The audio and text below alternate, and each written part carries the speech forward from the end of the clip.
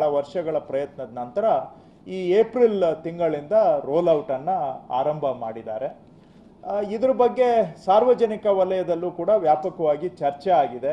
ಹಾಗೂ ಕೆಲವು ಸುದ್ದಿ ಮಾಧ್ಯಮಗಳಲ್ಲಿ ಇದರಿಂದ ಆಗಿರುವಂಥ ತೊಂದರೆಗಳ ಬಗ್ಗೆನೂ ಕೂಡ ವ್ಯಾಪಕವಾಗಿ ಚರ್ಚೆ ಆಗಿದೆ. ನನಗೂ ಸುಮಾರು ಜನ ಸಾರ್ವಜನಿಕರು ಇದರ ಅನುಕೂಲ ಅನಾನುಕೂಲದ ಬಗ್ಗೆ ನನ್ನ ಹತ್ರನೂ ನೇರವಾಗಿ ಮಾತಾಡ್ತಾ ಬಂದಿದ್ದಾರೆ. ಕೆಲವು ಜರ್ನಲಿಸ್ಟ್ಗಳು ಕೂಡ ನನ್ನ ಹತ್ರ ಸಾಧಕ ಬಾಧಕ ಮಾತಾಡಿದ್ದಾರೆ.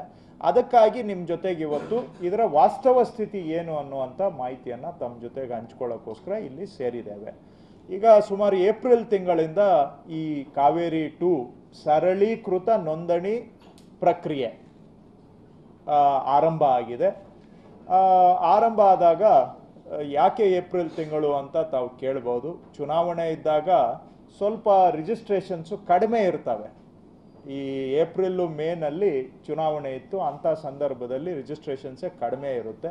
ಸೊ ಕಡಿಮೆ ಇದ್ದಾಗ ಹೊಸ ಪ್ರಕ್ರಿಯೆಯನ್ನು ಆರಂಭ ಮಾಡೋದು ವೈಜ್ಞಾನಿಕ ಅಂತೇಳಿ ಏಪ್ರಿಲ್ನಿಂದ ಆರಂಭ ಮಾಡಿ ಇಲ್ಲಿವರೆಗೂ ಕೂಡ ಒಟ್ಟು ಏನು ನಮ್ಮ ರಾಜ್ಯದಲ್ಲಿ ಸುಮಾರು ಇನ್ನೂರ ಐವತ್ತ ಆರು ಸಬ್ ರಿಜಿಸ್ಟ್ರಾರ್ ಆಫೀಸುಗಳು ಇದ್ದಾವೆ ಉಪನೋಂದಣಿ ಕಚೇರಿಗಳು ಇದ್ದಾವೆ ಇವತ್ತು ಸಂಜೆ ಅಷ್ಟೊತ್ತಿಗೆ ಇನ್ನೂರ ಐವತ್ತೊಂದು ಸಬ್ ರಿಜಿಸ್ಟ್ರಾರ್ ಆಫೀಸಲ್ಲಿ ಕಾವೇರಿ ಎರಡು ಸರಳೀಕೃತ ನೋಂದಣಿ ಪ್ರಕ್ರಿಯೆಯನ್ನು ನಾವು ಅನುಷ್ಠಾನ ಮಾಡ್ದಂಗೆ ಆಗುತ್ತೆ ಇವತ್ತು ಸಂಜೆಗೆ. ಈ ಶನಿವಾರದಷ್ಟೊತ್ತಿಗೆ ಎಲ್ಲ ಇನ್ನೂರೈವತ್ತಾರು ಕೇಂದ್ರಗಳಲ್ಲೂ ಕೂಡ ಸರಳೀಕೃತ ನೋಂದಣಿ ಪ್ರಕ್ರಿಯೆಯನ್ನು ನಾವು ಅನುಷ್ಠಾನ ಮಾಡ್ತಿದ್ದೇವೆ. ಯಾಕೆ ಕಾವೇರಿ ಟು ಈ ಸರಳೀಕೃತ ಪ್ರಕ್ರಿಯೆ ತಂದಿದ್ದೇವೆ ಅಂತ ಆಗಲೇ ಹೇಳಿದೆ. ಇದರಲ್ಲಿ ಏನು ಅಂತ ಹೇಳಿದ್ರೆ, ಮೊದಲು ಎಲ್ಲ ಡಾಕ್ಯುಮೆಂಟ್ಸ್ ತೊಗೊಂಡು ಬಂದ್ಬಿಟ್ಟು ಅಲ್ಲಿ ಸಬ್ ರಿಜಿಸ್ಟ್ರಾರ್ ಕೈಗೆ ಕೊಟ್ಟು ಅವ್ರು ಅಲ್ಲೇ ಕೂತ್ಕೊಂಡು ವೆರಿಫೈ ಮಾಡಬೇಕಿತ್ತು. ನಿಮ್ಮ ಸ ಡಾಕ್ಯುಮೆಂಟಲ್ಲಿ ಒಂದು ಹತ್ತಿಪ್ಪತ್ತು ಇಂಪಾರ್ಟೆಂಟ್ ಪಾಯಿಂಟನ್ನು ಅವ್ರು ಚೆಕ್ ಮಾಡಬೇಕು. ಈ ಡಾಕ್ಯುಮೆಂಟ್ನ ಅಂದರೆ ರಿಜಿಸ್ಟ್ರೇಷನ್ನು ಡಾಕ್ಯುಮೆಂಟ್ನ ಉದ್ದೇಶ ಏನು? ಅದರಲ್ಲಿ ಹಾಕಿರೋ ರೇಟ್ ಸರಿ ಇದೆಯಾ? ಹಾಕಿರೋ ರೇಟು ಗೈಡೆನ್ಸ್ ವ್ಯಾಲ್ಯೂಗೆ ಮ್ಯಾಚ್ ಆಗ್ತಾ ಇದೆಯಾ? ಅದಕ್ಕೆ ಸಂಬಂಧಪಟ್ಟಂಥ ಅವ್ರದ್ದು ಡಾಕ್ಯುಮೆಂಟ್ಗಳು ಸರಿ ಇದೆಯಾ? ಹೀಗೆ ಡಾಕ್ಯುಮೆಂಟ್ ವೆರಿಫಿಕೇಷನ್ಗೆ ಅವ್ರಿಗೆ ಸಬ್ಮಿಟ್ ಮಾಡಿಬಿಟ್ಟು ಎಲ್ಲ ಫ್ಯಾಮಿಲಿಯವರು ಕಾಯ್ಕೊಂಡಿರಬೇಕಾಗಿತ್ತು. ಈಗ ಕಾವೇರಿ ಟೂನಲ್ಲಿ ಏನಂದರೆ, ಆ ಡಾಕ್ಯುಮೆಂಟ್ ರಿಜಿಸ್ಟ್ರೇಷನ್ ಡಾಕ್ಯುಮೆಂಟನ್ನು ಆನ್ಲೈನಲ್ಲೇ ಸಬ್ಮಿಟ್ ಮಾಡ್ಬೋದು. ಮೊದಲೇ ಸಬ್ಮಿಟ್ ಮಾಡ್ಬೋದು. ಸೊ ಮೊದಲೇ ನೀವು ಆನ್ಲೈನ್ ಡಾಕ್ಯುಮೆಂಟನ್ನು ಸಬ್ಮಿಟ್ ಮಾಡಿಬಿಟ್ರೆ ಎಲ್ಲಾನು ಅದನ್ನು ಸಬ್ ರಿಜಿಸ್ಟ್ರಾರು ಕೂಡ ಆನ್ಲೈನಲ್ಲೇ ವೆರಿಫೈ ಮಾಡಿ. ಅವರು ಎಲ್ಲ ನಿಮ್ಮದು ಡಾಕ್ಯುಮೆಂಟು ಸರಿ ಇದೆ ಅಂತ ಹೇಳಿ ನಿಮಗೆ ವಾಪಸ್ಸು ಆನ್ಲೈನಲ್ಲೇ ಅವರು ನಿಮಗೆ ಸುದ್ದಿಯನ್ನು ಮುಟ್ಟಿಸ್ತಾರೆ. ಸೊ, ಆನ್ಲೈನಲ್ಲಿ ಸರಿ ಇದೆ ಅಂತ ನಿಮಗೆ ಸುದ್ದಿ ವಾಪಸ್ ಮೆಸೇಜ್ ಬಂದ ಮೇಲೆ, ಆಮೇಲೆ ಅದಕ್ಕೆ ತಗಲುವಂಥ ವೆಚ್ಚನೂ ಕೂಡ ಆನ್ಲೈನಲ್ಲೇ ಪೇಮೆಂಟ್ ಆಗುತ್ತೆ. ಅದನ್ನ ಅವರೇ ಮಾಡ್ಬೋದು. ಯಾರು ಸಾರ್ವಜನಿಕರೇ ಆನ್ಲೈನಲ್ಲಿ ಪೇಮೆಂಟು ಕೂಡ ಮಾಡ್ಬೋದು. ಆನ್ಲೈನಲ್ಲಿ ಪೇಮೆಂಟ್ ಮಾಡಿದ್ದು ಸೆಕೆಂಡ್ ಸ್ಟೆಪ್ಪು ಥರ್ಡ್ ಸ್ಟೆಪ್ ಏನಂದರೆ, ಆ ರಿಜಿಸ್ಟ್ರೇಷನ್ ಮಾಡೋರು ಕೊಂಡ್ಕೊಳ್ಳೋರು ಇರ್ತಾರಲ್ಲ, ಮಾರಾಟ ಮಾಡೋರು ಕೊಂಡ್ಕೊಳ್ಳೋರು. ಅವರಿಗೆ ಯಾವ ಸಮಯ ಅನುಕೂಲ ಆಗುತ್ತೆ, ಆ ಸಮಯಕ್ಕೆ ಅವರೇ ಅಪಾಯಿಂಟ್ಮೆಂಟನ್ನು ಸೆಲೆಕ್ಟ್ ಮಾಡ್ಬೋದು ಆನ್ಲೈನಲ್ಲೇ.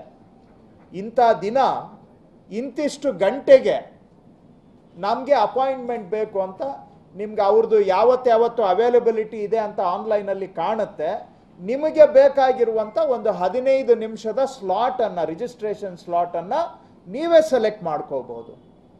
ಸೊ ಆವತ್ತಿನ ದಿನ ಅಲ್ಲಿಗೆ ಹೋದಾಗ ಮಾರಾಟ ಮಾಡೋರು ಕೊಂಡ್ಕೊಳ್ಳೋರ್ದು ಕೆಲಸ ಏನಪ್ಪ ಅಂದರೆ ಅಷ್ಟೊತ್ತಿಗೆ ಡಾಕ್ಯುಮೆಂಟ್ ವೆರಿಫಿಕೇಷನ್ ಆಗೋಗಿರುತ್ತೆ. ಹಾಗೆ ಫೀಸ್ ಪೇಮೆಂಟು ಆಗೋಗಿರುತ್ತೆ. ಸೊ ಬಾಕಿ ಇರೋದು ಏನಪ್ಪ ಅಂತ ಹೇಳಿದ್ರೆ ಅಲ್ಲಿ ಕಂಪ್ಯೂಟರ್ ಮುಂದೆ ಕೂತ್ಕೋ, ಕೂತ್ಕೋಬೇಕು ಅವ್ರದ್ದು ಫೋಟೋ ತೆಗಿತಾರೆ, ತಂಬು ಕೊಡಬೇಕು. ಇಷ್ಟು ಕೊಟ್ಟರೆ ಅಲ್ಲಿಗೆ ಅವ್ರ ರಿಜಿಸ್ಟ್ರೇಷನ್ ಕೆಲಸ ಮುಗೀತು. ಒಂದು ಸಾಮಾನ್ಯ ರಿಜಿಸ್ಟ್ರೇಷನ್ನು ಹತ್ತು ನಿಮಿಷದಲ್ಲಿ, ಅದೇ ಹತ್ತರಿಂದ ಹದಿನೈದು ನಿಮಿಷದಲ್ಲಿ ಮುಗಿಸ್ಬಿಟ್ಟು, ಅಂದರೆ ಪಾರ್ಟಿಗಳು ಕಡಿಮೆ ಇದ್ದರೆ ಒಂದು ಐದಾರು ಪಾರ್ಟಿಗಳು ಮಾತ್ರ ಇದ್ದರೆ ಹತ್ತರಿಂದ ಹದಿನೈದು ನಿಮಿಷದಲ್ಲಿ ರಿಜಿಸ್ಟ್ರೇಷನ್ ಮುಗಿಸಿ ಅವರು ಹೊರಗಡೆ ಬರಬಹುದು. ಸೊ ಇದು ಸರಳೀಕೃತ ಕಾವೇರಿ ಟೂನ ಉಪಯೋಗ. ಸೊ ಇದು ಸಾರ್ವಜನಿಕರಿಗೆ ಉಪಯೋಗಗಳಾದರೆ ಸರ್ಕಾರಕ್ಕೂ ಇದರಲ್ಲಿ ಕೆಲವು ಉಪಯೋಗಗಳು ಇದ್ದಾವೆ ಏನಪ್ಪ ಅಂದರೆ ರಾಜ್ಯದಲ್ಲಿ ಯಾವ ದಿನ ಎಷ್ಟು ರಿಜಿಸ್ಟ್ರೇಷನ್ ಆಯಿತು ಅಂತ ನಮಗೆ ಆವತ್, ಆ ಕ್ಷಣದ ಮಾಹಿತಿ ನಮಗೆ ಸಿಗುತ್ತೆ. ಇಡೀ ರಾಜ್ಯದಲ್ಲಿ ಎಲ್ಲಾಗ್ತಾ ಇತ್ತು ಹಿಂದೆ ಇನ್ನೊಂದು ಏನಾಗ್ತಾ ಇತ್ತು? ಯಾರೋ ಸಬ್ ರಿಜಿಸ್ಟ್ರಾರು ರಿಜಿಸ್ಟರ್ ಮಾಡಿಬಿಡೋರು. ಅದರಲ್ಲಿ ತಪ್ಪು ನಪ್ಪುಗಳು ಆಗಿದ್ರೂ ಕೂಡ ಅವ್ರ ಮೇಲೆ ಜವಾಬ್ದಾರಿ ಫಿಕ್ಸ್ ಮಾಡೋದು ಕಷ್ಟ ಆಗ್ತಾ ಇತ್ತು. ಆದರೆ ಈಗ ಪ್ರತಿಯೊಂದಕ್ಕೂ ಒಬ್ಬ ಸಬ್ ರಿಜಿಸ್ಟ್ರಾರ್ ಅದನ್ನ ಸೈನ್ ಆಫ್ ಮಾಡೋದ್ರಿಂದ, ಅದನ್ನ ಆನ್ಲೈನಲ್ಲಿ ಅಪ್ರೂವ್ ಮಾಡೋದ್ರಿಂದ ಯಾರು ಮಾಡಿದ್ದಾರೆ, ಯಾರು ತಪ್ಪು ಮಾಡಿದ್ದಾರೆ ಅನ್ನೋದು ನೇರವಾಗಿ ಜವಾಬ್ದಾರಿ ನಿಗದಿ ಆಗೋದ್ರಿಂದ ಅವರು ಮಾಡೋವಾಗ ತಪ್ಪುಗಳನ್ನು ಮಾಡದೇ ಈ ಕೆಲಸವನ್ನ ಮಾಡ್ತಾರೆ. ಸೊ ಇದರಲ್ಲಿ ಸೋರಿಕೆ ಆಗುವಂತಹದ್ದು ಅಂಡರ್ ರೇಟ್ ರಿಜಿಸ್ಟರ್ ಮಾಡುವಂತಹದ್ದು ಇಂಥವೆಲ್ಲ ಆಟೋಮ್ಯಾಟಿಕಲಿ ಕಮ್ಮಿ ಆಗುತ್ತೆ. ಯಾಕಂದ್ರೆ ಈಗ ಜವಾಬ್ದಾರಿ ನೇರವಾಗಿ ನಿಗದಿ ಆಗೋದ್ರಿಂದ ತಪ್ಪುಗಳು ಅವರು ಮಾಡಲಿಕ್ಕೆ ಹೋಗೋದಿಲ್ಲ. ಅದು ಎರಡನೇದು. ಮೂರನೇದು, ಇದನ್ನ ಹೀಗೆ ನಾವು ಸಿಸ್ಟಮ್ ಅನ್ನ ಡೆವಲಪ್ ಮಾಡ್ತಾ, ಇದು ಬೇರೆ ಅಂದ್ರೆ ನಗರದಲ್ಲಿ ಆಸ್ತಿ ಇದ್ರೆ ಆ ನಗರದ ಆಸ್ತಿ ಅದು ಜನ್ಯುವಿನ ಇಲ್ಲವಾ ಅಂತ ಆನ್ಲೈನಲ್ಲೇ ಚೆಕ್ಕಿಂಗ್ ಆಗುತ್ತೆ. ಅವ್ರದ್ದು ಜಮೀನು, ಹಿಂದೆ ಎಲ್ಲ ತಮಗೂ ಗೊತ್ತಿದೆ. ಸರ್ಕಾರಿ ಅಂತ ಇದ್ದರೂ ಕೂಡ ಅದು ಯಾರೋ ಎರಡು ಖಾಸಗಿ ವ್ಯಕ್ತಿಗಳು ಆ ಜಮೀನನ್ನು ರಿಜಿಸ್ಟರ್ ಮಾಡಿದಂಥ ಪ್ರಕ್ರಿಯೆಗಳೆಲ್ಲ ನಡೆದಿದ್ದಾವೆ ಈಗ ಇದು ಆನ್ಲೈನಲ್ಲಿ ನೇರವಾಗಿ ವೆರಿಫಿಕೇಶನ್ ಆಗೋದ್ರಿಂದ ಯಾರೋ ಹೆಸರಲ್ಲಿರೋದನ್ನು ಯಾರೋ ರಿಜಿಸ್ಟರ್ ಮಾಡೋಕ್ಕಾಗೋದಿಲ್ಲ. ಯಾರೋ ಹೆಸರಲ್ಲಿ ಖಾತೆ ಇರೋದು ಇನ್ನೊಬ್ಬರು ಇನ್ನೊಬ್ಬರು ಮಾಡೋಕ್ಕಾಗಲ್ಲ. ಸರ್ಕಾರದ ಹೆಸರಿನಲ್ಲಿ ಜಮೀನಿದ್ರೆ ಅದನ್ನ ಖಾಸಗಿ ವ್ಯಕ್ತಿಗಳು ಕೂಡ ಒಬ್ಬರಿಂದ ಒಬ್ಬರಿಗೆ ರಿಜಿಸ್ಟ್ರೇಷನ್ ಮಾಡೋಕ್ಕಾಗೋದಿಲ್ಲ. ಈ ರೀತಿಯ ಕೆಲವು ಏನು ಆಡಳಿತ ಸುಧಾರಣೆನೂ ಕೂಡ ಇದರಿಂದ ಸಾಧ್ಯ ಇದೆ. ಸೊ ಇದು ಒಂದು ಜನಗಳಿಗೆ ಅಧಿಕಾರ ಸುಲಲಿತವಾಗಿ ಅವರ ಸೇವೆ ಸಿಗಬೇಕು, ಸೌಕರ್ಯ ಸಿಗಬೇಕು ಅನ್ನುವ ದಿಕ್ಕಿನಲ್ಲಿ ಇಟ್ಟಿರುವಂಥ ಹೆಜ್ಜೆ. ಸೊ ಇದು ಜನಗಳು ಇನ್ನೂ ಇದು ಆರಂಭದಲ್ಲಿ ಒಂದು ಸಿಂಪಲ್ ಮಾಡ್ಯೂಲ್ ಅನ್ನ ಇಂಪ್ಲಿಮೆಂಟ್ ಮಾಡಿದ್ದೇವೆ. ಬರ್ತಾ ಬರ್ತಾ ಇದರಲ್ಲಿ ಇನ್ನೂ ಬೇರೆ ಬೇರೆ ಅಂಶಗಳು ಇದಾವೆ. ಅವೆಲ್ಲ ಇಂಪ್ಲಿಮೆಂಟ್ ಆದರೆ ಫ್ರಾಡ್ ಆಗುವಂಥದ್ದು ಇನ್ನೂ ಕಡಿಮೆ ಆಗುವಂತ ಅವಕಾಶಗಳು ಇದರಲ್ಲಿ ಇದೆ. ಈಗ ಇದು ಏನು ಇದರಲ್ಲಿ ಇರುವಂಥದ್ದು ಅಂತ. ಆದರೆ ಬಹುಶಃ ತಮಗೆ ಹೆಚ್ಚಿಗೆ ಆಸಕ್ತಿ ಇರುವಂಥದ್ದು ಇದು ಇಂಪ್ಲಿಮೆಂಟ್ ಆದಮೇಲೆ ರಿಜಿಸ್ಟ್ರೇಷನ್ಗಳು ಕಡಿಮೆ ಆಗ್ಬಿಟ್ಟಿದ್ದಾವೆ ಇದರಿಂದ ಬಹಳ ತೊಂದರೆ ಇದೆ, ಇದರಲ್ಲಿ ಸರಿಯಾಗಿ ಕೆಲಸ ಆಗ್ತಾ ಇಲ್ಲ ಅಂತ ಕೆಲವು ಮಾಧ್ಯಮಗಳಲ್ಲಿ ವರದಿ ಆಗಿರೋದನ್ನು ನಾನು ಕೂಡ ನೋಡಿದ್ದೇನೆ. ಪತ್ರಿಕೆಗಳಲ್ಲೂ ಬಂದಿದೆ, ಆನ್ಲೈನಲ್ಲೂ ಬಂದಿದೆ. ಸಾರ್ವಜನಿಕ ವಲಯದಲ್ಲೂ ಕೂಡ ಬಹಳ ಚರ್ಚೆ ಆಗ್ತಾ ಇದೆ. ಅದಕ್ಕಾಗಿ ನಾನು ಅಂಕಿ ಸಂಖ್ಯೆಯನ್ನು ತೆಗೆಸಿ ನೋಡಿದೆ. ಮೊದಲು ಎಷ್ಟು ರಿಜಿಸ್ಟ್ರೇಷನ್ ಆಗ್ತಾ ಇತ್ತು? ಈ ಕಾವೇರಿ ಟೂ ಇಂಪ್ಲಿಮೆಂಟ್ ಆದಮೇಲೆ ಏನು ರಿಜಿಸ್ಟ್ರೇಷನ್ ಆಗ್ತಾ ಇದೆ ಅಂತ ನಾನು ಕೆಲವು ಎಲ್ಲ ಇಡೀ ಸುಮಾರು ಒಂದು ಮೂವತ್ತು, ನಲ್ವತ್ತು, ಐವತ್ತು ಕಡೆದು ಸಬ್ ರಿಜಿಸ್ಟ್ರಾರ್ ಆಫೀಸುಗಳ ವಹಿವಾಟು, ಏನು ಟ್ರಾನ್ಸಾಕ್ಷನ್ಸ್ ಆಗಿದೆ ಅನ್ನೋದನ್ನ ನಾನು ತೆಗೆಸಿ ನೋಡಿದಾಗ ಈಗ ದೊಡ್ಡಬಳ್ಳಾಪುರ ಉದಾಹರಣೆಗೆ ಸಬ್ ರಿಜಿಸ್ಟ್ರಾರ್ ಆಫೀಸು ಅಲ್ಲಿ ಸ್ವಲ್ಪ ಇರೋದ್ರಲ್ಲಿ ಆವ್ರೇಜ್ಗಿಂತ ಜಾಸ್ತಿ ರಿಜಿಸ್ಟ್ರೇಷನ್ಸು ನಡೆಯುವಂತಹ ಒಂದು ರಿಜಿಸ್ಟ್ರೇಷನ್ ಕಚೇರಿ ಅದು. ಅಲ್ಲಿ ಕಾವೇರಿ ಒನ್ ಇದ್ದಾಗ ಒಂದು ದಿನಕ್ಕೆ ಸರಾಸರಿ ಅರವತ್ತ್ಮೂರು ಡಾಕ್ಯುಮೆಂಟು ರಿಜಿಸ್ಟರ್ ಆಗ್ತಾ ಇತ್ತು. ಕಾವೇರಿ ಟೂ ಬಂದ ಮೇಲೆ ಒಂದು ದಿನಕ್ಕೆ ಅರವತ್ತ ಐದು ಡಾಕ್ಯುಮೆಂಟು ರಿಜಿಸ್ಟರ್ ಆಗ್ತಾ ಇದೆ. ಅಷ್ಟೇ ಅಲ್ಲ ಆ ಕ ಆ ಸಬ್ ರಿಜಿಸ್ಟ್ರಾರ್ ಆಫೀಸಲ್ಲಿ ಕೆಲವೊಂದು ದಿನ ನೂರ ಮೂವತ್ತೆರಡು ಡಾಕ್ಯುಮೆಂಟು ರಿಜಿಸ್ಟರ್ ಆಗಿದೆ. ಸೊ ಯಾಕೆ ಅದನ್ನು ಹೇಳ್ತಾ ಇದ್ದೀನಿ ಅಂದರೆ, ಸರಾಸರಿ ಅರವತ್ತ್ಮೂರು ಡಾಕ್ಯುಮೆಂಟ್ ಆಗ್ತಾ, ರಿಜಿಸ್ಟರ್ ಆಗ್ತಾ ಇದ್ದಂಥ ಕಚೇರಿಯಲ್ಲಿ ನೂರ ಅರ್- ಮೂವತ್ತೆರಡು ಡಾಕ್ಯುಮೆಂಟ್ ರಿಜಿಸ್ಟರ್ ಮಾಡ್ಬೋದು ಒಂದೇ ದಿನದಲ್ಲಿ ಅಂತ ಹೇಳಿದ್ರೆ, ಅಲ್ಲಿಗೆ ರಿಜಿಸ್ಟ್ರೇಷನ್ ಕೆಪಾಸಿಟಿ ಎಷ್ಟು ಜಾಸ್ತಿ ಆಗಿದೆ ಅನ್ನೋದಕ್ಕೆ ಉದಾಹರಣೆ. ನೀವು ಕೇಳ್ಬೋದು ಅರವತ್ತೈದು ಯಾಕೆ ಆಗ್ತಾ ಇದೆ ಅಂತ. ಯಾಕಂದ್ರೆ ಅರವತ್ತೈದು ಬರ್ತಾ ಇದೆ, ಅರವತ್ತೈದು ಆಗ್ತಾ ಇದೆ. ನೂರ ಮೂವತ್ತೆರಡು ಬಂದರೂ ಕೂಡ ರಿಜಿಸ್ಟ್ರೇಷನ್ ಮಾಡಬಹುದು. ಅಷ್ಟು ಮಟ್ಟಿಗೆ ಕೆಪಾಸಿಟಿ ಜಾಸ್ತಿ ಆಗಿದೆ. ಅನ್ನೋದಕ್ಕೆ ಒಂದು ದಿನ ನೂರ ಮೂವತ್ತೆರಡು ಆಗಿರೋದು ಅಲ್ಲಿ ಉದಾಹರಣೆ. ಇನ್ನೊಂದು ಬಳ್ಳಾರಿದು ಉದಾಹರಣೆ ಕೊಡ್ತೇನೆ ತಮಗೆ. ಕಾವೇರಿ ಒನ್ನಲ್ಲೂ ಎಂಬತ್ತಾರು ರಿಜಿಸ್ಟ್ರೇಷನ್ ಆಗ್ತಾ ಇತ್ತು. ಕಾವೇರಿ ಟೂನಲ್ಲೂ ಸರಾಸರಿ ಎಂಬತ್ತಾರು ರಿಜಿಸ್ಟ್ರೇಷನ್ ಆಗ್ತಾ ಇದೆ. ಆದರೆ ಈ ಕಾವೇರಿ ಟೂ ಬಂದಮೇಲೆ ಒಂದು ದಿನ ನೂರ ನಲವತ್ತ ಮೂರು ನಲವತ್ತಾರು ರಿಜಿಸ್ಟ್ರೇಷನ್ ಆಗಿದೆ. ಸೊ ಉದಾಹರಣೆಗೆ ಎಷ್ಟು ಕೆಪಾಸಿಟಿ ಬಿಲ್ಡ್ ಆಗಿದೆ ಆನ್ಲೈನ್ ಸಿಸ್ಟಮ್ ಬಂದ ಮೇಲೆ ಅನ್ನೋದಕ್ಕೆ ಒಂದೇ ದಿನದಲ್ಲಿ ದಿನದಲ್ಲಿ ನೂರ ನಲವತ್ತಾರು ರಿಜಿಸ್ಟ್ರೇಷನ್ ಆಗುತ್ತೆ ಅಂದರೆ ಅದೊಂದು ಪ್ರೂಫ್ ಸಿಸ್ಟಮ್ ಅಲ್ಲಿ ಕೆಪಾಸಿಟಿ ಇದೆ. ಹೆಚ್ಚಿಗೆ ಜನ ಬಂದರೂ ಕೂಡ ರಿಜಿಸ್ಟ್ರೇಷನನ್ನು ಸುಗಮವಾಗಿ ಮಾಡಿಕೊಡಬಹುದು ಅನ್ನೋದಕ್ಕೆ. ಅದೇ ತರ ಚಾಮರಾಜನಗರದಲ್ಲೂ ಕೂಡ ಹಿಂದೆನೂ ಮೂವತ್ತ್ಮೂರು ಆಗ್ತಾ ಇತ್ತು, ಈಗಲೂ ಮೂವತ್ತ್ಮೂರು ಆಗ್ತಾ ಇದೆ. ಚಿಕ್ಕಬಳ್ಳಾಪುರ, ಹಿಂದೆ ಇಪ್ಪತ್ತೊಂಬತ್ತು ಆಗ್ತಾ ಇತ್ತು, ಇವತ್ತಲ್ಲಿ ಇಪ್ಪತ್ತೊಂಬತ್ತು ಆಗ್ತಾ ಇದೆ. ಆದರೆ ಒಂದಿನ ನಲವತ್ತೊಂಬತ್ತಾಗಿದೆ ಗುಲ್ಬರ್ಗ, ಗುಲ್ಬರ್ಗಾದಲ್ಲಿ ಮೊದಲು ಎಪ್ಪತ್ತಾರು ಡಾಕ್ಯುಮೆಂಟ್ ರಿಜಿಸ್ಟರ್ ಆಗ್ತಾ ಇತ್ತು ಒಂದು ದಿನಕ್ಕೆ. ಈಗ ಸರಾಸರಿ ತೊಂಬತ್ತೊಂದು ಡಾಕ್ಯುಮೆಂಟ್ ರಿಜಿಸ್ಟರ್ ಆಗ್ತಾ ಇದೆ. ಆದರೆ ಒಂದು ದಿನ ನೂರ ಇಪ್ಪತ್ತೆರಡು ಡಾಕ್ಯುಮೆಂಟು ಕೂಡ ರಿಜಿಸ್ಟ್ರೇಷನ್ ಆಗಿದೆ. ಈ ಥರ ನಾನು ಅಂಕಿ ಸಂಖ್ಯೆ ನಂಬರ್ಗಳು ಕೊಟ್ಕೊಂಡು ಹೋಗ್ಬೋದು. ಆದರೆ ಇದನ್ನು ಯಾಕೆ ಹೇಳ್ತಾ ಇದ್ದೀನಿ ಅಂತ ಹೇಳಿದ್ರೆ, ಕೆಲವು ಆರಂಭದಲ್ಲಿ ಹೊಸ ವ್ಯವಸ್ಥೆ ತಂದಾಗ ಸಣ್ಣ ಪುಟ್ಟ ಗೊಂದಲಗಳು ಇರ್ತವೆ. ಇಲ್ಲ ಅಂತ ಅಲ್ಲ. ಆದರೆ ಸರ್ಕಾರದ ಕರ್ತವ್ಯ ಏನು ಅಂದರೆ, ಆ ಗೊಂದಲಗಳನ್ನು ಬಂದ ಕೂಡಲೇ ಅದಕ್ಕೊಂದು ಸೂಕ್ತ ಸಕಾರಾತ್ಮಕ ಪ್ರಕ್ರಿಯೆ ಇಟ್ಕೊಂಡು ರೆಸ್ಪಾನ್ಸಿವ್ ಮೆಕ್ಯಾನಿಸಮ್ ಇಟ್ಕೊಂಡು ಅವುಗಳನ್ನ ತತ್ಕ್ಷಣ ಕರೆಕ್ಟ್ ಮಾಡಿದರೆ ಅದು ಬದಲಾವಣೆ ಆಗುತ್ತೆ. ಇದರಲ್ಲಿ ಪೇ ಪ್ರಾಬ್ಲಮ್ ಬಂದಿದ್ದು ಮೂರು ವಿಧದಲ್ಲಿ ನಮಗೆ ಪ್ರಾಬ್ಲಮ್ ಬಂದಿದೆ. ಒಂದು ಪೇಮೆಂಟು ಮಾಡೋವಾಗ ಯಾಕಂದರೆ ಆನ್ಲೈನ್ ಪೇಮೆಂಟ್ ಮೊದಲೆಲ್ಲ ಅವರು ಬ್ಯಾಂಕ್ಗೆ ಹೋಗಿ ಚಲಾನು ಕಟ್ಟು ಕ- ದುಡ್ಡು ಕಟ್ಟಿ ಚಲಾನ್ ತೊಗೊಂಡು ಬಂದು ಸಬ್ ರಿಜಿಸ್ಟ್ರಾರ್ ಕೊಡಬೇಕಾಗಿತ್ತು. ಈಗ ನೀವು ನೆಟ್ ಬ್ಯಾಂಕಿಂಗ್ ಮಾಡ್ಬೋದು ಯು ಪೇ ಮಾಡ್ಬೋದು ಅಥವಾ ಫೋನ್ಪೇ ಮಾಡ್ಬೋದು ಈ ಎಲ್ಲ ಸಿಸ್ಟಮ್ಗಳು ಕೊಟ್ಟಿದೆ.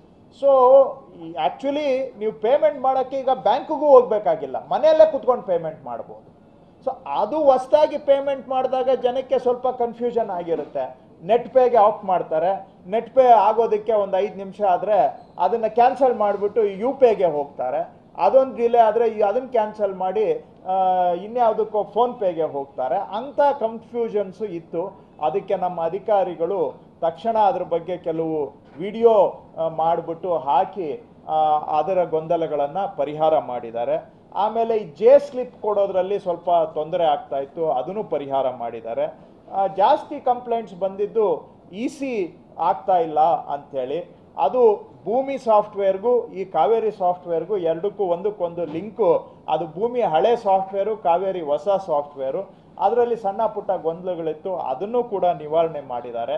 ಇದಕ್ಕೆ ನಮ್ಮ ನೋಂದಣಿ ಇಲಾಖೆಯಲ್ಲಿ ಕಾಲ್ ಸೆಂಟರ್ ಮಾಡಿ, ಈ ಥರ ಯಾವುದೇ ಕಂಪ್ಲೇಂಟ್ ಬಂದರೂ ಇಮಿಡಿಯೇಟ್ ಆಗಿ ಅವುಗಳನ್ನ ಅಟೆಂಡ್ ಮಾಡಿ ಸಾಲ್ವ್ ಮಾಡಿಕೊಂಡು ಬಂದಿದ್ದಾರೆ.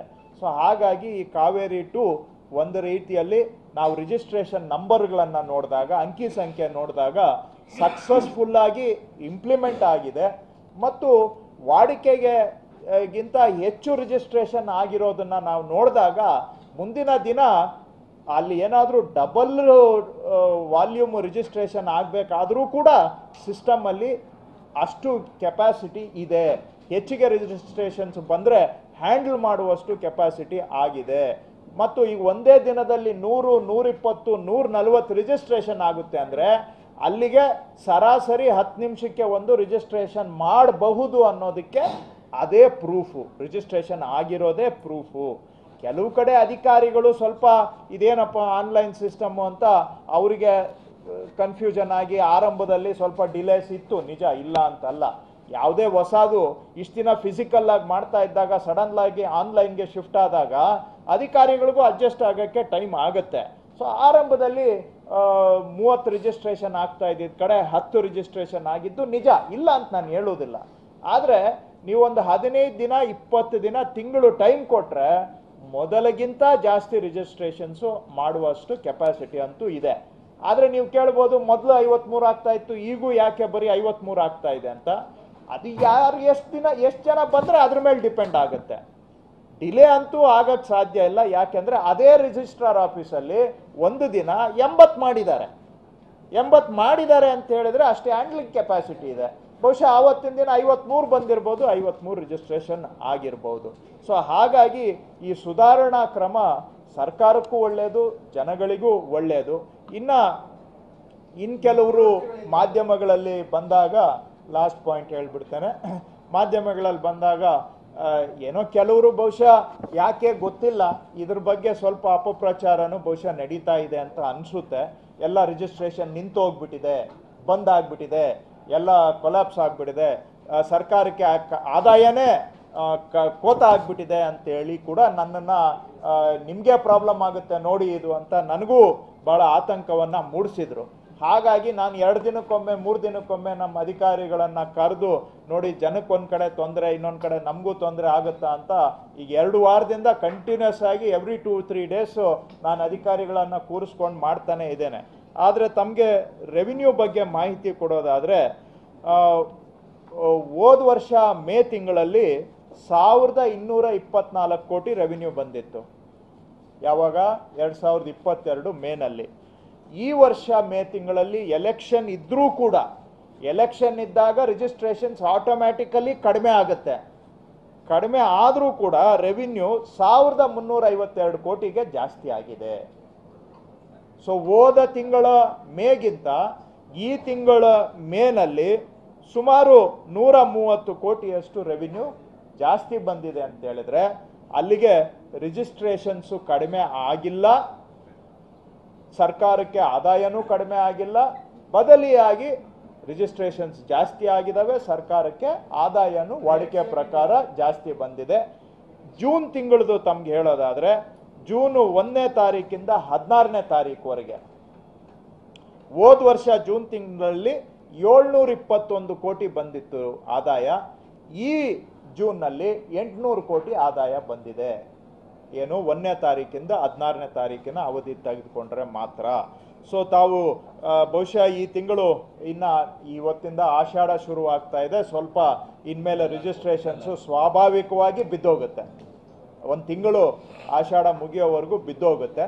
ಆಷಾಢ ಪೂರ್ವದ ಮಾಹಿತಿಯನ್ನು ನಾವು ನೋಡಿದಾಗ ಒಳ್ಳೆ ರಿಜಿಸ್ಟ್ರೇಷನ್ಸ್ ಆಗಿರೋದು ಈ ಅಂಕಿ ಸಂಖ್ಯೆಗಳಿಂದಾನೇ ಗೊತ್ತಾಗ್ತದೆ. ಇದನ್ನು ತಮ್ಮ ಜೊತೆಗೆ ಹಂಚ್ಕೊಳ್ಳೋದು ಒಳ್ಳೆಯದು ಯಾಕೆ ಅಂದರೆ, ಯಾವುದು ಈ ಕಾವೇರಿ ಟು ಜನಕ್ಕೆ ಒಳ್ಳೆ ಮಾಡೋದಕ್ಕೋಸ್ಕರ ಜನಗಳಿಗೆ ಸರ್ಕಾರಿ ಸೇವೆ ಸುಲಲಿತ ಆಗಬೇಕು ಸಲೀಸ ಆಗಬೇಕು ಅಂತ ತೆಗೆದುಕೊಂಡು ಬಂದಿರುವಂಥದ್ದು ಯಾರೋ ಕೆಲವರು ಇದ್ರ ಬಗ್ಗೆ ಗೊಂದಲದ ಮಾಹಿತಿಗಳನ್ನು ಅಲ್ಲಿ ಇಲ್ಲಿ ಕೊಡ್ತಾ ಇರೋದ್ರಿಂದ ವಾಸ್ತವ ಸ್ಥಿತಿಯನ್ನ ತಮ್ಮ ಜೊತೆಗೆ ಹಂಚ್ಕೊಳ್ಬೇಕು. ಕಾವೇರಿ ಟು ತಗೊಂಡು ಬಂದಿರೋದು ಜನಕ್ಕೆ ಸಲೀಸಾಗಬೇಕು. ಇದರಲ್ಲಿ ಭ್ರಷ್ಟಾಚಾರನೂ ಕಡಿಮೆ ಆಗಬೇಕು. ಒಳ್ಳೆ ಆಡಳಿತ ಸಿಗಬೇಕು. ಜನಕ್ಕೆ ತೊಂದರೆ ಕಡಿಮೆ ಆಗಬೇಕು.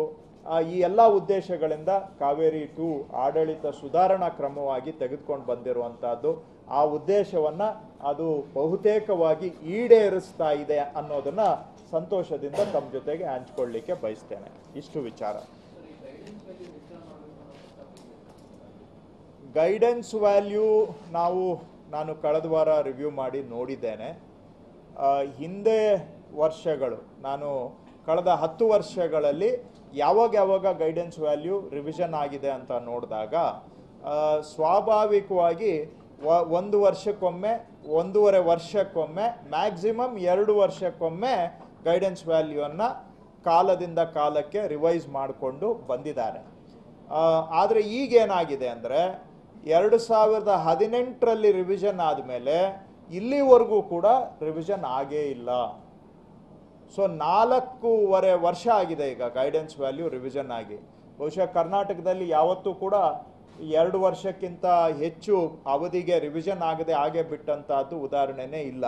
ಸೊ ಈಗ ನಾಲ್ಕೂವರೆ ವರ್ಷ ಆಗಿರೋದ್ರಿಂದ ಏನಾಗಿದೆ? ಮಾರುಕಟ್ಟೆ ಬೆಲೆಗೂ ಗೈಡೆನ್ಸ್ ವ್ಯಾಲ್ಯೂಗೂ ಬಹಳ ಅಂತರ ಬಂದ್ಬಿಟ್ಟಿದೆ. ಇದರಿಂದ ರೈತರಿಗೂ ಅನ್ಯಾಯ ಆಗುತ್ತೆ ಪ್ರಾಪರ್ಟಿ ಸೆಲ್ಲರ್ಸ್ಗೂ ಅನ್ಯಾಯ ಆಗುತ್ತೆ. ಯಾಕೆಂದರೆ ನೀವು ಏನೇ ಮಾರ್ಕೆಟ್ ವ್ಯಾಲ್ಯೂ ಇದ್ದರೂ ಗೈಡೆನ್ಸ್ ವ್ಯಾಲ್ಯೂ ಇಷ್ಟಿದೆಯಲ್ಲ ಅಂತ ಹೇಳ್ಬಿಟ್ಟು ಕೊಂಡ್ಕೊಳ್ಳೋರು ಬಂದ್ಬಿಟ್ಟು ಏನು ಮಾಡ್ತಾರೆ? ಕಮ್ಮಿನೇ ರೈ, ಕೊಡೋ ರೈತರಿಗೆ ಏನು ಮಾರಾಟ ಮಾಡುವಂಥ ಸಂದರ್ಭದಲ್ಲಿ ರೈತರಿಗೆ ಸಿಗಬೇಕಾದಂಥ ಸಂಪೂರ್ಣ ಬೆಲೆ ಸಿಗದೆ ರೈತರಿಗೆ ಒಂದು ಕಡೆ ಅನ್ಯಾಯ ಆಗ್ತಾ ಇದೆ. ಹಾಗೂ ಇನ್ನೊಂದು ಕಡೆ ಏನಾಗುತ್ತೆ, ಮಾರ್ಕೆಟ್ ರೇಟ್ಗಿಂತ ಗೈಡೆನ್ಸ್ ರೇಟ್ ತುಂಬ ಕಮ್ಮಿ ಇದ್ದಾಗ ಎಲ್ಲ ಕ್ಯಾಶ್ ಟ್ರಾನ್ಸಾಕ್ಷನ್ ಆಗಿ ಅದು ಕಪ್ಪು ಹಣಕ್ಕೆ ನೇರವಾಗಿ ನಾವು ಪ್ರೋತ್ಸಾಹ ಕೊಟ್ಟಂಗೂ ಆಗುತ್ತೆ. ಬ್ಲ್ಯಾಕ್ ಮನಿ ಕಾಂಪೊನೆಂಟು ರಿಜಿಸ್ಟ್ರೇಷನಲ್ಲಿ ಜಾಸ್ತಿ ಆಗುತ್ತೆ ಕ್ಯಾಶ್ ಕಾಂಪೊನೆಂಟು. ಅದು ಕೂಡ ಬ್ಲ್ಯಾಕ್ ಮನಿಗೆ ನಾವು, ನಾವಾಗಿ ನಾವು ಅದಕ್ಕೆ ರೈತ, ಒಂದು ಕಡೆ ರೈತರಿಗೆ ಅನ್ಯಾಯ ಆಗೋದಾದರೆ ಕಡಿಮೆ ಗೈಡೆನ್ಸ್ ವ್ಯಾಲ್ಯೂಯಿಂದ ಇನ್ನೊಂದು ಕಡೆ ಬ್ಲ್ಯಾಕ್ ಮನಿ ಕಾಂಪೊನೆಂಟು ಜಾಸ್ತಿ ಆಗುತ್ತೆ. ಸೊ ಇವೆರಡನ್ನೂ ಗಮನದಲ್ಲಿ ಇಟ್ಕೊಂಡು ಈ ಗೈಡೆನ್ಸ್ ವ್ಯಾಲ್ಯೂ ರಿವಿಷನ್ ಬಗ್ಗೆ ಸದ್ಯದಲ್ಲೇ ಒಂದು ತೀರ್ಮಾನ ತೆಗೆದುಕೊಳ್ತೇವೆ. ಇಲ್ಲ, ಇನ್ನೂ ಆ ಲೆವೆಲ್ಗೆ ಹೋಗಿಲ್ಲ. ನೋಡಿ, ನನಗೂ ಅಧಿಕಾರಿಗಳಿದೆ, ಕೇಳಿದ್ರು ಅಕಸ್ಮಾತ್ ಮಾಡೋದಾದರೆ ಎಷ್ಟು ಪರ್ಸೆಂಟೇಜ್ ಮಾಡಬೇಕು ಅಂತ. ನಿಯಮ ಏನು ಹೇಳುತ್ತೆ ಅಂದರೆ ಮಾರ್ಕೆಟ್ ವ್ಯಾಲ್ಯೂಗೆ ತಕ್ಕಂಗೆ ಇರಬೇಕು ಅಂತ ಹೇಳುತ್ತೆ. ಬಟ್ ಹಾಗಂತೇಳಿ ಒಂದೇ ಸತಿಗೆ ನಾವು ಅದನ್ನೆಲ್ಲ ಮಾಡ್ಲಿಕ್ಕೆ ಆಗೋದಿಲ್ಲ. ಬಟ್ ಪ್ರಿನ್ಸಿಪಲ್ ಒಂದು ನಿಯಮ ಇರೋದು ಆ ರೀತಿಯಾಗಿ. ಬಟ್ ಹಾಗಂತೇಳಿ ಮಾರ್ಕೆಟ್ ರೇಟ್ಗೆ ನಾವು ಸಡನ್ನಾಗಿ ತೆಗೆದುಕೊಂಡು ಹೋಗ್ಲಿಕ್ಕೆ ಆಗೋದಿಲ್ಲ. ಅದನ್ನ ನೋಡ್ತೇವೆ. ಈಗ ಫಸ್ಟು ನಾನು ಏನು ಹೇಳಿದ್ದೇನೆ ಗೈಡೆನ್ಸ್ ವ್ಯಾಲ್ಯೂಗೂ ಆ್ಯಕ್ಚುಲಿ ನಡೀತಾ ಇರೋ ವಹಿವಾಟುಗಳಿಗೂ ಎರಡೂ ಫಿಗರ್ಸ್ ಕೊಡಿ ಎಲ್ಲ ಸ್ಟೇಟ್ದು ಅಂತ ಅಷ್ಟು ಕೇಳಿದ್ದೇನೆ. ನೋಡಿಕೊಂಡು ಆಮೇಲೆ ನೋಡೋಣ. ಇನ್ನೂ ಅದ್ರ ಬಗ್ಗೆ ನಾವಿನ್ನೂ ಆ ಸ್ಟೇಜಿಗೆ ಬಂದಿಲ್ಲ. ನಿಮ್ಮ ಗ್ಯಾರಂಟಿಗಳಿಗೆ ಡೌನ್ವರ್ಡ್ ರಿವಿಷನ್ ಆಗಿತ್ತು ಗೈಡೆನ್ಸ್ ಹೌದು.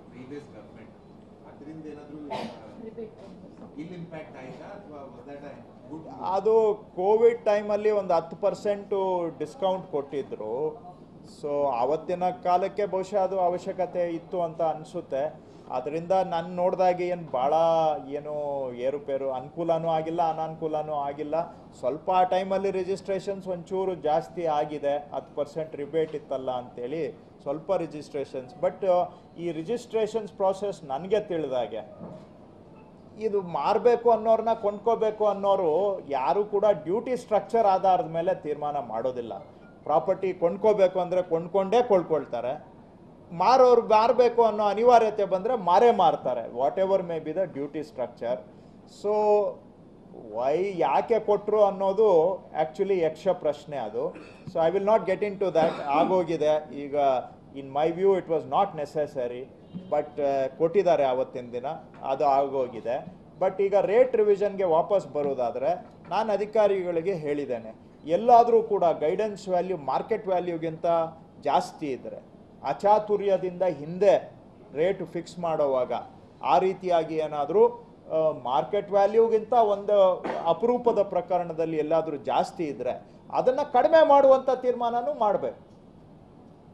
ಆಮೇಲೆ ಎಲ್ಲ ಕಡೆಗೂ ಯೂನಿಫಾರ್ಮ್ ಆಗಿನೂ ಏನು ಮಾಡೋ ಅವಶ್ಯಕತೆ ಇಲ್ಲ. ಕೇಸ್ ಬೈ ಕೇಸ್ ನೋಡ್ಕೊಂಡು ಮಾಡಿ ಕಡಿಮೆ ಇದ್ದರೆ ಕಡಿಮೆನೂ ಮಾಡಬೇಕು ಅಂತಲೂ ಕೂಡ ಹೇಳಿದ್ದೇನೆ.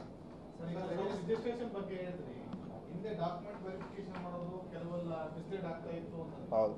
ಅದು ಪ್ರಕರಣಗಳು ಯಾಕೆ ಸರ್ ಅಂದ್ರೆ ಮಿಸ್ಲೀಡ್ ಆಗೋದು ತುಂಬಾ ಕೇಸ್ಗಳು ಆಗಿದೆ. ಆದ್ರೆ ಆಕ್ಷನ್ ಇನಿಷಿಯೇಟ್ ಮಾಡೋದಾಗ್ಲಿ ಅಥವಾ ಅದರಿಂದ ಆಗಿರುವಂತ ಯಾರಿಗೆ ನಷ್ಟ ಆಗಿದೆ ಅದನ್ನಾಗ್ಲಿ ಮೆಂಬರ್ ಏನು ರಿಯಂಬರ್ಸ್ ಮಾಡಬೇಕು ಅಥವಾ ಜನರು ನ್ಯಾಯ ಕೊಡೋ ವಿಷಯದಲ್ಲೂ ಸಹ ಫೇಲ್ಯೂರ್ ಆಗಿದೆ ಅಂತ ಅನ್ಸಲ್ಲ ಈಗ ನಾನು ಕಳೆದ ವಾರ ಅದನ್ನು ನಮ್ಮ ಅಧಿಕಾರಿಗಳ ಜೊತೆ ಕೂತ್ಕೊಂಡು ಚರ್ಚೆ ಮಾಡಿದ್ದೇನೆ. ಸುಮಾರು ನಿನ್ನೆ ಕೂಡ ನಾನು ನಮ್ಮ ಹೋಮ್ ಆಫೀಸಲ್ಲಿ ಮನೆಯಲ್ಲೇ ಕೂತ್ಕೊಂಡು ಐ ಜಿ ಆರ್ ಅವ್ರ ಜೊತೆಗೆ ಮಾತಾಡಿದೆ. ಸುಮಾರು ನೂರು ನೂರು ಮೂವತ್ತು ಎನ್ಕ್ವೈರಿಗಳು ಸರ್ಕಾರ ಇನ್ನೂ ಅನುಮತಿ ಕೊಡದೆ ಪೆಂಡಿಂಗ್ ಇಟ್ಕೊಂಡಿದ್ದಾರೆ. ಸೊ ನಾನು ಅವರಿಗೆ ಹೇಳಿದ್ದೇನೆ ಇಮಿಡಿಯೇಟ್ಲಿ ಅವೆಲ್ಲ ಫೈಲ್ಸು ಹಿಂದೆ ಯಾಕೆ ಪೆಂಡಿಂಗ್ ಇಟ್ಟಿದ್ರು, ಯಾಕೆ ಅವ್ರ ಮೇಲೆ ಎನ್ಕ್ವೈರಿ ಇನಿಷಿಯೇಟ್ ಮಾಡಲಿ, ಕೆಲವು ಎನ್ಕ್ವೈರಿ ಆರಂಭ ಆಗಿ ವರ್ಷಗಳಾಗಿದೆ. ಅದನ್ನು ಮೂರು ತಿಂಗಳಲ್ಲಿ ಮುಗಿಬೇಕಾದಂಥ ಎನ್ಕ್ವೈರಿಗಳು ವರ್ಷಾನುಗಟ್ಟಲೆ ಮುಗಿದಿಲ್ಲ. ಇನ್ನು ಕೆಲವು ಎನ್ಕ್ವೈರಿಗೆ ಅನುಮತಿನೇ ಕೊಟ್ಟಿಲ್ಲ. ಉದಾಹರಣೆಗೆ ಶನಿವಾರ ನನಗೊಂದು ಫೈಲ್ ಬಂತು. ಒಂದು ಪ್ರಕರಣದಲ್ಲಿ ಎರಡು ಸಾವಿರದ ಹತ್ತೊಂಬತ್ತರಲ್ಲಿ ಅವರು ಲೋಕಾಯುಕ್ತ ಅನ್ನೋರು ಅವ್ರ ಮೇಲೆ ಆರೋಪ ಹೊರಿಸಿದ್ದಾರೆ. ಎರಡು ಸಾವಿರದ ಹತ್ತೊಂಬತ್ತು. ಅದು ಅವ್ರ ಮೇಲೆ ತನಿಖೆ ಆರಂಭ ಮಾಡೋದಕ್ಕೆ ನಾನು ಹೋದ ಶುಕ್ರವಾರ ಶನಿವಾರ ಸೈನ್ ಹಾಕಿದ್ದೇನೆ. ಎರಡು ಸಾವಿರದ ಹತ್ತೊಂಬತ್ತು, ಎರಡು ಸಾವಿರದ ಇಪ್ಪತ್ತ್ಮೂರು ಅಂದರೆ ಎಷ್ಟೇ ವರ್ಷ ಆಯಿತು. ಅವ್ರು ಇನ್ನೇನು ಇನ್ನೂ ರಿಟೈರ್ ಆಗಿಲ್ಲ ಇದ್ದಾರೆ ನಾಲ್ಕು ವರ್ಷ ಆಗಿದೆ, ಅವ್ರ ಮೇಲೆ ಎನ್ಕ್ವೈರಿಗೆ ಇಲ್ಲಿವರೆಗೂ ಸಹ ಪರ್ಮಿಷನ್ನು ಕೊಟ್ಟಿಲ್ಲ. ಸೊ, ನಾನು ಅದಕ್ಕೆ ಸೂಚನೆಯನ್ನು ಕೊಟ್ಟಿದ್ದೇನೆ ಪ್ರಧಾನ ಕಾರ್ಯದರ್ಶಿಗಳಿಗೆ. ಮೊನ್ನೆ ಶನಿವಾರ ಇದೇ ಹಾಲಲ್ಲಿ ಮೀಟಿಂಗ್ ಮಾಡಿ ಹೇಳಿದ್ದೇನೆ. ಈ ಡಿಲೇ ಆಗೋದಕ್ಕೆ ಯಾವ ಅಧಿಕಾರಿ ಕಾರಣ, ಅದನ್ನು ನನ್ನ ಗಮನಕ್ಕೆ ತೊಗೊಂಡು ಬರಬೇಕು, ಅವ್ರ ಮೇಲೂ ಆ್ಯಕ್ಷನ್ ಆಗಬೇಕು ಅಂತ ಹೇಳಿದ್ದೇನೆ ನಾನು ಅವರಿಗೆ. ಸೊ, ಈ ತರಹ ನೀವು ಹೇಳ್ದಂಗೆ ಸುಮಾರು ಕೇಸುಗಳಲ್ಲಿ ಎನ್ಕ್ವೈರಿನ ಸ್ಟಾರ್ಟ್ ಮಾಡೋಕ್ಕೆ ಪರ್ಮಿಷನ್ ಕೊಟ್ಟಿಲ್ಲ. ಹೋದ ಬಾರಿ.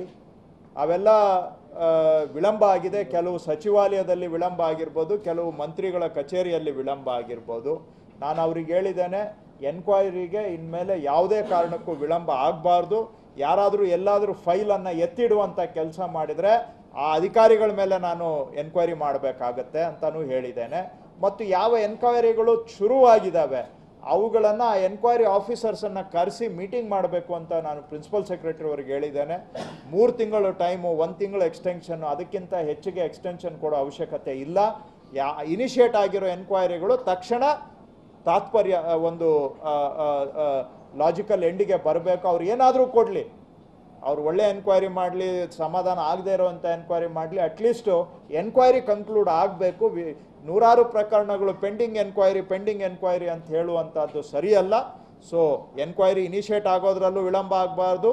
ಎನ್ಕ್ವೈರಿ ಪೂರ್ಣ ಆಗೋದ್ರಲ್ಲೂ ವಿಳಂಬ ಆಗಬಾರ್ದು ಅಂತ ನಾನು ಐ ಜಿ ಆರ್ ಅವ್ರಿಗೆ ಪ್ರಿನ್ಸಿಪಲ್ ಸೆಕ್ರೆಟರಿ ಇಬ್ಬರಿಗೂ ಕ್ಲಿಯರ್ ಆಗಿ ಇನ್ಸ್ಟ್ರಕ್ಷನ್ ಕೊಟ್ಟಿದ್ದೇನೆ. ನಗರ ಇನ್ನು ಗ್ರಾಮಾಂತರ ಏನು ಗ್ರಾಮಾಂತರ ಈ ಬರೀ ನೋಂದಣಿ ಮಾಡಿಕೊಂಡು ಸಿಟಿ ಸರ್ವೆನ ಅಥವಾ ಸಿಟಿ ಜಾಗವನ್ನ ಈ ಖಾತಾ ನೋಂದಣಿ ಮಾಡ್ಕೊಂಡು ತುಂಬಾ ಪ್ರಕರಣಗಳಾಗಿವೆ. ಹಿಂದೆ ಅದ್ರ ಬಗ್ಗೆ ಕೆಲವು ತನಿಖೆ ಆಗಿತ್ತು ನೋಡೋದಲ್ಲಿ ಆಕಾಂಕ್ಷೆ ಡ್ರಾಪ್ ಆಗಿದೆ ಯಾಕೆ ಆ ಥರ ಆಗ್ತದೆ ಅಂತ ಪ್ರಕರಣ ಅಲ್ಲ, ಅದಕ್ಕೇನೆ ಕಾವೇರಿ ಟೂ ಬಂದಿರೋದು.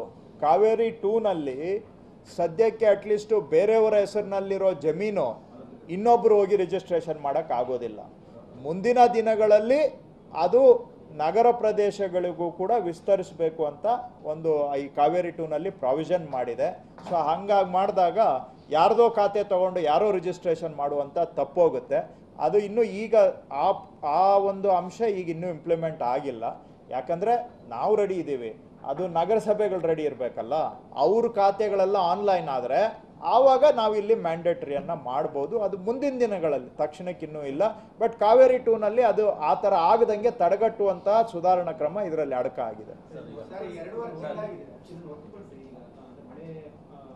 ಇದು ಮುಗಿದ್ಬಿಡ್ಲಿ ಆಮೇಲೆ ಬರ್ತೀನಿ ಅದು. ಇದು ಆಗ್ಬಿಡ್ಲಿ ಇದ್ರ ಬಗ್ಗೆ ಹೇಳ್ತೇನೆ ಮಳೆದು ಹೇಳ್ತೇನೆ. ಇಲ್ಲಿ ಯಾರು? ಹಾಂ. ಎರಡೂವರೆ ತಿಂಗಳಾಯ್ತು ಕಾವೇರಿ ಹೌದು.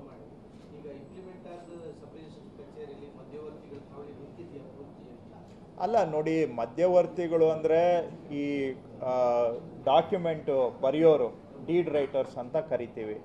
ಅವರು ಬೇಕೇ ಬೇಕಾಗುತ್ತೆ. ಅವರು ಡೀಡ್ ಯಾಕಂದರೆ ಈ ರಿಜಿಸ್ಟ್ರೇಷನ್ ಡಾಕ್ಯುಮೆಂಟು ತಯಾರು ಮಾಡೋದು ಆ ಡೀಡ್ ರೈಟರ್ಸೇ ಇರ್ತಾರೆ. ಸ್ಟ್ಯಾಂಪ್ ವೆಂಡರ್ಸು ಬೇಕಾಗುತ್ತೆ ಡೀಡ್ ರೈಟರ್ಸು ಇರಲೇಬೇಕಾಗುತ್ತೆ. ಅದನ್ನು ಬಿಟ್ಟು ಬೇರೆಯವರು ಹಸ್ತಕ್ಷೇಪ ಕಡಿಮೆ ಆಗಿದೆ. ಬಟ್ ಅವರೆಲ್ಲ ಆಥರೈಸ್ಡು ಅವರು ಆಥರೈಸ್ಡು ಅವರು ಕಾನೂನು ಪ್ರಕಾರ ಅಸ್ತಿತ್ವವನ್ನು ಹೊಂದಿರುವಂಥವರು ಡೀಡ್ ರೈಟರ್ಸ್ ಆಗಲಿ ಸ್ಟಾಂಪ್ ವೆಂಡರ್ಸ್ ಆಗಲಿ, ಅವರೆಲ್ಲ ರೆಕಗ್ನೈಸ್ಡ್ ಬೈ ಲಾ ಅವರು ಪಾತ್ರ ಇದ್ದೇ ಇದೆ. ಅವರನ್ನು ನಾವು ಎಲಿಮಿನೇಟ್ ಮಾಡಲಿಕ್ಕೂ ಆಗೋದಿಲ್ಲ. ಯಾಕಂದರೆ ಆವಾಗ ಹತ್ತಾರು ಸಾವಿರ ಜನ ಉದ್ಯೋಗನೂ ಕಳ್ಕೊಂಡು ಬಿಡ್ತಾರೆ. ನಾವು ನಾನು ಹೇಳಿದೆ, ಅವರು ನಮ್ಮ ಅಧಿಕಾರಿಗಳು ಹೇಳಿದರು. ಆನ್ಲೈನಲ್ಲೇ ಒಂದು ಡೀಡ್ ಬರೆಯುವಂಥದ್ದು ಅಂದರೆ ಈಗೇನು ರಿಜಿಸ್ಟರ್ ಮಾಡ್ತೀವಲ್ಲ ಡಾಕ್ಯುಮೆಂಟು ಅದೇ ಅದೇ. ಆ ರಿಜಿಸ್ಟ್ರೇಷನ್ ಡಾಕ್ಯುಮೆಂಟನ್ನು ನಾವು ಟೆಂಪ್ಲೇಟ್ಗಳನ್ನು ನಾವೇ ಕೊಟ್ಬಿಡೋಣ. ಆರ್ಟಿಫಿಷಿಯಲ್ ಇಂಟೆಲಿಜೆನ್ಸ್ ಉಪಯೋಗಿಸ್ಕೊಂಡು ಅದು ಮಾಡುತ್ತೆ. ಸೊ ಆವಾಗ ಇದು ಅಂತ ಹೇಳಿದ್ರು. ನಾನು ಹೇಳಿದೆ ಫಸ್ಟೇ ದೇಶದಲ್ಲಿ ಉದ್ಯೋಗದ ಪರಿಸ್ಥಿತಿ ಭೀಕರವಾಗಿದೆ. ನಾವು ಇನ್ನೊಂದಷ್ಟು ಜನಗಳನ್ನ ರೋಡ್ ಮೇಲೆ ಬಿಸಾಡೋದು ಬೇಡ. ಇದನ್ನ ಸ ನಾವು ನಮ್ಮ ಕೆಲಸವನ್ನ ನಾವು ಸ್ಟೆಬಿಲೈಸ್ ಮಾಡೋಣ ಫಸ್ಟು. ಆಮೇಲೆ ಅದ್ರ ಬಗ್ಗೆ ಯೋಚನೆ ಮಾಡೋಣ. ನಮ್ಮದೇ ನಮ್ಮ ಪಾತ್ರ ಏನಿದೆ ಇದರಲ್ಲಿ ಅದನ್ನ ನಾವು ಸರಿ ಮಾಡೋಣ. ಕೆಲವು ವಕೀಲರ ಪಾತ್ರ ಮತ್ತು ಡೀಡ್ ರೈಟರ್ಸ್ ಪಾತ್ರ ಅವ್ರ ಪಾತ್ರಗಳನ್ನ ಇನ್ನೂ ನಾವು ಅದಕ್ಕೆ ಕೈ ಹಾಕೋದು ಬೇಡ ಅಂತ ನಾನು ಅಡ್ವೈಸ್ ಮಾಡಿದೆ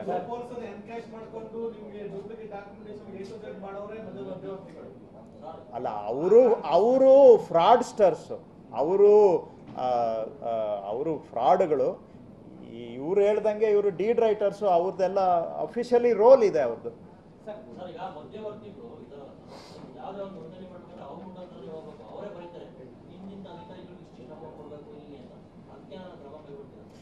ಈಗ ನಾವು ಇನಿಷಿಯೇಟ್ ಮಾಡಿರುವಂಥ ಸ್ಟೆ ಇದು ಏನಿದೆ ಇದು ಆನ್ಲೈನ್ ಸಿಸ್ಟಮಲ್ಲಿ ನಾವಿದನ್ನು ಸರಿಯಾಗಿ ಅನುಷ್ಠಾನ ಮಾಡಿದರೆ ಸಾಕಷ್ಟು ಮಟ್ಟಕ್ಕೆ ಸಬ್ ರಿಜಿಸ್ಟ್ರಾರ್ ಕಚೇರಿಗಳಲ್ಲಿ ಆಗ್ತಾ ಇರೋ ಭ್ರಷ್ಟಾಚಾರಕ್ಕೆ ಕಡಿವಾಣ ಹಾಕಬಹುದು.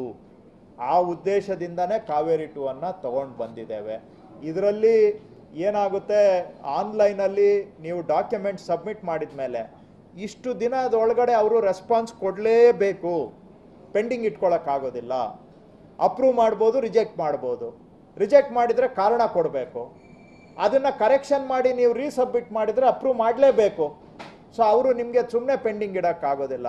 ಅವ್ರು ಅಪ್ರೂವ್ ಮಾಡಿದ ತಕ್ಷಣ ನೀವು ಆನ್ಲೈನ್ ಪೇಮೆಂಟು ಮಾಡ್ತೀರಾ? ಆಮೇಲೆ ನಿಮ್ಮದು ಯಾವತ್ತಿನ ದಿನ ಹೋಗಿ ಅಲ್ಲಿ ತಂಪು ಕೊಡಬೇಕು ಅನ್ನೋದು ನೀವೇ ಅಪಾಯಿಂಟ್ಮೆಂಟ್ ಪಿಕ್ ಮಾಡೋದ್ರಿಂದ ಇದು ಸರ್ಕಾರದ ಅಧಿಕಾರಿಗಳ ಕೈಯಲ್ಲಿ ಇದ್ದಂತಹ ಸಾಕಷ್ಟು ಅಧಿಕಾರ ಇವತ್ತು ಜನಗಳ ಕೈಗೆ ನಾವು ಕೊಟ್ಟಿದ್ದೇವೆ.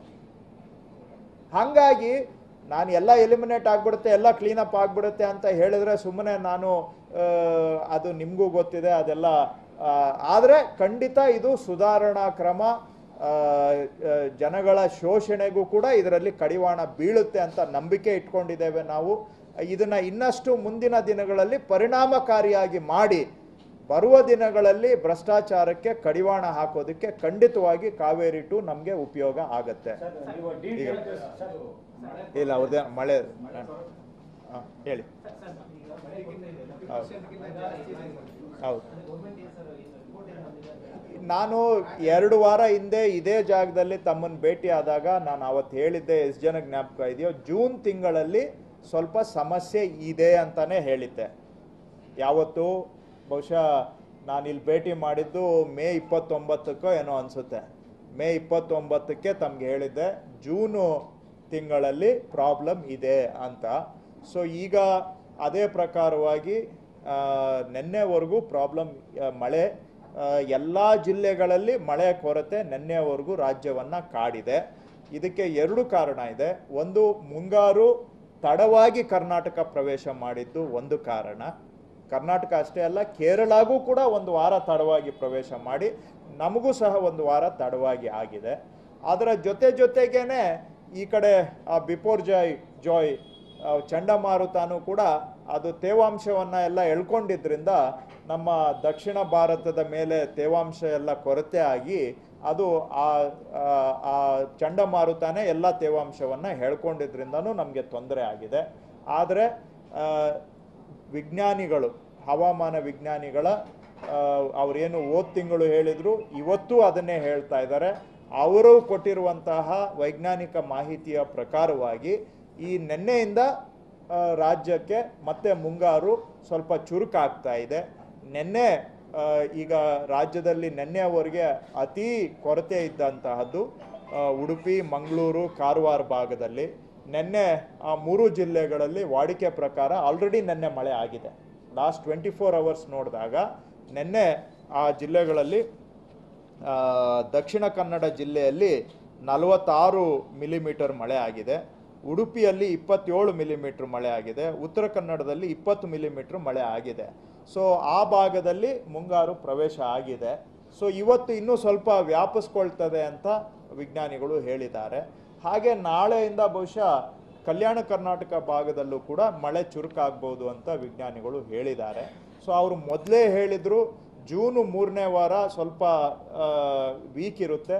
ಅದಾದಮೇಲೆ ಜೂನ್ ಎಂಡಿಂದ ಸುಧಾರಣೆ ಆಗುತ್ತೆ ಅಂತ ಹೇಳಿದರು. ಇಲ್ಲಿವರೆಗೂ ಅವ್ರು ಹೇಳಿದ ಪ್ರಕಾರನೇ ಇದೆ. ಸೊ ಆದರೂ ಕೂಡ ಹಾಗಂತೇಳಿ ಎಲ್ಲ ಸರಿ ಹೋಗುತ್ತೆ ಅಂತ ನಾನು ಹೇಳ್ತಾ ಇಲ್ಲ. ಅವ್ರು ಹೇಳಿರೋ ಮಾಹಿತಿಯನ್ನು ತಮ್ಮ ಜೊತೆಗೆ ಹಂಚ್ಕೊಳ್ತಾ ಇದ್ದೇನೆ. ಆ್ಯಸ್ ಆಫ್ ಟುಡೇ ರಾಜ್ಯದ ಎಲ್ಲ ಜಿಲ್ಲೆಗಳಲ್ಲೂ ಕೂಡ ಮಳೆ ಕೊರತೆ ಇದೆ. ಜೂನ್ ಒಂದನೇ ತಾರೀಕಿಂದ ತಗೊಂಡ್ರೆ. ಆದರೆ ಮುಂಗಾರು ಪೂರ್ವ ನೋಡಿದರೆ ರಾಜ್ಯದಲ್ಲಿ ವಾಡಿಕೆಗಿಂತ ಒಂದು ಮಿಲಿಮೀಟ್ರ್ ಹೆಚ್ಚೇ ಮಳೆ ಆಗಿತ್ತು. ಮುಂಗಾರು ಪೂರ್ವ, ಅಂದರೆ ಜೂನ್ ಒಂದಕ್ಕಿಂತ ಹಿಂದೆ ನೂರ ಹದಿನೈದು ಮಿಲಿಮೀಟರ್ ಆಗಬೇಕಾಗಿದ್ದಂಥ ಮಳೆ ವಾಸ್ತವದಲ್ಲಿ ನೂರ ಹದಿನಾರು ಮಿಲಿಮೀಟರ್ ಆಗಿತ್ತು ಮುಂಗಾರು ಪೂರ್ವ. ಆದರೆ ಮೊದಲನೇ ಮುಂಗಾರಿನ ಮೊದಲ ಭಾಗದಲ್ಲಿ ನಮಗೆ ಕೊರತೆ ಆಗಿದೆ. ನಾವು ಆಶಾ ಮನೋಭಾವ ಇಟ್ಕೊಂಡಿದ್ದೇವೆ. ಇನ್ನು ಬರುವ ದಿನಗಳಲ್ಲಿ ಕೊರತೆಯನ್ನು ನೀಗಿಸುವಂಥ ರೀತಿಯಲ್ಲಿ ಮಳೆ ಬರುತ್ತೆ ಅನ್ನುವಂಥ ನಿರೀಕ್ಷೆಯನ್ನು ಇಟ್ಕೊಂಡಿದ್ದೇವೆ. ಹಾಗಂತೇಳಿ ವಿಜ್ಞಾನಿಗಳು ಹೇಳ್ಬಿಟ್ಟಿದ್ದಾರೆ ಅಂತ ನಾವೆಲ್ಲೂ ಕೂಡ ಎಚ್ಚರ ತಪ್ಪಿಲ್ಲ. ಮುಖ್ಯಮಂತ್ರಿಗಳು, ಸರ್ಕಾರದ ಮುಖ್ಯ ಕಾರ್ಯದರ್ಶಿಗಳು, ನಮ್ಮ ಇಲಾಖೆಯವರು, ಆರ್ ಡಿ ಪಿ ಆರ್ ಇಲಾಖೆಯವರು ನಾವೆಲ್ಲರೂ ಕೂಡ ನಿಗಾ ವಹಿಸಿ ಮಾನಿಟರ್ ಮಾಡ್ತಾ ಇದ್ದೇವೆ. ಈಗಾಗಲೇ ಕೆಲವು ಜಿಲ್ಲೆಗಳ ಜೊತೆಗೆ ಸಭೆಯನ್ನು ಕೂಡ ಮಾಡಿ ಅವ್ರಿಗೆಲ್ಲ ನಾವು ತಯಾರಿರಬೇಕು ಎಲ್ಲ ಪರಿಸ್ಥಿತಿಗೆ ಅಂತ ಸೂಚನೆಯನ್ನು ಕೊಟ್ಟಿದ್ದೇವೆ. ನಾನು ಕೂಡ ಕಂದಾಯ ಇಲಾಖೆ ವಿಭಾಗವಾರು ಮೀಟಿಂಗನ್ನು ಇನ್ನೊಂದು ವಾರದಲ್ಲಿ ಆರಂಭ ಮಾಡ್ತಾ ಇದ್ದೇನೆ. ಪ್ರತಿ ವಿಭಾಗಕ್ಕೆ ಹೋಗಿ ಅಲ್ಲಿನ ಡಿ ಸಿಗಳನ್ನು, ಎ ಸಿಗಳನ್ನು, ತಹಶೀಲ್ದಾರರನ್ನು, ಎಲ್ಲರನ್ನ ಕರೆದು ರಿವ್ಯೂ ಮೀಟಿಂಗನ್ನು ಆರಂಭ ಮಾಡ್ತಾ ಇದ್ದೇನೆ ಇನ್ನೊಂದು ವಾರದಲ್ಲಿ. ಆವಾಗ ಮುಖ್ಯ ವಿಷಯ ಈ ಹವಾಮಾನ ಪರಿಸ್ಥಿತಿ ಅಷ್ಟೊತ್ತಿಗೆ ಸ್ವಲ್ಪ ಸುಧಾರಣೆ ಆಗಿದ್ರೆ ಪರವಾಗಿಲ್ಲ. ಇಲ್ಲ ಅಂತ ಹೇಳಿದ್ರೆ ಜೂನ್, ಜುಲೈ ಒಂದನೇ ವಾರದಲ್ಲಿ ಅಥವಾ ಜುಲೈ ಆರಂಭದಲ್ಲಿ ಬರಗಾಲ ಘೋಷಣೆ ಮಾಡಬೇಕಾ ಬೇಡವಾ ಅನ್ನೋದ್ರ ಬಗ್ಗೆ ಜುಲೈ ಆರಂಭದಲ್ಲಿ ನಾವು ತೀರ್ಮಾನ ತಗೊಳ್ತೇವೆ. ಇನ್ನೂ ಮುಂಗಾರು ಪ್ರವೇಶ ಆಗಿ ನಮಗೆ ಇನ್ನೂ ಮೂರು ವಾರ ಕೂಡ ಆಗಿಲ್ಲ. ಅಧಿಕೃತ ಪ್ರವೇಶ ಆಗಿ ಹತ್ತು ದಿನ ಆಗಿದೆ ಅಷ್ಟೇ. ಟೆನ್ ಡೇಸ್ ಆಗಿದೆ. ಸೊ ಇಲ್ಲಿವರೆಗೂ ಸ್ವಲ್ಪ ನಾವು ಆತಂಕದಲ್ಲೇ ಇದ್ದೇವೆ. ಸರ್ಕಾರನೂ ಭಾಳ ಎಚ್ಚರಿಕೆಯಿಂದ ಇದನ್ನು ದಿನ ದಿನ ಗಮನಿಸ್ತಾ ಇದ್ದೇವೆ. ರಿಕವರ್ ಆಗುತ್ತೆ, ಇದೆಲ್ಲ ಡೆಫಿಸಿಟ್ಟು ಇದಾಗಿ ಕವರ್ ಅಪ್ ಆಗುತ್ತೆ, ಮಳೆ ಬರುತ್ತೆ ಅಂತ ನಿರೀಕ್ಷೆಯನ್ನು ಹವಾಮಾನ ತಜ್ಞರು ಹೇಳಿದ್ದಾರೆ. ಅದನ್ನ ನೋಡಿಕೊಂಡು ನಾವು ಸಹ ತೀರ್ಮಾನ ತಗೊಳ್ತೇವೆ ಬಟ್ ಡೇ ಟು ಡೇ ನಾವು ವಾಚ್ ಮಾಡ್ತಾ ಇದ್ದೇವೆ. ಸದ್ಯಕ್ಕೆ ಮೋಡ ಬಿತ್ತನೆ ಬಗ್ಗೆ ಚಿಂತನೆ ಇಲ್ಲ. ಯಾಕೆ ಅಂದರೆ ಯಾಕೆ ಅಂದರೆ ವೈಜ್ಞ ನಾವು ಅದರ ಬಗ್ಗೆ ವ್ಯಾಪಕವಾಗಿ ಗೊಂದಲಗಳು ಇದ್ದಾವೆ ಇಲ್ಲ ಅಂತಲ್ಲ. ಆದರೆ, ನಾವು ಕೆಲವರು ಅದು ಒಂದು ವೈಜ್ಞಾನಿಕ ಕ್ರಮ ಅಂತ ಇಟ್ಸ್ ಸೈನ್ಸ್ ಬೇಸ್ಡ್ ಅಂತ ನಂಬುವಂಥವ್ರು ನಾವು ಇದ್ದೇವೆ ಬಟ್ ಆದರೆ, ಸದ್ಯಕ್ಕೆ ಅದರ ಬಗ್ಗೆ ನಾವು ವಿಚಾರ ಮಾಡಿಲ್ಲ. ಯಾಕೆ ಅಂದರೆ, ಈ ವರ್ಷ ಮಾನ್ಸೂನ್ ರಿಕವರ್ ಆಗುತ್ತೆ. ಅಷ್ಟೇನು ಡೆಫಿಸಿಟ್ ಆಗೋದಿಲ್ಲ ಅಂತ ಇದೆ. ಯಾಕೆಂದರೆ ಭಾರತ ಹವಾಮಾನ ಇಲಾಖೆ ಇಂಡಿಯನ್ ಮೀಟ್ರಿಯಾಲಜಿಕಲ್ ಡಿಪಾರ್ಟ್ಮೆಂಟ್ ಅವರು ಕೊಟ್ಟಿರೋ ಫೋರ್ಕಾಸ್ಟ್ ಪ್ರಕಾರವಾಗಿ ಕರ್ನಾಟಕದಲ್ಲಿ ನೈಂಟಿ ಸಿಕ್ಸ್ ಪರ್ಸೆಂಟಿಂದ ಹಂಡ್ರೆಡ್ ಆ್ಯಂಡ್ ಫೋರ್ ಪರ್ಸೆಂಟ್ವರೆಗೂ ಮಳೆ ಆಗುತ್ತೆ ಈ ವರ್ಷ ಒಟ್ಟಾರೆ ಅಂತ ಹೇಳಿದ್ದಾರೆ. ಸೊ ಅವರು ಈಗ ಎಲ್ಲ ಒಂದು ಕಡೆ ವಾಸ್ತವ ನಾಳೆ ಏನಾಗುತ್ತೆ ಅನ್ನೋದನ್ನ ನೀವು ನೋಡ್ತೀರಿ, ನಾವು ನೋಡ್ತೀವಿ ಆದರೆ ಹವಾಮಾನ ತಗ್ಗರು ಕೊಟ್ಟಿರೋ ಅಂತ ಅದನ್ನು ನಾವು ಒಪ್ಪಬೇಕಾಗತ್ತೆ so ninety six percent to hundred and four ಪರ್ಸೆಂಟ್ವರೆಗೂ ಅವರು ಈ ರೇಂಜಲ್ಲಿ ಇರುತ್ತೆ ಕರ್ನಾಟಕಕ್ಕೆ ಅಂತ ಹೇಳಿದ್ದಾರೆ. ಸೊ ಹಾಗಾಗಿ ಅದೇ ಒಂದು ಭರವಸೆಯನ್ನು ನಾವು ಇಟ್ಕೊಂಡಿದ್ದೇವೆ. ಹೌದು. ಆರ್ ಡಿ ಪಿ ಆರ್ ಇಲಾಖೆಯವ್ರಿಗೆ ಸೂಚನೆ ಕೊಟ್ಟಿದ್ದಾರೆ ಸಿ ಎಂ ಅವರು. ಎಲ್ಲೇ ನೀರು ಕೊರತೆ ಬಂದರೆ ತಕ್ಷಣ ಟ್ಯಾಂಕರ್ ಚಾಲನೆ ಮಾಡಬೇಕು. ಇಪ್ಪತ್ನಾಲ್ಕು ಗಂಟೆ ಒಳಗಡೆ ಮಾಡಬೇಕು ಅಂತ. ನಿನ್ನೆ ಮೊನ್ನೆ ಕೆಲವು ಕಡೆ ಅದು ತಕ್ಷಣ ಆಗಿಲ್ಲ ಅನ್ನುವಂಥ ವರದಿಗಳನ್ನು ನಾವು ಸರ್ಕಾರದಲ್ಲಿ ಸಿ ಎಮ್ಮು ಗಮನಿಸಿದ್ದಾರೆ. ಚೀಫ್ ಸೆಕ್ರೆಟರಿ ಅವರು, R D P R minister, ನಮ್ಮ ಇಲಾಖೆಯವರು ನಾವೆಲ್ಲರೂ ಮಾನಿಟರ್ ಮಾಡ್ತಾ ಇದ್ದೀವಿ. ಸ್ಟ್ರಿಕ್ಟ್ಲಿ ಸೂಚನೆ ಕೊಟ್ಟಿದ್ದೇವೆ. ಪ್ರಾಬ್ಲಮ್ ಬಂದು ಟ್ವೆಂಟಿ ಫೋರ್ ಅವರ್ಸಲ್ಲಿ ಶುರು ಮಾಡಬೇಕು ಟ್ಯಾಂಕರ್ ಸಪ್ಲೈ ಅಂತ. ಕೆಲವು ಕಡೆ ಏನಾಗಿದೆ, ಈ ನಾಲ್ಕು ವರ್ಷದಿಂದ ಚೆನ್ನಾಗಿ ಮಳೆ ಆಗಿ ಸ್ವಲ್ಪ ಅಧಿಕಾರಿಗಳಿಗೂ ಈ ಈ ಸಿಚುವೇಶನ್ನು ಮರ್ತು ಬಿಟ್ಟಿದ್ದಾರೆ ಅಂತ ಕಾಣುತ್ತೆ.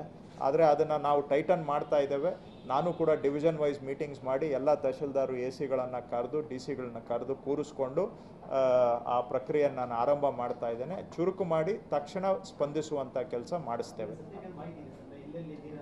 ಇದೆ ಇದೆ ಕೊಡ್ತೇನೆ ಬೇಕಾದ್ರೆ. ಅದು ನನ್ನ ಪ್ರಕಾರ ಒಂದು ಎಂಟುನೂರು ಲೊಕೇಶನ್ಸಲ್ಲಿ ಪ್ರಾಬ್ಲಮ್ ಇದೆ ಅಂತ ನಮ್ಮ ಹತ್ರ ಇದೆ. ವಿಲೇಜ್ ವೈಸೇ ಇದೆ ನನ್ನ ಹತ್ರ ಮಾಹಿತಿ. Village wise panchayat wise taluk wise district wise day to day every day monitor ಮಾಡ್ತಾ ಇದ್ದೀವಿ ಎಂಟುನೂರು ಕಡೆ problem R D P R ಅವ್ರದ್ದು ಅವ್ರದ್ದು ಹೆಚ್ಚಿಗೆ ಇದೆ. ನಿಮ್ಗೆ ಅದು ಹೇಳ್ಬಿಡ್ತೇನೆ. ಆರ್ ಡಿ ಪಿ ಆರ್ ಅವ್ರ ಪ್ರಕಾರ ಹೆಚ್ಚಿಗೆ ಇದೆ. ರೆವಿನ್ಯೂ ಬಂದಿರೋದ್ರಲ್ಲಿ ಸ್ವಲ್ಪ ನಮಗೆ ಎಂಟುನೂರು ಅಂತ ಇದೆ. ನಮಗೂ ಅವ್ರಿಗೂ ವ್ಯತ್ಯಾಸ ಯಾಕೆ ಇರುತ್ತೆ ಅಂದರೆ ಅವ್ರದ್ದು ನೀರಿನ ಪ್ರಮಾಣ ಕಡಿಮೆ ಆದಂಗೆ ಅವರು ಸ್ಟ್ರೆಸ್ಫುಲ್ ಅಂದರೆ ಅಂತ ತಗೊಳ್ತಾರೆ. ವಲ್ನರಬಲ್ ಅಂತ. ಅವರು ವಲ್ನರಬಲ್ ನಂಬರ್ ತಗೊಂಡಾಗ ಜಾಸ್ತಿ ಇರುತ್ತೆ. ನಮ್ಮದು ಟ್ಯಾಂಕರ್ ಎಲ್ಲಿ ಸಪ್ಲೈ ಆಗಿದೆ ಅಂದಾಗ ನಮ್ಮ ಹತ್ರ ಡೇಟಾ ಬರುತ್ತೆ. ಸೊ ಅವ್ರದ್ದು ಡೇಟಾಗೂ ನಮ್ಮ ಡೇಟಾಗೂ ಸ್ವಲ್ಪ ವ್ಯತ್ಯಾಸ ಇರುತ್ತೆ. ಎಂಟುನೂರು ಎಂಟುನೂರ ಆರು ಕಡೆ ಟ್ಯಾಂಕರ್ ಸಪ್ಲೈ ಅಥವಾ ಬಾಡಿಗೆ ಬೋರ್ವೆಲ್ ಮುಖಾಂತರ ನೀರು ಕೊಡ್ತಾ ಇದೆ. ಅದು ಆಡ್, ಎಂಟುನೂರ ಆರು ಪ್ರದೇಶಗಳಲ್ಲಿ, ವಸತಿ ಪ್ರದೇಶಗಳಲ್ಲಿ ಟ್ಯಾಂಕರ್ ಸಪ್ಲೈ ಅಥವಾ ಬಾಡಿಗೆ ಬೋರ್ವೆಲ್ ಮುಖಾಂತರ ನಡೀತಾ ಇದೆ ಯಾವ ಕಡೆ ಹೆಚ್ಚಾಗಿದೆ ಸರ್ ಆ, ಸ್ವಲ್ಪ ಜಾಸ್ತಿ ಉಡುಪಿ, ಮಂಗಳೂರು, ಕಾರವಾರ ಇಲ್ಲೇ ಜಾಸ್ತಿ ಇತ್ತು. ಈಗ ನಿನ್ನೆಯಿಂದ ಅಲ್ಲಿ ಮಳೆ ಶುರುವಾಗಿರೋದ್ರಿಂದ ಸ್ವಲ್ಪ ಸುಧಾರಣೆ ಆಗುತ್ತೆ. ಅದು ಬಿಟ್ಟರೆ ಸ್ವಲ್ಪ ಕಲ್ಯಾಣ ಕರ್ನಾಟಕದ ಕೆಲವು ಭಾಗ ಶಿವಮೊಗ್ಗದಲ್ಲೂ ಇದೆ. ಸೊ ಸ್ವಲ್ಪ ನಮಗೆ ಮಳೆ ಪ್ರಾಬ್ಲಮ್ ಆಗಿರೋದು ಕರಾವಳಿ ಮಲೆನಾಡಿನಲ್ಲೇ ಆ್ಯಕ್ಚುಲಿ ಮಳೆ ಪ್ರಾಬ್ಲಮ್ ಆಗಿರೋದು. ಬಟ್ ಇವ, ನಿನ್ನೆಯಿಂದ ಅಲ್ಲೆಲ್ಲ ಆ್ಯಕ್ಟಿವ್ ಆಗಿದೆ. ಸೊ ನಾನು ಆಗಲೇ ನಿಮಗೆ ಮೂರು ಜಿಲ್ಲೆದು ಕೊಟ್ಟೆ. ಹಾಗೆ ನಾವು ಮಲೆನಾಡಿಗೆ ಇನ್ನೂ ಇವತ್ತು ಮೋಸ್ಟ್ಲಿ ಮಲೆನಾಡಿಗೆ ಎಂಟರ್ ಆಗುತ್ತೆ ಮಳೆ ಅಂತ ಅಂದ್ಕೊಂಡಿದ್ದೀವಿ ನಿನ್ನೆ ಮಲೆನಾಡಲ್ಲಿ ಇನ್ನೂ ಮಳೆ ಆಗಿಲ್ಲ ಧನ್ಯವಾದ ಎಲ್ಲರಿಗೂ. ಥ್ಯಾಂಕ್ ಯು ಅದು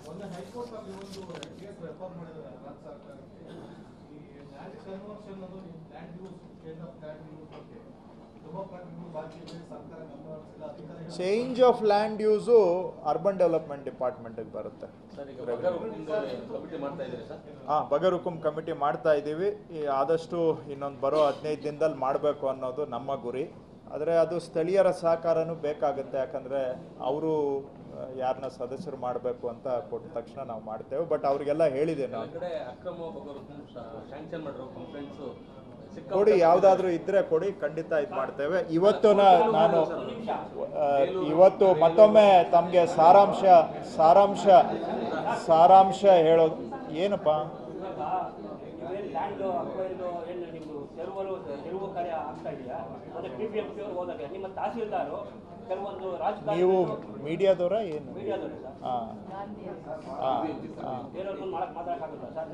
ಅಲ್ಲ ಅದಕ್ಕೆ ಕೇಳ್ದಪ್ಪ.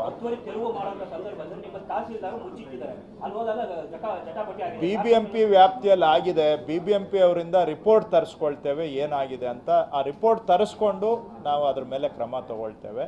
ಎಗೇನ್ ಒನ್ಸ್ ಅಗೇನ್ ತಮಗೆ ಹೇಳೋದಾದರೆ ಕಾವೇರಿ ಟು ಇನ್ನೂರ ಐವತ್ತಾರು ಸಬ್ ರಿಜಿಸ್ಟ್ರಾರ್ ಕಚೇರಿಗಳ ಪೈಕಿ ಇನ್ನೂರ ಐವತ್ತೊಂದು ಕಚೇರಿಗಳಲ್ಲಿ ಇವತ್ತಿನ ದಿನಕ್ಕೆ ಅನುಷ್ಠಾನ ಆಗಿದೆ. ಇದರಿಂದ ಜನಕ್ಕೆ ನೋಂದಣಿ ಪ್ರಕ್ರಿಯೆ ಸರಳ ಆಗಬೇಕು, ಸುಲಭ ಆಗಬೇಕು, ಸುಲಲಿತವಾಗಿ ಆಗಬೇಕು ಅಂತ ಒಂದು ಆಡಳಿತ ಸುಧಾರಣಾ ಕ್ರಮ. ಇದರಿಂದ ಜನ ಗಂಟೆಗಟ್ಟಲೆ ಸಬ್ ರಿಜಿಸ್ಟ್ರಾರ್ ಕಚೇರಿಗಳಲ್ಲಿ ಕಾಯುವಂಥದ್ದು ಗೊಂದಲ, ಗೋಜಲು ಇವುಗಳನ್ನು ತಡೆಗಟ್ಟಿ ಸುಲಲಿತವಾಗಿ ಆಗಬೇಕು, ಸಮಯ ಅವರಿಗೆ ಉಳಿತಾಯ ಆಗಬೇಕು, ಆ ಆ ಉದ್ದೇಶಕ್ಕೆ ತೆಗೆದುಕೊಂಡು ಬಂದಿರುವಂತಹ ಕ್ರಮ. ಇದು ಸಾಕಷ್ಟು ನಾನು ತಮಗೆ ಅಂಕಿ ಸಂಖ್ಯೆ ಕೊಟ್ಟಿದ್ದೇನೆ. ಈಗ ರಿಜಿಸ್ಟ್ರೇಷನ್ಸು ಕೆಲವು ಕಡೆ, ವಾಡಿಕೆ ರಿಜಿಸ್ಟ್ರೇಷನ್ಸ್ ಏನಾಗ್ತಾ ಇತ್ತು, ಅದಕ್ಕಿಂತ ಕೆಲವು ಕಡೆ ಜಾಸ್ತಿ ಆಗಿರುವಂತಹದ್ದು ಉದಾಹರಣೆ ನೋಡಿದಾಗ ಎಷ್ಟೇ ರಿಜಿಸ್ಟ್ರೇಷನ್ಸ್ ಬಂದರೂ ಕೂಡ ಹ್ಯಾಂಡಲ್ ಮಾಡುವಂಥ ಕೆಪಾಸಿಟಿ ಈ ಹೊಸ ವ್ಯವಸ್ಥೆಗೆ ಇದೆ ಅನ್ನೋದನ್ನು ನಾನು ತಮ್ಮ ಜೊತೆಗೆ ಹಂಚ್ಕೊಂಡಿದ್ದೇನೆ. ಯಾಕಂದರೆ ಹೊರವಲಯದಲ್ಲಿ ಸ್ವಲ್ಪ ಗೊಂದಲದ ಮಾತುಗಳು ಈ ಕಾವೇರಿ ಟೂನಿಂದನೇ ಪ್ರಾಬ್ಲಮ್ ಆಗಿದೆ ಅಂತ ಎಲ್ಲ ಕೇಳ್ಪಟ್ಟಿದ್ದೀರಾ? ತಮಗೂ ಬಂದಿರ್ಬೋದು ಕಂಪ್ಲೇಂಟ್ಸು ಆದರೆ ವಾಸ್ತವ ಆ ರೀತಿ ಇಲ್ಲ.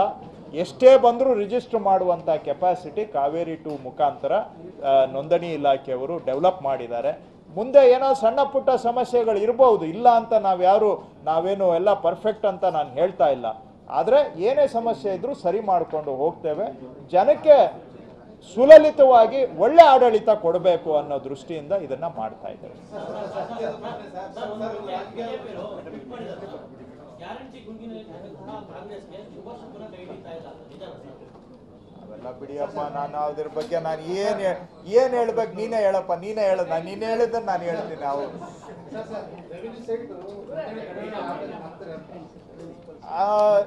ನೋಡಿ ಅದ್ರ ಬಗ್ಗೆ ಇನ್ನೂ, ಅದ್ರ ಬಗ್ಗೆ ಇನ್ನೂ ಚರ್ಚೆ ಹಂತದಲ್ಲಿದೆ. ಮುಂದಿನ ದಿನಗಳಲ್ಲಿ ತೀರ್ಮಾನ ತಗೊಳ್ಳಿ ಇಚ್ಛೆ, ಅದು ಬಹಳ ಪ್ರಮುಖವಾದಂಥ ವಿಷಯ.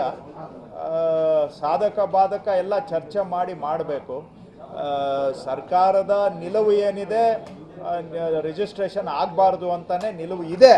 ಆದರೂ ನಿಮಗೂ ಗೊತ್ತಿದೆ, ಅದು ನಡೀತಾ ಇದೆ.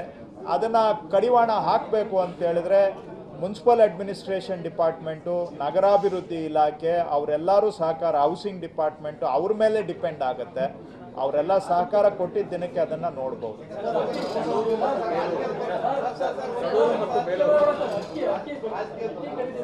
ಚರ್ಚೆ ನಡೀತಾ ಇದೆಯಲ್ಲಪ್ಪ, ನಾನೇನು ಹೇಳಿ? ಕೊಡಪ್ಪ. ನೀನು ಕಾವೇರಿದು ಇವತ್ತು ಬರೀ, ನಾಳೆ ನಿಂದು ಅಕ್ಕಿದು ಉತ್ತರ ಕೊಡ್ತೀನಿ. ನೀನು ಕಾವೇರಿ ಬಿಟ್ಬಿಟ್ಟು ಬರೀ ಅಕ್ಕಿದು ಹಿಡ್ಕೋತಿ ಅದೇ ನನ್ನ ಪ್ರಾಬ್ಲಮ್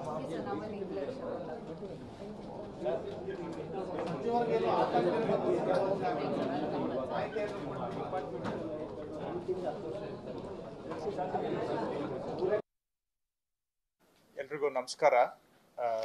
ನಮ್ಮ ಪ್ರಧಾನ ಕಾರ್ಯದರ್ಶಿ ಅವರು ರಶ್ಮಿ ಮಹೇಶ್ ಅವರು, ಮಮತಾ ಅವರು ಐ ಜಿ ಆರ್ ರಿಜಿಸ್ಟ್ರೇಷನ್ಸ್ ಅವರು ನಮ್ಮ ಜೊತೆಗಿದ್ದಾರೆ.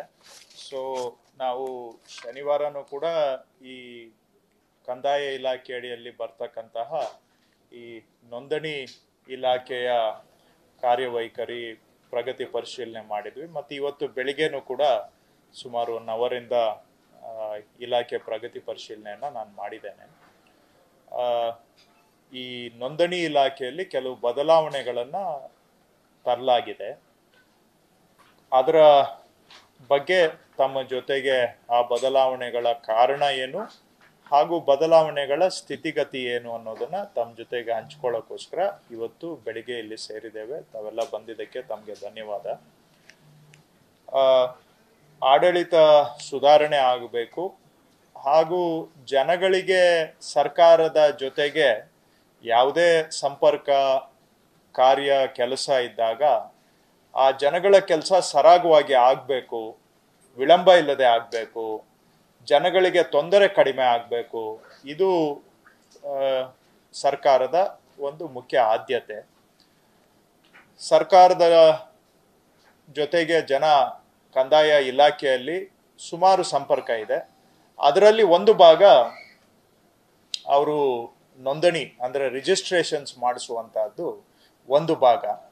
ತಮಗೆ ಗೊತ್ತಿರೋ ಹಾಗೆ ಒಂದು ಪ್ರಾಪರ್ಟಿ ಕೊಂಡ್ಕೊಳ್ಳೋದಾಗ್ಲಿ, ಮಾರಾಟ ಮಾಡೋದಾಗ್ಲಿ, ಲೀಸ್ ಮಾಡೋದಾಗ್ಲಿ, ಜಾಯಿಂಟ್ ಡೆವಲಪ್ಮೆಂಟ್ ಅಗ್ರಿಮೆಂಟ್ ಮಾಡೋದಾಗ್ಲಿ, ಅಥವಾ ಇವನ್ ಇನ್ನೂ ಮುಂದಕ್ಕೆ ಹೋಗಿ ಮದುವೆ ನೋಂದಣಿ, ಮ್ಯಾರೇಜ್ ರಿಜಿಸ್ಟ್ರೇಷನ್ ಆಗಲಿ ಅಥವಾ ಇವನ್ ಕೆಲವು ಪ್ರೈವೇಟ್ ಕಾಂಟ್ರಾಕ್ಟ್ಗಳು ರಿಜಿಸ್ಟ್ರೇಷನ್ ಆಗಲಿ, ಇವೆಲ್ಲವೂ ಕೂಡ ನೋಂದಣಿ ಇಲಾಖೆ ಮುಖಾಂತರ ರಿಜಿಸ್ಟ್ರೇಷನ್ ಆಗ್ತದೆ. ಸೊ ತಾವು ಬಹುಶಃ ತಮ್ಮ ಪತ್ರಿಕಾ ಕೆಲಸ ಮಾಡೋದಕ್ಕೆ ನೀವು ಅನೇಕ ರಿಜಿಸ್ಟ್ರೇಷನ್ ಇಲಾಖೆಗಳಿಗೆ ಭೇಟಿ ಕೊಟ್ಟಿರಬಹುದು. ಅಥವಾ ವೈಯಕ್ತಿಕವಾಗಿಯೂ ತಮ್ಮ ಕೆಲಸ ಕಾರ್ಯಗಳಿಗೆ ರಿಜಿಸ್ಟ್ರೇಷನ್ ಇಲಾಖೆಗೆ ಹೋಗಿರಬಹುದು. ಅಲ್ಲಿ ಬಹಳ ಅಸ್ತವ್ಯಸ್ತವಾದಂಥ ಪರಿಸ್ಥಿತಿ. ಜನ ನೂಕು ನುಗ್ಗಲು, ಆಮೇಲೆ ಒಂದು ಸಿಸ್ಟಮ್ ಇಲ್ಲ ಗಂಟೆಗಟ್ಟಲೆ ಕಾಯಬೇಕು ನೋಂದಣಿ ಇಲಾಖೆಯಲ್ಲಿ. ಯಾವಾಗ ನಮ್ಮ ಟೈಮ್ ಬರುತ್ತೆ ಅಂತ ಗೊತ್ತಿಲ್ಲ. ಬೆಳಿಗ್ಗೆ ಬಂದ್ರೆ ಸಾಯಂಕಾಲವರೆಗೂ ಕಾಯಬೇಕು. ಅದರಲ್ಲೂ ಏನಾಗುತ್ತೆ ಒಂದು, ಯಾವುದೋ ನಾವು ಮಾರಾಟ ಮಾಡಬೇಕು ಒಂದು ಆಸ್ತಿ ಅಂತ ಹೇಳಿದ್ರೆ, ಅದಕ್ಕೆ ಹತ್ತಾರು ಜನ ಹಕ್ಕುದಾರರು ಇರ್ತಾರೆ. ಕುಟುಂಬದ ಎಲ್ಲಾ ಸದಸ್ಯರು ಬರಬೇಕು. ಅಜ್ಜ, ಅಜ್ಜಿಯಿಂದ ಹಿಡಿದು ಮೊಮ್ಮಕ್ಕಳವರೆಗೆ ಹತ್ತಿಪ್ಪತ್ತು ಜನ ಬರಬೇಕು. ಆದರೆ ಎಷ್ಟೊತ್ತಿಗೆ ರಿಜಿಸ್ಟ್ರೇಷನ್ ಅಂತ ಗೊತ್ತಿಲ್ಲ. ಕಾದು ಕಾದು ಸುಸ್ತಾಗಿ, ಜೊತೆಗೆ ಆ ನೋಂದಣಿ ಇಲಾ ಕಚೇರಿಗಳು ಸಬ್ ರಿಜಿಸ್ಟ್ರಾರ್ ಆಫೀಸಲ್ಲಿ ಜನ ಇಷ್ಟು ಜನ ಕಾಯೋದಕ್ಕೆ ಜಾಗನೂ ಇಲ್ಲ. ಸೊ ಎಲ್ಲ ಆ ಸೊಂದು ಗೊಂದುಗಳಲ್ಲಿ ನಿಂತ್ಕೊಂಡು ಗೊಂದಲ, ಗೋಜಲು, ಮತ್ತೆ ಹೊರಗಡೆ ನಿಂತಿರಬೇಕು, ಎಲ್ಲೋ ಒಂದು ಕಡೆ ಜನ ಅವರ ಆಸ್ತಿ ಅವ್ರು ಮಾರಾಟ ಮಾಡೋದಕ್ಕೆ ಯಾರ್ದೋ ಮನೆ ಒಳಗಡೆ ಬಂದು ಒಳ್ಳೆ ಪಡಬಾರದ ಯಾತನೆ ಪಡುವಂತಹದ್ದು ನೀವೆಲ್ಲ ಬಹುಶಃ ನೋಡಿದೀರಾ ಅಂತ ಅನ್ಕೊಳ್ತೇನೆ. ನಾವು ಇದನ್ನ ಅನುಭವಿಸಿದ್ದೇವೆ. ಸೊ ಇದನ್ನ ಸುಧಾರಣೆ ಮಾಡಬೇಕು ಅಂತ ಹೇಳಿ ಬಹಳ ವರ್ಷಗಳ ಪ್ರಯತ್ನದಿಂದ ಮೊದಲು ಕಾವೇರಿ ಒನ್ ಅಂತ ಒಂದು ಸಾಫ್ಟ್ವೇರ್ ಡೆವಲಪ್ ಮಾಡಿ ಅದರ ಮುಖಾಂತರ ರಿಜಿಸ್ಟ್ರೇಷನ್ಸ್ ಮಾಡ್ತಾ ಇದ್ರು. ಅದು ಎರಡ್ ಸಾವಿರದ ಮೂರರಲ್ಲಿ ಆರಂಭ ಆಗಿತ್ತು. ಅದಾದ್ಮೇಲೆ ಕಾವೇರಿ ಟೂ ಅಂತ ಅದು ಬಹಳ ವರ್ಷಗಳಿಂದ ಇನ್ನಷ್ಟು ಸುಧಾರೀಕರಣ, ಸರಳೀಕರಣ ಹಾಗೂ ಸಲೀಸಾಗಿ ನೋಂದಣಿ ಆಗುವ ಉದ್ದೇಶದಿಂದ ಕಾವೇರಿ ಟೂ ರೋಲ್ ಔಟ್ ಮಾಡಬೇಕು ಅಂತ ಬಹಳ ವರ್ಷಗಳ ಪ್ರಯತ್ನದ ನಂತರ ಈ ಏಪ್ರಿಲ್ ತಿಂಗಳಿಂದ ರೋಲ್ ಔಟ್ ಅನ್ನ ಆರಂಭ ಮಾಡಿದ್ದಾರೆ. ಇದ್ರ ಬಗ್ಗೆ ಸಾರ್ವಜನಿಕ ವಲಯದಲ್ಲೂ ಕೂಡ ವ್ಯಾಪಕವಾಗಿ ಚರ್ಚೆ ಆಗಿದೆ. ಹಾಗೂ ಕೆಲವು ಸುದ್ದಿ ಮಾಧ್ಯಮಗಳಲ್ಲಿ ಇದರಿಂದ ಆಗಿರುವಂತಹ ತೊಂದರೆಗಳ ಬಗ್ಗೆನೂ ಕೂಡ ವ್ಯಾಪಕವಾಗಿ ಚರ್ಚೆ ಆಗಿದೆ. ನನಗೂ ಸುಮಾರು ಜನ ಸಾರ್ವಜನಿಕರು ಇದರ ಅನುಕೂಲ ಅನಾನುಕೂಲದ ಬಗ್ಗೆ ನನ್ನ ಹತ್ರನೂ ನೇರವಾಗಿ ಮಾತಾಡ್ತಾ ಬಂದಿದ್ದಾರೆ. ಕೆಲವು ಜರ್ನಲಿಸ್ಟ್ಗಳು ಕೂಡ ನನ್ನ ಹತ್ರ ಸಾಧಕ ಬಾಧಕ ಮಾತಾಡಿದ್ದಾರೆ. ಅದಕ್ಕಾಗಿ ನಿಮ್ಮ ಜೊತೆಗೆ ಇವತ್ತು ಇದರ ವಾಸ್ತವ ಸ್ಥಿತಿ ಏನು ಅನ್ನುವಂಥ ಮಾಹಿತಿಯನ್ನ ತಮ್ಮ ಜೊತೆಗೆ ಹಂಚ್ಕೊಳ್ಳೋಕ್ಕೋಸ್ಕರ ಇಲ್ಲಿ ಸೇರಿದ್ದೇವೆ. ಈಗ ಸುಮಾರು ಏಪ್ರಿಲ್ ತಿಂಗಳಿಂದ ಈ ಕಾವೇರಿ ಟು ಸರಳೀಕೃತ ನೋಂದಣಿ ಪ್ರಕ್ರಿಯೆ ಆರಂಭ ಆಗಿದೆ. ಆರಂಭ ಆದಾಗ, ಯಾಕೆ ಏಪ್ರಿಲ್ ತಿಂಗಳು ಅಂತ ತಾವು ಕೇಳ್ಬೋದು. ಚುನಾವಣೆ ಇದ್ದಾಗ ಸ್ವಲ್ಪ ರಿಜಿಸ್ಟ್ರೇಷನ್ಸು ಕಡಿಮೆ ಇರ್ತವೆ. ಈ ಏಪ್ರಿಲ್ ಮೇನಲ್ಲಿ ಚುನಾವಣೆ ಇತ್ತು. ಅಂತ ಸಂದರ್ಭದಲ್ಲಿ ರಿಜಿಸ್ಟ್ರೇಷನ್ಸೇ ಕಡಿಮೆ ಇರುತ್ತೆ. ಸೊ ಕಡಿಮೆ ಇದ್ದಾಗ ಹೊಸ ಪ್ರಕ್ರಿಯೆನ ಆರಂಭ ಮಾಡೋದು ವೈಜ್ಞಾನಿಕ ಅಂತೇಳಿ ಏಪ್ರಿಲ್ನಿಂದ ಆರಂಭ ಮಾಡಿ ಇಲ್ಲಿವರೆಗೂ ಕೂಡ ಒಟ್ಟು ಏನು ನಮ್ಮ ರಾಜ್ಯದಲ್ಲಿ ಸುಮಾರು ಇನ್ನೂರ ಐವತ್ತ ಆರು ಸಬ್ ರಿಜಿಸ್ಟ್ರಾರ್ ಆಫೀಸುಗಳು ಇದ್ದಾವೆ ಉಪನೋಂದಣಿ ಕಚೇರಿಗಳು ಇದಾವೆ. ಆ, ಇವತ್ತು ಸಂಜೆ ಅಷ್ಟೊತ್ತಿಗೆ ಇನ್ನೂರ ಐವತ್ತೊಂದು ಸಬ್ ರಿಜಿಸ್ಟ್ರಾರ್ ಆಫೀಸಲ್ಲಿ ಕಾವೇರಿ ಎರಡು ಸರಳೀಕೃತ ನೋಂದಣಿ ಪ್ರಕ್ರಿಯೆಯನ್ನ ನಾವು ಅನುಷ್ಠಾನ ಮಾಡ್ದಂಗೆ ಆಗುತ್ತೆ ಇವತ್ತು ಸಂಜೆಗೆ. ಈ ಶನಿವಾರದಷ್ಟೊತ್ತಿಗೆ ಎಲ್ಲ ಇನ್ನೂರ ಐವತ್ತಾರು ಕೇಂದ್ರಗಳಲ್ಲೂ ಕೂಡ ಸರಳೀಕೃತ ನೋಂದಣಿ ಪ್ರಕ್ರಿಯೆಯನ್ನ ನಾವು ಅನುಷ್ಠಾನ ಮಾಡ್ತಿದ್ದೇವೆ. ಯಾಕೆ ಕಾವೇರಿ ಟು ಈ ಸರಳೀಕೃತ ಪ್ರಕ್ರಿಯೆ ತಂದಿದ್ದೇವೆ ಅಂತ ಆಗಲೇ ಹೇಳಿದೆ, ಇದರಲ್ಲಿ ಏನು ಅಂತ ಹೇಳಿದ್ರೆ, ಮೊದಲು ಎಲ್ಲ ಡಾಕ್ಯುಮೆಂಟ್ಸ್ ತಗೊಂಡ್ ಬಂದ್ಬಿಟ್ಟು ಅಲ್ಲಿ ಸಬ್ ರಿಜಿಸ್ಟ್ರಾರ್ ಕೈಗೆ ಕೊಟ್ಟು ಅವ್ರು ಅಲ್ಲೇ ಕೂತ್ಕೊಂಡು ವೆರಿಫೈ ಮಾಡಬೇಕಿತ್ತು. ನಿಮ್ಮ ಸರ್ ಡಾಕ್ಯುಮೆಂಟ್ ಅಲ್ಲಿ ಒಂದು ಹತ್ತಿಪ್ಪತ್ತು ಇಂಪಾರ್ಟೆಂಟ್ ಪಾಯಿಂಟ್ ಅನ್ನ ಅವ್ರು ಚೆಕ್ ಮಾಡಬೇಕು. ಈ ಡಾಕ್ಯುಮೆಂಟ್ನ ಅಂದ್ರೆ ರಿಜಿಸ್ಟ್ರೇಷನ್ ಡಾಕ್ಯುಮೆಂಟ್ನ ಉದ್ದೇಶ ಏನು? ಅದರಲ್ಲಿ ಹಾಕಿರೋ ರೇಟ್ ಸರಿ ಇದೆಯಾ? ಹಾಕಿರೋ ರೇಟು ಗೈಡೆನ್ಸ್ ವ್ಯಾಲ್ಯೂಗೆ ಮ್ಯಾಚ್ ಆಗ್ತಾ ಇದೆಯಾ? ಅದಕ್ಕೆ ಸಂಬಂಧಪಟ್ಟಂತ ಅವ್ರದ್ದು ಡಾಕ್ಯುಮೆಂಟ್ಗಳು ಸರಿ ಇದೆಯಾ? ಹೀಗೆ ಡಾಕ್ಯುಮೆಂಟ್ ವೆರಿಫಿಕೇಶನ್ಗೆನೆ ಅವರಿಗೆ ಸಬ್ಮಿಟ್ ಮಾಡಿಬಿಟ್ಟು ಎಲ್ಲ ಫ್ಯಾಮಿಲಿಯವರು ಕಾಯ್ಕೊಂಡಿರ್ಬೇಕಾಗಿತ್ತು. ಈಗ ಕಾವೇರಿ ಟೂನಲ್ಲಿ ಏನಂದ್ರೆ ಆ ಡಾಕ್ಯುಮೆಂಟ್ ರಿಜಿಸ್ಟ್ರೇಷನ್ ಡಾಕ್ಯುಮೆಂಟ್ ಅನ್ನ ಆನ್ಲೈನ್ ಅಲ್ಲೇ ಸಬ್ಮಿಟ್ ಮಾಡ್ಬೋದು. ಮೊದಲೇ ಸಬ್ಮಿಟ್ ಮಾಡ್ಬೋದು. ಸೊ ಮೊದಲೇ ನೀವು ಆನ್ಲೈನ್ ಡಾಕ್ಯುಮೆಂಟ್ ಅನ್ನು ಸಬ್ಮಿಟ್ ಮಾಡ್ಬಿಟ್ರೆ ಎಲ್ಲಾನು ಅದನ್ನ ಸಬ್ ರಿಜಿಸ್ಟ್ರಾರು ಕೂಡ ಆನ್ಲೈನಲ್ಲೇ ವೆರಿಫೈ ಮಾಡಿ. ಅವರು ಎಲ್ಲ ನಿಮ್ದು ಡಾಕ್ಯುಮೆಂಟ್ ಸರಿ ಇದೆ ಅಂತ ಹೇಳಿ ನಿಮಗೆ ವಾಪಸ್ಸು ಆನ್ಲೈನಲ್ಲೇ ಅವರು ನಿಮಗೆ ಸುದ್ದಿಯನ್ನು ಮುಟ್ಟಿಸ್ತಾರೆ. ಸೊ ಆನ್ಲೈನ್ ಅಲ್ಲಿ ಸರಿ ಇದೆ ಅಂತ ನಿಮಗೆ ಸುದ್ದಿ ವಾಪಸ್ ಮೆಸೇಜ್ ಬಂದ ಮೇಲೆ, ಆಮೇಲೆ ಅದಕ್ಕೆ ತಗಲುವಂಥ ವೆಚ್ಚನೂ ಕೂಡ ಆನ್ಲೈನಲ್ಲೇ ಪೇಮೆಂಟ್ ಆಗುತ್ತೆ. ಅದನ್ನ ಅವರೇ ಮಾಡ್ಬೋದು. ಯಾರು ಸಾರ್ವಜನಿಕರೇ ಆನ್ಲೈನಲ್ಲಿ ಪೇಮೆಂಟು ಕೂಡ ಮಾಡ್ಬೋದು. ಆನ್ಲೈನ್ ಅಲ್ಲಿ ಪೇಮೆಂಟ್ ಮಾಡಿದ್ದು ಸೆಕೆಂಡ್ ಸ್ಟೆಪ್ ಥರ್ಡ್ ಸ್ಟೆಪ್ ಏನಂದ್ರೆ, ಆ ರಿಜಿಸ್ಟ್ರೇಷನ್ ಮಾಡೋರು ಕೊಂಡ್ಕೊಳ್ಳೋರು ಇರ್ತಾರಲ್ಲ, ಮಾರಾಟ ಮಾಡೋರು ಕೊಂಡ್ಕೊಳ್ಳೋರು. ಅವ್ರಿಗೆ ಯಾವ ಸಮಯ ಅನುಕೂಲ ಆಗುತ್ತೆ, ಆ ಸಮಯಕ್ಕೆ ಅವರೇ ಅಪಾಯಿಂಟ್ಮೆಂಟ್ ಅನ್ನ ಸೆಲೆಕ್ಟ್ ಮಾಡಬಹುದು ಆನ್ಲೈನಲ್ಲೇ. ಇಂಥ ದಿನ, ಇಂತಿಷ್ಟು ಗಂಟೆಗೆ ನಮಗೆ ಅಪಾಯಿಂಟ್ಮೆಂಟ್ ಬೇಕು ಅಂತ ನಿಮ್ಗೆ ಅವ್ರದ್ದು ಯಾವತ್ತು ಯಾವತ್ತು ಅವೈಲಬಿಲಿಟಿ ಇದೆ ಅಂತ ಆನ್ಲೈನಲ್ಲಿ ಕಾಣುತ್ತೆ.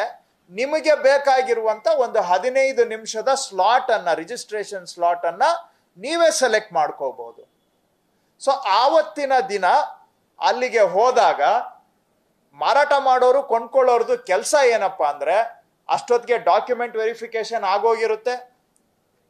ಹಾಗೆ ಫೀಸ್ ಪೇಮೆಂಟು ಆಗೋಗಿರುತ್ತೆ. ಸೊ ಬಾಕಿ ಇರೋದು ಏನಪ್ಪಾ ಅಂತ ಹೇಳಿದ್ರೆ ಅಲ್ಲಿ ಕಂಪ್ಯೂಟರ್ ಮುಂದೆ ಕೂತ್ಕೋ ಕೂತ್ಕೋಬೇಕು ಅವ್ರದ್ದು ಫೋಟೋ ತೆಗಿತಾರೆ, ತಂಬು ಕೊಡಬೇಕು. ಇಷ್ಟು ಕೊಟ್ರೆ ಅಲ್ಲಿಗೆ ಅವ್ರ ರಿಜಿಸ್ಟ್ರೇಷನ್ ಕೆಲಸ ಮುಗೀತು. ಒಂದು ಸಾಮಾನ್ಯ ರಿಜಿಸ್ಟ್ರೇಷನ್ನು ಹತ್ತು ನಿಮಿಷದಲ್ಲಿ ಅದೇ ಹತ್ತರಿಂದ ಹದಿನೈದು ನಿಮಿಷದಲ್ಲಿ ಮುಗಿಸ್ಬಿಟ್ಟು, ಅಂದ್ರೆ ಪಾರ್ಟಿಗಳು ಕಡಿಮೆ ಇದ್ದರೆ ಒಂದು ಐದಾರು ಪಾರ್ಟಿಗಳು ಮಾತ್ರ ಇದ್ದರೆ ಹತ್ತರಿಂದ ಹದಿನೈದು ನಿಮಿಷದಲ್ಲಿ ರಿಜಿಸ್ಟ್ರೇಷನ್ ಮುಗಿಸಿ ಅವರು ಹೊರಗಡೆ ಬರಬಹುದು. ಸೊ ಇದು ಸರಳೀಕೃತ ಕಾವೇರಿ ಟೂನ ಉಪಯೋಗ. ಸೊ ಇದು ಸಾರ್ವಜನಿಕರಿಗೆ ಇವು ಉಪಯೋಗಗಳಾದ್ರೆ ಸರ್ಕಾರಕ್ಕೂ ಇದರಲ್ಲಿ ಕೆಲವು ಉಪಯೋಗಗಳು ಇದಾವೆ. ಏನಪ್ಪಾ ಅಂದ್ರೆ ರಾಜ್ಯದಲ್ಲಿ ಯಾವ ದಿನ ಎಷ್ಟು ರಿಜಿಸ್ಟ್ರೇಷನ್ ಆಯಿತು ಅಂತ ನಮಗೆ ಆವತ್, ಆ ಕ್ಷಣದ ಮಾಹಿತಿ ನಮಗೆ ಸಿಗುತ್ತೆ. ಇಡೀ ರಾಜ್ಯದಲ್ಲಿ ಎಲ್ಲಾಗ್ತಾ ಇತ್ತು ಅಂತ. ಹಿಂದೆ ಇನ್ನೊಂದು ಏನಾಗ್ತಾ ಇತ್ತು? ಯಾರೋ ಸಬ್ ರಿಜಿಸ್ಟ್ರಾರು ರಿಜಿಸ್ಟರ್ ಮಾಡ್ಬಿಡೋರು, ಅದರಲ್ಲಿ ತಪ್ಪು ನಪ್ಪುಗಳು ಆಗಿದ್ರೂ ಕೂಡ ಅವ್ರ ಮೇಲೆ ಜವಾಬ್ದಾರಿ ಫಿಕ್ಸ್ ಮಾಡೋದು ಕಷ್ಟ ಆಗ್ತಾ ಇತ್ತು. ಆದ್ರೆ ಈಗ ಪ್ರತಿಯೊಂದಕ್ಕೂ ಒಬ್ಬ ಸಬ್ ರಿಜಿಸ್ಟ್ರಾರ್ ಅದನ್ನ ಸೈನ್ ಆಫ್ ಮಾಡೋದ್ರಿಂದ, ಅದನ್ನ ಆನ್ಲೈನ್ ಅಲ್ಲಿ ಅಪ್ರೂವ್ ಮಾಡೋದ್ರಿಂದ ಯಾರು ಮಾಡಿದ್ದಾರೆ ಯಾರು ತಪ್ಪು ಮಾಡಿದ್ದಾರೆ ಅನ್ನೋದು ನೇರವಾಗಿ ಜವಾಬ್ದಾರಿ ನಿಗದಿ ಆಗೋದ್ರಿಂದ ಅವರು ಮಾಡೋವಾಗ ತಪ್ಪುಗಳನ್ನ ಮಾಡದೇ ಈ ಕೆಲಸವನ್ನ ಮಾಡ್ತಾರೆ. ಸೊ ಇದರಲ್ಲಿ ಸೋರಿಕೆ ಆಗುವಂತಹದ್ದು ಅಂಡರ್ ರೇಟ್ ರಿಜಿಸ್ಟರ್ ಮಾಡುವಂತಹದ್ದು ಇಂಥವೆಲ್ಲ ಆಟೋಮ್ಯಾಟಿಕಲಿ ಕಮ್ಮಿ ಆಗುತ್ತೆ. ಯಾಕಂದ್ರೆ ಈಗ ಜವಾಬ್ದಾರಿ ನೇರವಾಗಿ ನಿಗದಿ ಆಗೋದ್ರಿಂದ ತಪ್ಪುಗಳು ಅವರು ಮಾಡಲಿಕ್ಕೆ ಹೋಗೋದಿಲ್ಲ. ಅದು ಎರಡನೇದು. ಮೂರನೇದು, ಇದನ್ನ ಹೀಗೆ ನಾವು ಸಿಸ್ಟಮ್ ಅನ್ನ ಡೆವಲಪ್ ಮಾಡ್ತಾ, ಇದು ಬೇರೆ ಅಂದ್ರೆ ನಗರದಲ್ಲಿ ಆಸ್ತಿ ಇದ್ರೆ ಆ ನಗರದ ಆಸ್ತಿ ಅದು ಜೆನ್ಯುವಿನ ಇಲ್ಲವಾ ಅಂತ ಆನ್ಲೈನ್ ಅಲ್ಲೇ ಚೆಕ್ಕಿಂಗ್ ಆಗುತ್ತೆ. ಅವ್ರದ್ದು ಜಮೀನು ಹಿಂದೆ ಎಲ್ಲ ತಮಗೂ ಗೊತ್ತಿದೆ.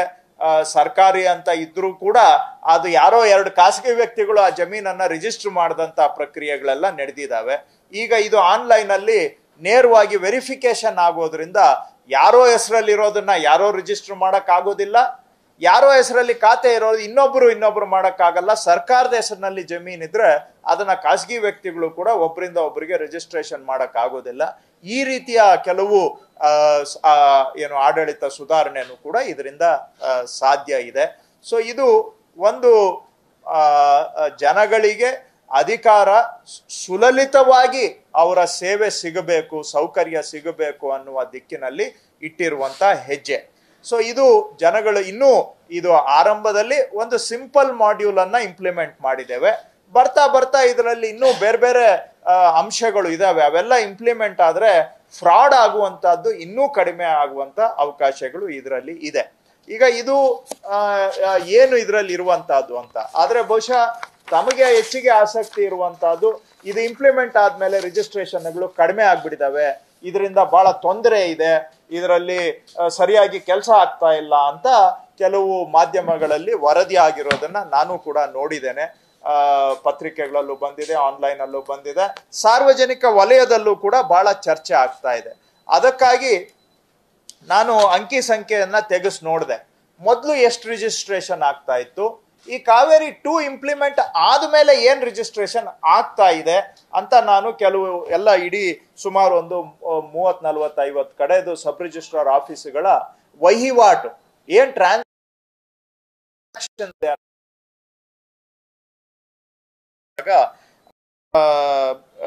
ಉದಾಹರಣೆಗೆ ಸಬ್ ರಿಜಿಸ್ಟ್ರಾರ್ ಆಫೀಸು. ಅಲ್ಲಿ ಸ್ವಲ್ಪ ಇರೋದ್ರಲ್ಲಿ ಆವರೇಜ್ಗಿಂತ ಜಾಸ್ತಿ ರಿಜಿಸ್ಟ್ರೇಷನ್ಸು ನಡೆಯುವಂತಹ ಒಂದು ರಿಜಿಸ್ಟ್ರೇಷನ್ ಕಚೇರಿ ಅದು. ಅಲ್ಲಿ ಕಾವೇರಿ ಒನ್ ಇದ್ದಾಗ ಒಂದು ದಿನಕ್ಕೆ ಸರಾಸರಿ ಅರವತ್ಮೂರು ಡಾಕ್ಯುಮೆಂಟು ರಿಜಿಸ್ಟರ್ ಆಗ್ತಾ ಇತ್ತು. ಕಾವೇರಿ ಟೂ ಬಂದ ಮೇಲೆ ಒಂದು ದಿನಕ್ಕೆ ಅರವತ್ತ ಐದು ಡಾಕ್ಯುಮೆಂಟು ರಿಜಿಸ್ಟರ್ ಆಗ್ತಾ ಇದೆ. ಅಷ್ಟೇ ಅಲ್ಲ ಆ ಆ ಸಬ್ ರಿಜಿಸ್ಟ್ರಾರ್ ಆಫೀಸಲ್ಲಿ ಕೆಲವೊಂದು ದಿನ ನೂರ ಮೂವತ್ತೆರಡು ಡಾಕ್ಯುಮೆಂಟ್ ರಿಜಿಸ್ಟರ್ ಆಗಿದೆ. ಸೊ ಯಾಕೆ ಅದನ್ನ ಹೇಳ್ತಾ ಇದ್ದೀನಿ ಅಂದ್ರೆ, ಸರಾಸರಿ ಅರವತ್ಮೂರು ಡಾಕ್ಯುಮೆಂಟ್ ಆಗ್ತಾ ರಿಜಿಸ್ಟರ್ ಆಗ್ತಾ ಇದ್ದಂತ ಕಚೇರಿಯಲ್ಲಿ ನೂರ ಅರ್- ಮೂವತ್ತೆರಡು ಡಾಕ್ಯುಮೆಂಟ್ ರಿಜಿಸ್ಟರ್ ಮಾಡಬಹುದು ಒಂದೇ ದಿನದಲ್ಲಿ ಅಂತ ಹೇಳಿದ್ರೆ, ಅಲ್ಲಿಗೆ ರಿಜಿಸ್ಟ್ರೇಷನ್ ಕೆಪಾಸಿಟಿ ಎಷ್ಟು ಜಾಸ್ತಿ ಆಗಿದೆ ಅನ್ನೋದಕ್ಕೆ ಉದಾಹರಣೆ. ನೀವು ಕೇಳಬಹುದು ಅರವತ್ತೈದು ಯಾಕೆ ಆಗ್ತಾ ಇದೆ ಅಂತ. ಯಾಕಂದ್ರೆ ಅರವತ್ತೈದು ಬರ್ತಾ ಇದೆ, ಅರವತ್ತೈದು ಆಗ್ತಾ ಇದೆ. ನೂರ ಮೂವತ್ತೆರಡು ಬಂದರೂ ಕೂಡ ರಿಜಿಸ್ಟ್ರೇಷನ್ ಮಾಡಬಹುದು. ಅಷ್ಟು ಮಟ್ಟಿಗೆ ಕೆಪಾಸಿಟಿ ಜಾಸ್ತಿ ಆಗಿದೆ. ಅನ್ನೋದಕ್ಕೆ ಒಂದು ದಿನ ನೂರ ಮೂವತ್ತೆರಡು ಆಗಿರೋದು ಅಲ್ಲಿ ಉದಾಹರಣೆ. ಇನ್ನೊಂದು ಬಳ್ಳಾರಿದು ಉದಾಹರಣೆ ಕೊಡ್ತೇನೆ ತಮಗೆ. ಕಾವೇರಿ ಒನ್ನಲ್ಲೂ ಎಂಬತ್ತಾರು ರಿಜಿಸ್ಟ್ರೇಷನ್ ಆಗ್ತಾ ಇತ್ತು. ಕಾವೇರಿ ಟೂನಲ್ಲೂ ಸರಾಸರಿ ಎಂಬತ್ತಾರು ರಿಜಿಸ್ಟ್ರೇಷನ್ ಆಗ್ತಾ ಇದೆ. ಆದ್ರೆ ಈ ಕಾವೇರಿ ಟೂ ಬಂದ್ಮೇಲೆ ಒಂದು ದಿನ ನೂರ ನಲವತ್ತ ಮೂರು, ನಲವತ್ತಾರು ರಿಜಿಸ್ಟ್ರೇಷನ್ ಆಗಿದೆ. ಸೊ ಉದಾಹರಣೆಗೆ ಎಷ್ಟು ಕೆಪಾಸಿಟಿ ಬಿಲ್ಡ್ ಆಗಿದೆ ಆನ್ಲೈನ್ ಸಿಸ್ಟಮ್ ಬಂದ ಮೇಲೆ ಅನ್ನೋದಕ್ಕೆ ಒಂದೇ ದಿನದಲ್ಲಿ ದಿನದಲ್ಲಿ ನೂರ ನಲ್ವತ್ತಾರು ರಿಜಿಸ್ಟ್ರೇಷನ್ ಆಗುತ್ತೆ ಅಂದ್ರೆ ಅದೊಂದು ಪ್ರೂಫ್ ಸಿಸ್ಟಮ್ ಅಲ್ಲಿ ಕೆಪಾಸಿಟಿ ಇದೆ. ಹೆಚ್ಚಿಗೆ ಜನ ಬಂದರೂ ಕೂಡ ರಿಜಿಸ್ಟ್ರೇಷನ್ ಅನ್ನ ಸುಗಮವಾಗಿ ಮಾಡಿಕೊಡಬಹುದು ಅನ್ನೋದಕ್ಕೆ. ಅದೇ ತರ ಚಾಮರಾಜನಗರದಲ್ಲೂ ಕೂಡ ಹಿಂದೆನೂ ಮೂವತ್ತ್ಮೂರು ಆಗ್ತಾ ಇತ್ತು, ಈಗಲೂ ಮೂವತ್ಮೂರು ಆಗ್ತಾ ಇದೆ.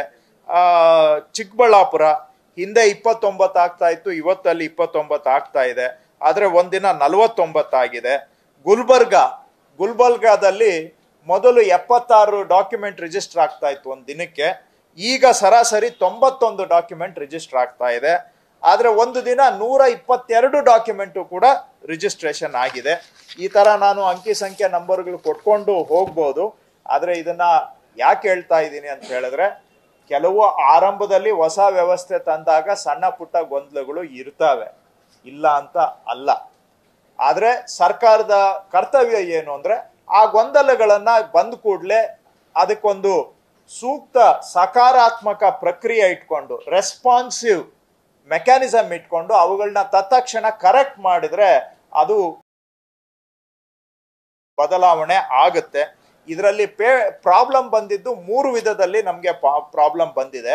ಒಂದು ಪೇಮೆಂಟು ಮಾಡೋವಾಗ, ಯಾಕಂದ್ರೆ ಆನ್ಲೈನ್ ಪೇಮೆಂಟ್ ಮೊದಲೆಲ್ಲ ಅವರು ಬ್ಯಾಂಕ್ಗೆ ಹೋಗಿ ಚಲಾನು ಕಟ್ ದುಡ್ಡು ಕಟ್ಟಿ ಚಲಾನ್ ತಗೊಂಡು ಬಂದು ಸಬ್ ರಿಜಿಸ್ಟ್ರಾರ್ ಕೊಡಬೇಕಾಗಿತ್ತು. ಈಗ ನೀವು ನೆಟ್ ಬ್ಯಾಂಕಿಂಗ್ ಮಾಡ್ಬೋದು, ಯು ಪಿ ಮಾಡ್ಬೋದು, ಅಥವಾ ಫೋನ್ ಪೇ ಮಾಡ್ಬೋದು, ಈ ಎಲ್ಲ ಸಿಸ್ಟಮ್ಗಳು ಕೊಟ್ಟಿದೆ. ಸೊ ಆಕ್ಚುಲಿ ನೀವು ಪೇಮೆಂಟ್ ಮಾಡೋಕ್ಕೆ ಈಗ ಬ್ಯಾಂಕ್ಗೂ ಹೋಗ್ಬೇಕಾಗಿಲ್ಲ. ಮನೆಯಲ್ಲೇ ಕುತ್ಕೊಂಡು ಪೇಮೆಂಟ್ ಮಾಡ್ಬೋದು. ಸೊ ಅದು ಹೊಸ್ದಾಗಿ ಪೇಮೆಂಟ್ ಮಾಡಿದಾಗ ಜನಕ್ಕೆ ಸ್ವಲ್ಪ ಕನ್ಫ್ಯೂಷನ್ ಆಗಿರುತ್ತೆ. ನೆಟ್ ಪೇಗೆ ಆಫ್ ಮಾಡ್ತಾರೆ. ನೆಟ್ ಪೇ ಆಗೋದಕ್ಕೆ ಒಂದು ಐದು ನಿಮಿಷ ಆದರೆ ಅದನ್ನು ಕ್ಯಾನ್ಸಲ್ ಮಾಡಿಬಿಟ್ಟು ಯು ಪೇಗೆ ಹೋಗ್ತಾರೆ. ಅದೊಂದು ಡಿಲೇ ಆದರೆ ಅದನ್ನ ಕ್ಯಾನ್ಸಲ್ ಮಾಡಿ ಇನ್ಯಾವುದಕ್ಕೂ ಇನ್ಯಾವುದಕ್ಕೋ ಫೋನ್ ಪೇಗೆ ಹೋಗ್ತಾರೆ. ಅಂಥ ಕನ್ಫ್ಯೂಷನ್ಸು ಇತ್ತು. ಅದಕ್ಕೆ ನಮ್ಮ ಅಧಿಕಾರಿಗಳು ತಕ್ಷಣ ಅದ್ರ ಬಗ್ಗೆ ಕೆಲವು ವಿಡಿಯೋ ಮಾಡಿಬಿಟ್ಟು ಹಾಕಿ ಅದರ ಗೊಂದಲಗಳನ್ನು ಪರಿಹಾರ ಮಾಡಿದ್ದಾರೆ. ಆಮೇಲೆ ಈ ಜೆ ಸ್ಲಿಪ್ ಕೊಡೋದ್ರಲ್ಲಿ ಸ್ವಲ್ಪ ತೊಂದರೆ ಆಗ್ತಾ ಇತ್ತು, ಅದನ್ನು ಪರಿಹಾರ ಮಾಡಿದ್ದಾರೆ. ಜಾಸ್ತಿ ಕಂಪ್ಲೇಂಟ್ಸ್ ಬಂದಿದ್ದು ಇ ಸಿ ಆಗ್ತಾ ಇಲ್ಲ ಅಂಥೇಳಿ. ಅದು ಭೂಮಿ ಸಾಫ್ಟ್ವೇರ್ಗೂ, ಈ ಕಾವೇರಿ ಸಾಫ್ಟ್ವೇರ್ಗೂ ಎರಡಕ್ಕೂ ಒಂದಕ್ಕೊಂದು ಲಿಂಕು ಅದು ಭೂಮಿ ಹಳೆ ಸಾಫ್ಟ್ವೇರು, ಕಾವೇರಿ ಹೊಸ ಸಾಫ್ಟ್ವೇರು. ಅದರಲ್ಲಿ ಸಣ್ಣ ಪುಟ್ಟ ಗೊಂದಲಗಳಿತ್ತು, ಅದನ್ನು ಕೂಡ ನಿವಾರಣೆ ಮಾಡಿದ್ದಾರೆ. ಇದಕ್ಕೆ ನಮ್ಮ ನೋಂದಣಿ ಇಲಾಖೆಯಲ್ಲಿ ಕಾಲ್ ಸೆಂಟರ್ ಮಾಡಿ ಈ ತರ ಯಾವುದೇ ಕಂಪ್ಲೇಂಟ್ ಬಂದರೂ ಇಮಿಡಿಯೇಟ್ ಆಗಿ ಅವುಗಳನ್ನ ಅಟೆಂಡ್ ಮಾಡಿ ಸಾಲ್ವ್ ಮಾಡಿಕೊಂಡು ಬಂದಿದ್ದಾರೆ.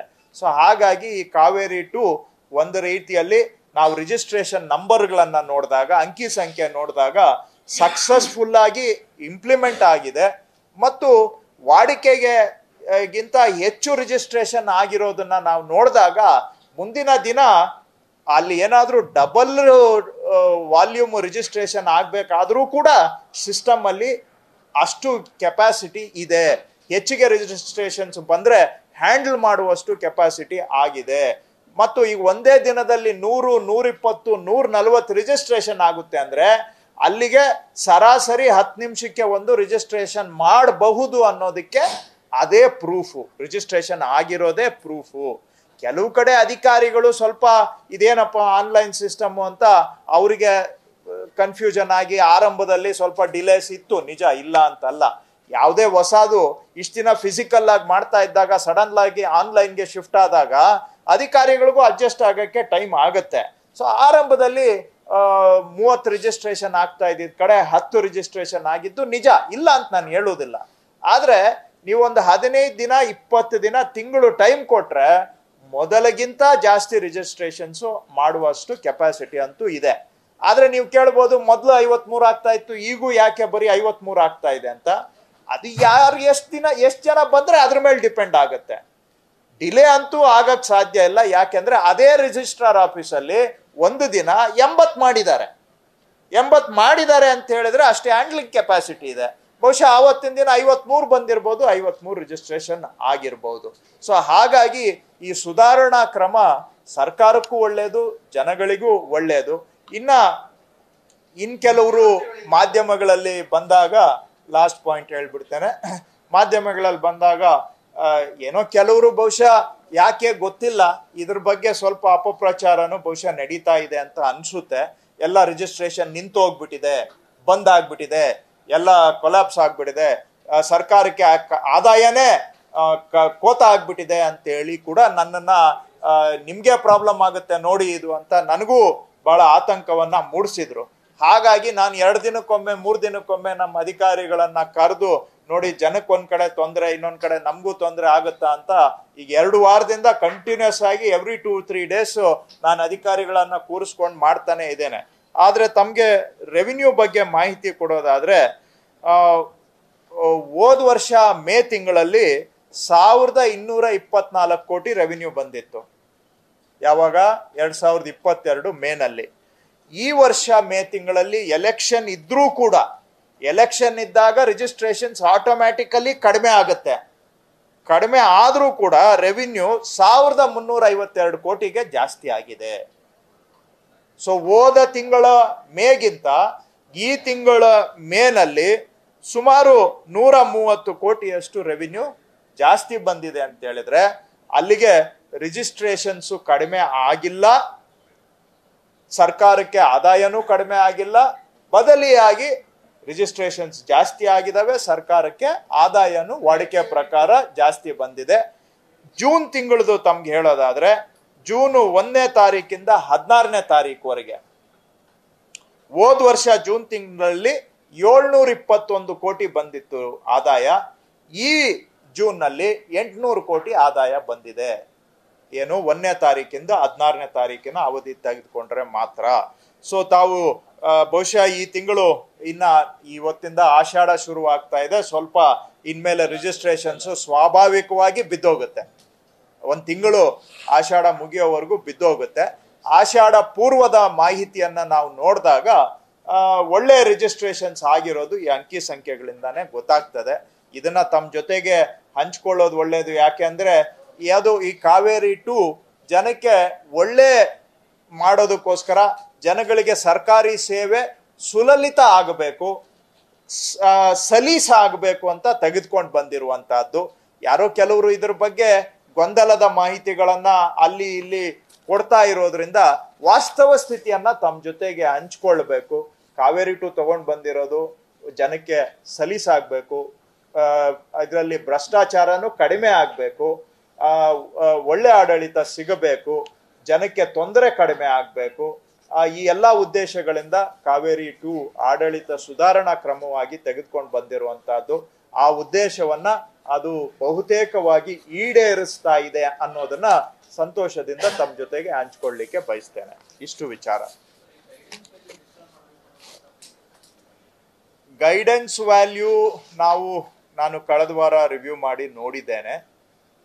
ಹಿಂದೆ ವರ್ಷಗಳು, ನಾನು ಕಳೆದ ಹತ್ತು ವರ್ಷಗಳಲ್ಲಿ ಯಾವಾಗ ಯಾವಾಗ ಗೈಡೆನ್ಸ್ ವ್ಯಾಲ್ಯೂ ರಿವಿಷನ್ ಆಗಿದೆ ಅಂತ ನೋಡಿದಾಗ ಸ್ವಾಭಾವಿಕವಾಗಿ ಒಂದು ವರ್ಷಕ್ಕೊಮ್ಮೆ ಒಂದೂವರೆ ವರ್ಷಕ್ಕೊಮ್ಮೆ ಮ್ಯಾಕ್ಸಿಮಮ್ ಎರಡು ವರ್ಷಕ್ಕೊಮ್ಮೆ ಗೈಡೆನ್ಸ್ ವ್ಯಾಲ್ಯೂನ್ನ ಕಾಲದಿಂದ ಕಾಲಕ್ಕೆ ರಿವೈಸ್ ಮಾಡಿಕೊಂಡು ಬಂದಿದ್ದಾರೆ.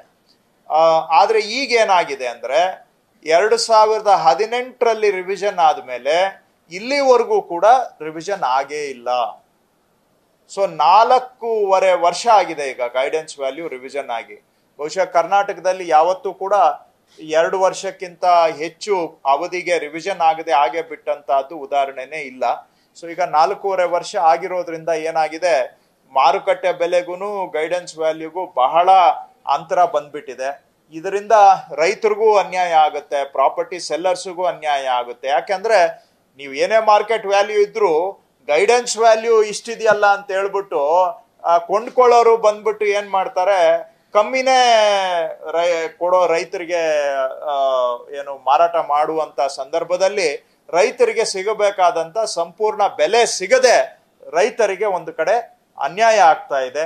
ಹಾಗೂ ಇನ್ನೊಂದು ಕಡೆ ಏನಾಗುತ್ತೆ, ಮಾರ್ಕೆಟ್ ರೇಟ್ಗಿಂತ ಗೈಡೆನ್ಸ್ ರೇಟ್ ತುಂಬಾ ಕಮ್ಮಿ ಇದ್ದಾಗ ಎಲ್ಲ ಕ್ಯಾಶ್ ಟ್ರಾನ್ಸಾಕ್ಷನ್ ಆಗಿ ಅದು ಕಪ್ಪು ಹಣಕ್ಕೆ ನೇರವಾಗಿ ನಾವು ಪ್ರೋತ್ಸಾಹ ಕೊಟ್ಟಂಗೂ ಆಗುತ್ತೆ. ಬ್ಲ್ಯಾಕ್ ಮನಿ ಕಾಂಪೊನೆಂಟು ರಿಜಿಸ್ಟ್ರೇಷನ್ ಅಲ್ಲಿ ಜಾಸ್ತಿ ಆಗುತ್ತೆ, ಕ್ಯಾಶ್ ಕಾಂಪೊನೆಂಟು. ಅದು ಕೂಡ ಬ್ಲ್ಯಾಕ್ ಮನಿಗೆ ನಾವು, ನಾವಾಗಿ ನಾವು ಅದಕ್ಕೆ ರೈತ, ಒಂದ್ ಕಡೆ ರೈತರಿಗೆ ಅನ್ಯಾಯ ಆಗೋದಾದ್ರೆ ಕಡಿಮೆ ಗೈಡೆನ್ಸ್ ವ್ಯಾಲಿಯಿಂದ ಇನ್ನೊಂದು ಕಡೆ ಬ್ಲ್ಯಾಕ್ ಮನಿ ಕಾಂಪೊನೆಂಟು ಜಾಸ್ತಿ ಆಗುತ್ತೆ. ಸೊ ಇವೆರಡನ್ನೂ ಗಮನದಲ್ಲಿ ಇಟ್ಕೊಂಡು ಈ ಗೈಡೆನ್ಸ್ ವ್ಯಾಲ್ಯೂ ರಿವಿಷನ್ ಬಗ್ಗೆ ಸದ್ಯದಲ್ಲೇ ಒಂದು ತೀರ್ಮಾನ ತೆಗೆದುಕೊಳ್ತೇವೆ. ಇಲ್ಲ, ಇನ್ನು ಆ ಲೆವೆಲ್ಗೆ ಹೋಗಿಲ್ಲ. ನೋಡಿ, ನನಗೂ ಅಧಿಕಾರಿಗಳಿದೆ, ಕೇಳಿದ್ರು, ಅಕಸ್ಮಾತ್ ಮಾಡೋದಾದ್ರೆ ಎಷ್ಟು ಪರ್ಸೆಂಟೇಜ್ ಮಾಡಬೇಕು ಅಂತ. ನಿಯಮ ಏನ್ ಹೇಳುತ್ತೆ ಅಂದ್ರೆ ಮಾರ್ಕೆಟ್ ವ್ಯಾಲ್ಯೂಗೆ ತಕ್ಕಂಗೆ ಇರಬೇಕು ಅಂತ ಹೇಳುತ್ತೆ. ಬಟ್ ಹಾಗಂತೇಳಿ ಒಂದೇ ಸತಿಗೆ ನಾವು ಅದನ್ನೆಲ್ಲ ಮಾಡ್ಲಿಕ್ಕೆ ಆಗೋದಿಲ್ಲ. ಬಟ್ ಪ್ರಿನ್ಸಿಪಲ್ ಒಂದು ನಿಯಮ ಇರೋದು ಆ ರೀತಿಯಾಗಿ. ಬಟ್ ಹಾಗಂತೇಳಿ ಮಾರ್ಕೆಟ್ ರೇಟ್ಗೆ ನಾವು ಸಡನ್ ಆಗಿ ತೆಗೆದುಕೊಂಡು ಹೋಗ್ಲಿಕ್ಕೆ ಆಗೋದಿಲ್ಲ. ಅದು ನೋಡ್ತೇವೆ. ಈಗ ಫಸ್ಟ್ ನಾನು ಏನು ಹೇಳಿದ್ದೇನೆ ಗೈಡೆನ್ಸ್ ವ್ಯಾಲ್ಯೂಗೂ ಆಕ್ಚುಲಿ ನಡೀತಾ ಇರೋ ವಹಿವಾಟುಗಳಿಗೂ ಎರಡೂ ಫಿಗರ್ಸ್ ಕೊಡಿ ಎಲ್ಲ ಸ್ಟೇಟ್ದು ಅಂತ ಅಷ್ಟು ಕೇಳಿದ್ದೇನೆ. ನೋಡ್ಕೊಂಡು ಆಮೇಲೆ ನೋಡೋಣ. ಇನ್ನೂ ಅದ್ರ ಬಗ್ಗೆ ನಾವಿನ್ನೂ ಆ ಸ್ಟೇಜಿಗೆ ಬಂದಿಲ್ಲ. ಹೌದು.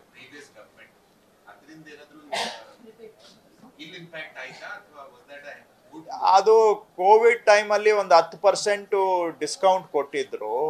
ಸೊ ಆವತ್ತಿನ ಕಾಲಕ್ಕೆ ಬಹುಶಃ ಅದು ಅವಶ್ಯಕತೆ ಇತ್ತು ಅಂತ ಅನ್ಸುತ್ತೆ.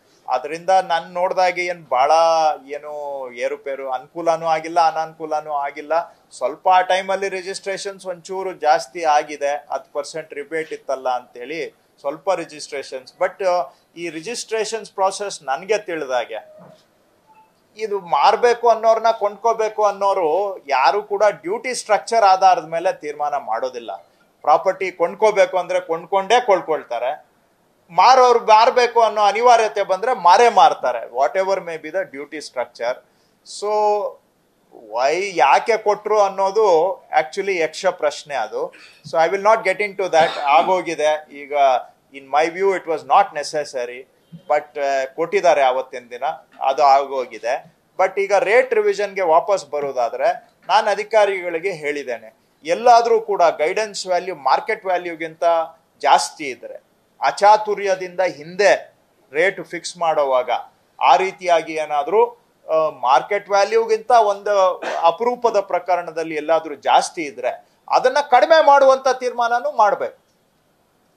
ಆಮೇಲೆ ಎಲ್ಲ ಕಡೆಗೂ ಯೂನಿಫಾರ್ಮ್ ಆಗಿನೂ ಏನು ಮಾಡೋ ಅವಶ್ಯಕತೆ ಇಲ್ಲ. ಕೇಸ್ ಬೈ ಕೇಸ್ ನೋಡ್ಕೊಂಡು ಮಾಡಿ ಕಡಿಮೆ ಇದ್ರೆ ಕಡಿಮೆನೂ ಮಾಡಬೇಕು ಅಂತಾನು ಕೂಡ ಹೇಳಿದೆ. ಹಿಂದೆ. ಪ್ರಕರಣಗಳು ಯಾಕೆ ಸರ್ ಮಿಸ್ಲೀಡ್ ಆಗೋದು ತುಂಬಾ ಕೇಸ್ಗಳು ಆಗಿದೆ ಆದ್ರೆ ಆಕ್ಷನ್ ಇನಿಷಿಯೇಟ್ ಮಾಡೋದಾಗ್ಲಿ ಅಥವಾ ಅದನ್ನ ಆಗದಂತ ಯಾರಿಗೆ ನಷ್ಟ ಆಗಿದೆ ಅದನ್ನಲ್ಲಿ ಇದು ರಿಯಂಬರ್ಸ್ ಮಾಡೋದಿರ್ಬೋದು ಅಥವಾ ಜನರು ನ್ಯಾಯ ಕೊಡೋದು ಸಹ ಫೇಲ್ಯೂರ್ ಆಗಿದೆ ಅಂತ ಈಗ ನಾನು ಕಳೆದ ವಾರ ಅದನ್ನು ನಮ್ಮ ಅಧಿಕಾರಿಗಳ ಜೊತೆ ಕೂತ್ಕೊಂಡು ಚರ್ಚೆ ಮಾಡಿದ್ದೇನೆ. ಸುಮಾರು ನಿನ್ನೆ ಕೂಡ ನಾನು ನಮ್ಮ ಹೋಮ್ ಆಫೀಸಲ್ಲಿ ಮನೆಯಲ್ಲೇ ಕೂತ್ಕೊಂಡು ಐ ಜಿ ಆರ್ ಅವ್ರ ಜೊತೆಗೆ ಮಾತಾಡಿದೆ. ಸುಮಾರು ನೂರು ನೂರು ಮೂವತ್ತು ಎನ್ಕ್ವೈರಿಗಳು ಸರ್ಕಾರ ಇನ್ನೂ ಅನುಮತಿ ಕೊಡದೆ ಪೆಂಡಿಂಗ್ ಇಟ್ಕೊಂಡಿದ್ದಾರೆ. ಸೊ ನಾನು ಅವರಿಗೆ ಹೇಳಿದ್ದೇನೆ ಇಮಿಡಿಯೇಟ್ಲಿ ಅವೆಲ್ಲ ಫೈಲ್ಸ್ ಹಿಂದೆ ಯಾಕೆ ಪೆಂಡಿಂಗ್ ಇಟ್ಟಿದ್ರು, ಯಾಕೆ ಅವ್ರ ಮೇಲೆ ಎನ್ಕ್ವೈರಿ ಇನಿಷಿಯೇಟ್ ಮಾಡಲಿ, ಕೆಲವು ಎನ್ಕ್ವೈರಿ ಆರಂಭ ಆಗಿ ವರ್ಷಗಳಾಗಿದೆ. ಅದನ್ನ ಮೂರು ತಿಂಗಳಲ್ಲಿ ಮುಗಿಬೇಕಾದಂತ ಎನ್ಕ್ವೈರಿಗಳು ವರ್ಷಾನುಗಟ್ಲೆ ಮುಗಿದಿಲ್ಲ. ಇನ್ ಕೆಲವು ಎನ್ಕ್ವೈರಿಗೆ ಅನುಮತಿನೇ ಕೊಟ್ಟಿಲ್ಲ. ಉದಾಹರಣೆಗೆ ಶನಿವಾರ ನನಗೊಂದು ಫೈಲ್ ಬಂತು. ಒಂದು ಪ್ರಕರಣದಲ್ಲಿ ಎರಡು ಸಾವಿರದ ಹತ್ತೊಂಬತ್ತರಲ್ಲಿ ಅವರು ಲೋಕಾಯುಕ್ತನವರು ಅವ್ರ ಮೇಲೆ ಆರೋಪ ಹೊರಿಸಿದ್ದಾರೆ. ಎರಡ್ ಸಾವಿರದ ಹತ್ತೊಂಬತ್ತು. ಅದು ಅವ್ರ ಮೇಲೆ ತನಿಖೆ ಆರಂಭ ಮಾಡೋದಕ್ಕೆ ನಾನು ಹೋದ ಶುಕ್ರವಾರ ಶನಿವಾರ ಸೈನ್ ಹಾಕಿದ್ದೇನೆ. ಎರಡು ಸಾವಿರದ ಹತ್ತೊಂಬತ್ತು, ಎರಡು ಸಾವಿರದ ಇಪ್ಪತ್ತ್ ಮೂರು ಅಂದ್ರೆ ಎಷ್ಟು ವರ್ಷ ಆಯ್ತು. ಅವ್ರು ಇನ್ನೇನು ಇನ್ನೂ ರಿಟೈರ್ ಆಗಿಲ್ಲ ಇದ್ದಾರೆ ನಾಲ್ಕು ವರ್ಷ ಆಗಿದೆ, ಅವ್ರ ಮೇಲೆ ಎನ್ಕ್ವೈರಿಗೆ ಇಲ್ಲಿವರೆಗೂ ಸಹ ಪರ್ಮಿಷನ್ನು ಕೊಟ್ಟಿಲ್ಲ. ಸೊ ನಾನು ಅದಕ್ಕೆ ಸೂಚನೆಯನ್ನ ಕೊಟ್ಟಿದ್ದೇನೆ ಪ್ರಧಾನ ಕಾರ್ಯದರ್ಶಿಗಳಿಗೆ. ಮೊನ್ನೆ ಶನಿವಾರ ಇದೇ ಹಾಲಲ್ಲಿ ಮೀಟಿಂಗ್ ಮಾಡಿ ಹೇಳಿದ್ದೇನೆ. ಈ ಡಿಲೇ ಆಗೋದಕ್ಕೆ ಯಾವ ಅಧಿಕಾರಿ ಕಾರಣ, ಅದನ್ನ ನನ್ನ ಗಮನಕ್ಕೆ ತಗೊಂಡ್ ಬರಬೇಕು, ಅವ್ರ ಮೇಲೂ ಆಕ್ಷನ್ ಆಗಬೇಕು ಅಂತ ಹೇಳಿದ್ದೇನೆ ನಾನು ಅವರಿಗೆ. ಸೊ ಈ ತರಹ ನೀವು ಹೇಳ್ದಂಗೆ ಸುಮಾರು ಕೇಸುಗಳಲ್ಲಿ ಎನ್ಕ್ವೈರಿನ ಸ್ಟಾರ್ಟ್ ಮಾಡೋಕ್ಕೆ ಪರ್ಮಿಷನ್ ಕೊಟ್ಟಿಲ್ಲ. ಹೋದ ಬಾರಿ. ಅವೆಲ್ಲ ವಿಳಂಬ ಆಗಿದೆ. ಕೆಲವು ಸಚಿವಾಲಯದಲ್ಲಿ ವಿಳಂಬ ಆಗಿರ್ಬೋದು, ಕೆಲವು ಮಂತ್ರಿಗಳ ಕಚೇರಿಯಲ್ಲಿ ವಿಳಂಬ ಆಗಿರ್ಬೋದು. ನಾನು ಅವ್ರಿಗೆ ಹೇಳಿದ್ದೇನೆ ಎನ್ಕ್ವೈರಿಗೆ ಇನ್ಮೇಲೆ ಯಾವುದೇ ಕಾರಣಕ್ಕೂ ವಿಳಂಬ ಆಗಬಾರ್ದು. ಯಾರಾದರೂ ಎಲ್ಲಾದರೂ ಫೈಲನ್ನು ಎತ್ತಿಡುವಂಥ ಕೆಲಸ ಮಾಡಿದರೆ, ಆ ಅಧಿಕಾರಿಗಳ ಮೇಲೆ ನಾನು ಎನ್ಕ್ವೈರಿ ಮಾಡಬೇಕಾಗತ್ತೆ ಅಂತಲೂ ಹೇಳಿದ್ದೇನೆ. ಮತ್ತು ಯಾವ ಎನ್ಕ್ವೈರಿಗಳು ಶುರುವಾಗಿದ್ದಾವೆ ಅವುಗಳನ್ನ ಆ ಎನ್ಕ್ವೈರಿ ಆಫೀಸರ್ಸ್ ಅನ್ನ ಕರೆಸಿ ಮೀಟಿಂಗ್ ಮಾಡಬೇಕು ಅಂತ ನಾನು ಪ್ರಿನ್ಸಿಪಲ್ ಸೆಕ್ರೆಟರಿ ಅವ್ರಿಗೆ ಹೇಳಿದ್ದೇನೆ. ಮೂರು ತಿಂಗಳು ಟೈಮು ಒಂದು ತಿಂಗಳು ಎಕ್ಸ್ಟೆನ್ಷನ್ ಅದಕ್ಕಿಂತ ಹೆಚ್ಚಿಗೆ ಎಕ್ಸ್ಟೆನ್ಷನ್ ಕೊಡೋ ಅವಶ್ಯಕತೆ ಇಲ್ಲ. ಯಾ ಇನಿಷಿಯೇಟ್ ಆಗಿರೋ ಎನ್ಕ್ವೈರಿಗಳು ತಕ್ಷಣ ತಾತ್ಪರ್ಯ ಒಂದು ಲಾಜಿಕಲ್ ಎಂಡಿಗೆ ಬರಬೇಕು. ಅವ್ರು ಏನಾದರೂ ಕೊಡಲಿ. ಅವ್ರು ಒಳ್ಳೆ ಎನ್ಕ್ವೈರಿ ಮಾಡಲಿ, ಸಮಾಧಾನ ಆಗದೆ ಇರುವಂತ ಎನ್ಕ್ವೈರಿ ಮಾಡಲಿ. ಅಟ್ಲೀಸ್ಟ್ ಎನ್ಕ್ವೈರಿ ಕನ್ಕ್ಲೂಡ್ ಆಗಬೇಕು. ನೂರಾರು ಪ್ರಕರಣಗಳು ಪೆಂಡಿಂಗ್ ಎನ್ಕ್ವೈರಿ ಪೆಂಡಿಂಗ್ ಎನ್ಕ್ವೈರಿ ಅಂತ ಹೇಳುವಂತಹದ್ದು ಸರಿಯಲ್ಲ. ಸೊ ಎನ್ಕ್ವೈರಿ ಇನಿಷಿಯೇಟ್ ಆಗೋದ್ರಲ್ಲೂ ವಿಳಂಬ ಆಗಬಾರ್ದು. ಎನ್ಕ್ವೈರಿ ಪೂರ್ಣ ಆಗೋದ್ರಲ್ಲೂ ವಿಳಂಬ ಆಗಬಾರ್ದು ಅಂತ ನಾನು ಐ ಜಿ ಆರ್ ಅವ್ರಿಗೆ ಪ್ರಿನ್ಸಿಪಲ್ ಸೆಕ್ರೆಟರಿ ಇಬ್ಬರಿಗೂ ಕ್ಲಿಯರ್ ಆಗಿ ಇನ್ಸ್ಟ್ರಕ್ಷನ್ ಕೊಟ್ಟಿದ್ದೇನೆ ತಿಮ್ಮಪ್ಪ ಅವರು ಕಂದಾಯ ಸಚಿವರಾಗಿದ್ದಾಗ ಬೆಂಗಳೂರು ನಗರ ಇರ್ಬೋದು ಅಥವಾ ಬೇರೆ ಬೇರೆ ನಗರ ಪ್ರದೇಶಗಳಲ್ಲಿ ಇನ್ನು ಗ್ರಾಮಾಂತರ ಅಥವಾ ಏನು ಗ್ರಾಮಾಂತರ ಈ ಖಾತರಿಗಳಲ್ಲಿ ನೋಂದಣಿ ಮಾಡಿಕೊಂಡು ಸಿಟಿ ಸರ್ವೆನ ಅಥವಾ ಸಿಟಿ ಜಾಗವನ್ನ ಈ ಖಾತಾ ನೋಂದಣಿ ಮಾಡ್ಕೊಂಡು ತುಂಬಾ ಪ್ರಕರಣಗಳಾಗಿವೆ ಹಿಂದೆ ಅದ್ರ ಬಗ್ಗೆ ಕೆಲವು ತನಿಖೆ ಆಗಿತ್ತು ಮುಳುವೆಲ್ಲ ಆಗಲಿಕ್ಕೆ ಎಲ್ಲ ಡ್ರಾಪ್ ಆಗಿದೆ ಇದು ಯಾಕೆ ಆ ಥರ ಆಗ್ತದೆ ಅಂತ ಪ್ರಕರಣ ಬಗ್ಗೆ ಅಲ್ಲ, ಅದಕ್ಕೇನೆ ಕಾವೇರಿ ಟೂ ಬಂದಿರೋದು. ಕಾವೇರಿ ಟೂನಲ್ಲಿ ಸದ್ಯಕ್ಕೆ ಅಟ್ಲೀಸ್ಟ್ ಬೇರೆಯವರ ಹೆಸರಿನಲ್ಲಿರೋ ಜಮೀನು ಇನ್ನೊಬ್ರು ಹೋಗಿ ರಿಜಿಸ್ಟ್ರೇಷನ್ ಮಾಡಕ್ ಆಗೋದಿಲ್ಲ. ಮುಂದಿನ ದಿನಗಳಲ್ಲಿ ಅದು ನಗರ ಪ್ರದೇಶಗಳಿಗೂ ಕೂಡ ವಿಸ್ತರಿಸಬೇಕು ಅಂತ ಒಂದು ಈ ಕಾವೇರಿ ಟೂನಲ್ಲಿ ಪ್ರಾವಿಷನ್ ಮಾಡಿದೆ. ಸೊ ಹಂಗಾಗಿ ಮಾಡಿದಾಗ ಯಾರ್ದೋ ಖಾತೆ ತಗೊಂಡು ಯಾರೋ ರಿಜಿಸ್ಟ್ರೇಷನ್ ಬದಲಾವಣೆ ಆಗುತ್ತೆ. ಇದರ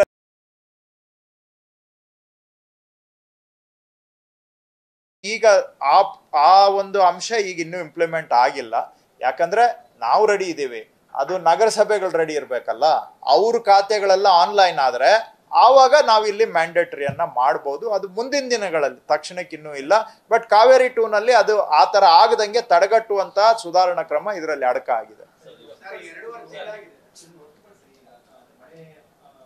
ಇದು ಮುಗಿದ್ಬಿಡ್ಲಿ ಆಮೇಲೆ ಬರ್ತೀನಿ. ಅದು ಇದು ಆಗ್ಬಿಡ್ಲಿ. ಇದ್ರ ಬಗ್ಗೆ ಹೇಳ್ತೇನೆ. ಮಳೆದು ಹೇಳ್ತೇನೆ. ಇಲ್ಲಿ ಯಾರು? ಹೌದು.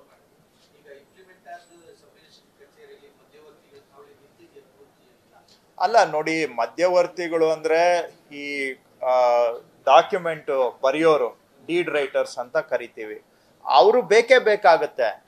ಅವರು ಡೀಡ್ ಯಾಕಂದ್ರೆ ಈ ರಿಜಿಸ್ಟ್ರೇಷನ್ ಡಾಕ್ಯುಮೆಂಟು ತಯಾರು ಮಾಡೋದು ಆ ಡೀಡ್ ರೈಟರ್ಸೇ ಇರ್ತಾರೆ. ಸ್ಟಾಂಪ್ ವೆಂಡರ್ಸು ಬೇಕಾಗುತ್ತೆ, ಡೀಡ್ ರೈಟರ್ಸು ಇರಲೇಬೇಕಾಗುತ್ತೆ. ಅದನ್ನ ಬಿಟ್ಟು ಬೇರೆಯವರು ಹಸ್ತಕ್ಷೇಪ ಕಡಿಮೆ ಆಗಿದೆ.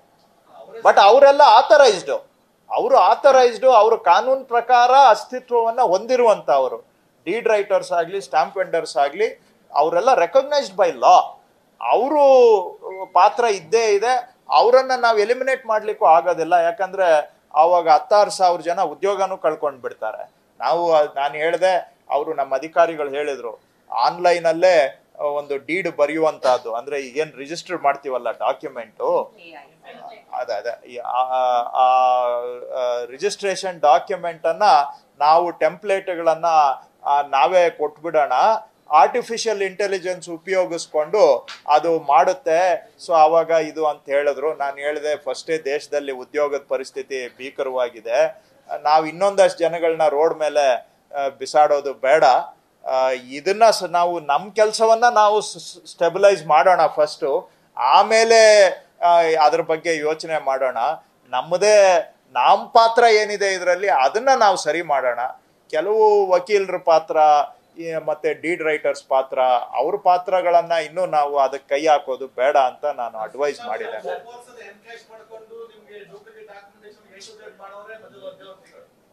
ಅಲ್ಲ ಅವರು ಅವರು ಫ್ರಾಡ್ಸ್ಟರ್ಸ್ ಅವರು ಅವರು ಫ್ರಾಡ್ಗಳು ಇವ್ರು ಹೇಳ್ದಂಗೆ ಇವರು ಡೀಡ್ ರೈಟರ್ಸ್ ಅವ್ರದ್ದೆಲ್ಲ ಅಫಿಷಿಯಲಿ ರೋಲ್ ಇದೆ ಅವ್ರದ್ದು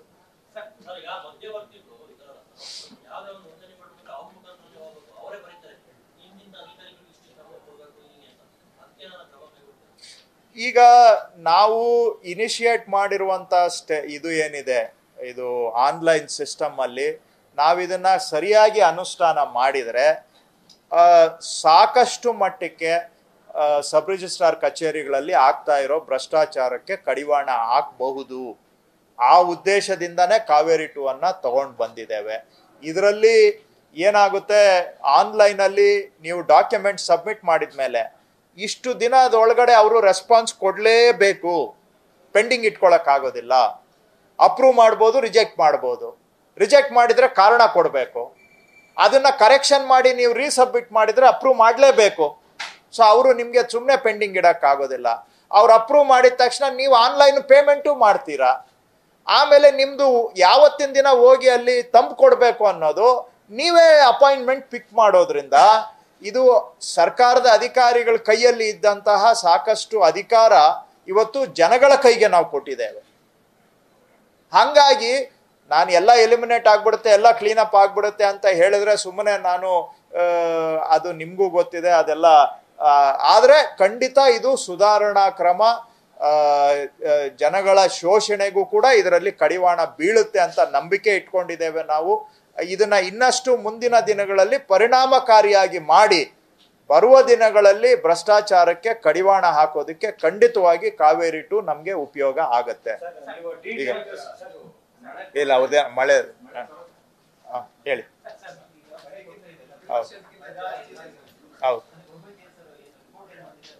ನಾನು ಎರಡು ವಾರ ಹಿಂದೆ ಇದೇ ಜಾಗದಲ್ಲಿ ತಮ್ಮನ್ನ ಭೇಟಿ ಆದಾಗ ನಾನು ಅವತ್ತು ಹೇಳಿದ್ದೆ, ಎಷ್ಟು ಜನ ಜ್ಞಾಪಕ ಇದೆಯೋ, ಜೂನ್ ತಿಂಗಳಲ್ಲಿ ಸ್ವಲ್ಪ ಸಮಸ್ಯೆ ಇದೆ ಅಂತಾನೆ ಹೇಳಿದ್ದೆ. ಯಾವತ್ತು ಬಹುಶಃ ನಾನು ಇಲ್ಲಿ ಭೇಟಿ ಮಾಡಿದ್ದು ಮೇ ಇಪ್ಪತ್ತೊಂಬತ್ತಕ್ಕೋ ಏನೋ ಅನ್ಸುತ್ತೆ. ಮೇ ಇಪ್ಪತ್ತೊಂಬತ್ತಕ್ಕೆ ತಮ್ಗೆ ಹೇಳಿದ್ದೆ, ಜೂನು ತಿಂಗಳಲ್ಲಿ ಪ್ರಾಬ್ಲಮ್ ಇದೆ ಅಂತ. ಸೊ ಈಗ ಅದೇ ಪ್ರಕಾರವಾಗಿ ನಿನ್ನೆವರೆಗೂ ಪ್ರಾಬ್ಲಮ್ ಮಳೆ ಎಲ್ಲಾ ಜಿಲ್ಲೆಗಳಲ್ಲಿ ಮಳೆ ಕೊರತೆ ನಿನ್ನೆವರೆಗೂ ರಾಜ್ಯವನ್ನ ಕಾಡಿದೆ. ಇದಕ್ಕೆ ಎರಡು ಕಾರಣ ಇದೆ. ಒಂದು, ಮುಂಗಾರು ತಡವಾಗಿ ಕರ್ನಾಟಕ ಪ್ರವೇಶ ಮಾಡಿದ್ದು ಒಂದು ಕಾರಣ. ಕರ್ನಾಟಕ ಅಷ್ಟೇ ಅಲ್ಲ, ಕೇರಳಗೂ ಕೂಡ ಒಂದು ವಾರ ತಡವಾಗಿ ಪ್ರವೇಶ ಮಾಡಿ, ನಮಗೂ ಸಹ ಒಂದು ವಾರ ತಡವಾಗಿ ಆಗಿದೆ. ಅದರ ಜೊತೆ ಜೊತೆಗೇನೆ ಈ ಕಡೆ, ಆ ಬಿಪೋರ್ ಜಾಯ್ ಜಾಯ್ ಚಂಡಮಾರುತಾನು ಕೂಡ ಅದು ತೇವಾಂಶವನ್ನ ಎಲ್ಲ ಎಳ್ಕೊಂಡಿದ್ರಿಂದ ನಮ್ಮ ದಕ್ಷಿಣ ಭಾರತದ ಮೇಲೆ ತೇವಾಂಶ ಎಲ್ಲ ಕೊರತೆ ಆಗಿ ಅದು ಆ, ಆ- ಚಂಡಮಾರುತಾನೆ ಎಲ್ಲ ತೇವಾಂಶವನ್ನ ಹೇಳ್ಕೊಂಡಿದ್ರಿಂದನೂ ನಮಗೆ ತೊಂದರೆ ಆಗಿದೆ. ಆದರೆ ವಿಜ್ಞಾನಿಗಳು, ಹವಾಮಾನ ವಿಜ್ಞಾನಿಗಳ ಅವ್ರೇನು ಓದ್ ತಿಂಗಳು ಹೇಳಿದ್ರು, ಇವತ್ತು ಅದನ್ನೇ ಹೇಳ್ತಾ ಇದ್ದಾರೆ. ಅವರು ಕೊಟ್ಟಿರುವಂತಹ ವೈಜ್ಞಾನಿಕ ಮಾಹಿತಿಯ ಪ್ರಕಾರವಾಗಿ ಈ ನೆನ್ನೆಯಿಂದ ರಾಜ್ಯಕ್ಕೆ ಮತ್ತೆ ಮುಂಗಾರು ಸ್ವಲ್ಪ ಚುರುಕಾಗ್ತಾ ಇದೆ. ನಿನ್ನೆ ಈಗ ರಾಜ್ಯದಲ್ಲಿ ನಿನ್ನೆವರೆಗೆ ಅತಿ ಕೊರತೆ ಇದ್ದಂತಹದ್ದು ಉಡುಪಿ, ಮಂಗಳೂರು, ಕಾರವಾರ ಭಾಗದಲ್ಲಿ. ನಿನ್ನೆ ಆ ಮೂರು ಜಿಲ್ಲೆಗಳಲ್ಲಿ ವಾಡಿಕೆ ಪ್ರಕಾರ ಆಲ್ರೆಡಿ ನಿನ್ನೆ ಮಳೆ ಆಗಿದೆ. ಲಾಸ್ಟ್ ಟ್ವೆಂಟಿ ಫೋರ್ ಅವರ್ಸ್ ನೋಡಿದಾಗ ನಿನ್ನೆ ಆ ಜಿಲ್ಲೆಗಳಲ್ಲಿ ದಕ್ಷಿಣ ಕನ್ನಡ ಜಿಲ್ಲೆಯಲ್ಲಿ ನಲವತ್ತಾರು ಮಿಲಿಮೀಟರ್ ಮಳೆ ಆಗಿದೆ. ಉಡುಪಿಯಲ್ಲಿ ಇಪ್ಪತ್ತೇಳು ಮಿಲಿಮೀಟರ್ ಮಳೆ ಆಗಿದೆ. ಉತ್ತರ ಕನ್ನಡದಲ್ಲಿ ಇಪ್ಪತ್ತು ಮಿಲಿಮೀಟರ್ ಮಳೆ ಆಗಿದೆ. ಸೊ ಆ ಭಾಗದಲ್ಲಿ ಮುಂಗಾರು ಪ್ರವೇಶ ಆಗಿದೆ. ಸೊ ಇವತ್ತು ಇನ್ನೂ ಸ್ವಲ್ಪ ವ್ಯಾಪಿಸ್ಕೊಳ್ತದೆ ಅಂತ ವಿಜ್ಞಾನಿಗಳು ಹೇಳಿದ್ದಾರೆ. ಹಾಗೆ ನಾಳೆಯಿಂದ ಬಹುಶಃ ಕಲ್ಯಾಣ ಕರ್ನಾಟಕ ಭಾಗದಲ್ಲೂ ಕೂಡ ಮಳೆ ಚುರುಕಾಗ್ಬೋದು ಅಂತ ವಿಜ್ಞಾನಿಗಳು ಹೇಳಿದ್ದಾರೆ. ಸೊ ಅವರು ಮೊದಲೇ ಹೇಳಿದ್ರು ಜೂನ್ ಮೂರನೇ ವಾರ ಸ್ವಲ್ಪ ವೀಕ್ ಇರುತ್ತೆ.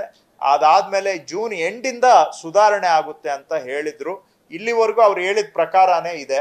ಸೊ ಆದರೂ ಕೂಡ ಹಾಗಂತೇಳಿ ಎಲ್ಲ ಸರಿ ಹೋಗುತ್ತೆ ಅಂತ ನಾನು ಹೇಳ್ತಾ ಇಲ್ಲ. ಅವ್ರು ಹೇಳಿರೋ ಮಾಹಿತಿಯನ್ನ ತಮ್ಮ ಜೊತೆಗೆ ಹಂಚ್ಕೊಳ್ತಾ ಇದ್ದೇನೆ. ಆಸ್ ಆಫ್ ಟುಡೇ ರಾಜ್ಯದ ಎಲ್ಲಾ ಜಿಲ್ಲೆಗಳಲ್ಲೂ ಕೂಡ ಮಳೆ ಕೊರತೆ ಇದೆ. ಜೂನ್ ಒಂದನೇ ತಾರೀಕಿಂದ ತಗೊಂಡ್ರೆ. ಆದ್ರೆ ಮುಂಗಾರು ಪೂರ್ವ ನೋಡಿದ್ರೆ ರಾಜ್ಯದಲ್ಲಿ ವಾಡಿಕೆಗಿಂತ ಒಂದು ಮಿಲಿಮೀಟರ್ ಹೆಚ್ಚೇ ಮಳೆ ಆಗಿತ್ತು. ಮುಂಗಾರು ಪೂರ್ವ, ಅಂದ್ರೆ ಜೂನ್ ಒಂದಕ್ಕಿಂತ ಹಿಂದೆ ನೂರ ಹದಿನೈದು ಮಿಲಿಮೀಟರ್ ಆಗಬೇಕಾಗಿದ್ದಂಥ ಮಳೆ ವಾಸ್ತವದಲ್ಲಿ ನೂರ ಹದಿನಾರು ಮಿಲಿಮೀಟರ್ ಆಗಿತ್ತು, ಮುಂಗಾರು ಪೂರ್ವ. ಆದರೆ ಮೊದಲನೇ ಮುಂಗಾರಿನ ಮೊದಲ ಭಾಗದಲ್ಲಿ ನಮಗೆ ಕೊರತೆ ಆಗಿದೆ.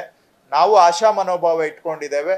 ಇನ್ನು ಬರುವ ದಿನಗಳಲ್ಲಿ ಕೊರತೆಯನ್ನು ನೀಗಿಸುವಂಥ ರೀತಿಯಲ್ಲಿ ಮಳೆ ಬರುತ್ತೆ ಅನ್ನುವಂಥ ನಿರೀಕ್ಷೆಯನ್ನು ಇಟ್ಕೊಂಡಿದ್ದೇವೆ. ಹಾಗಂತೇಳಿ ವಿಜ್ಞಾನಿಗಳು ಹೇಳ್ಬಿಟ್ಟಿದ್ದಾರೆ ಅಂತ ನಾವೆಲ್ಲೂ ಕೂಡ ಎಚ್ಚರ ತಪ್ಪಿಲ್ಲ. ಮುಖ್ಯಮಂತ್ರಿಗಳು, ಸರ್ಕಾರದ ಮುಖ್ಯ ಕಾರ್ಯದರ್ಶಿಗಳು ನಮ್ಮ ಇಲಾಖೆಯವರು, ಆರ್ ಡಿ ಪಿ ಆರ್ ಇಲಾಖೆಯವರು ನಾವೆಲ್ಲರೂ ಕೂಡ ನಿಗಾ ವಹಿಸಿ ಮಾನಿಟರ್ ಮಾಡ್ತಾ ಇದ್ದೇವೆ.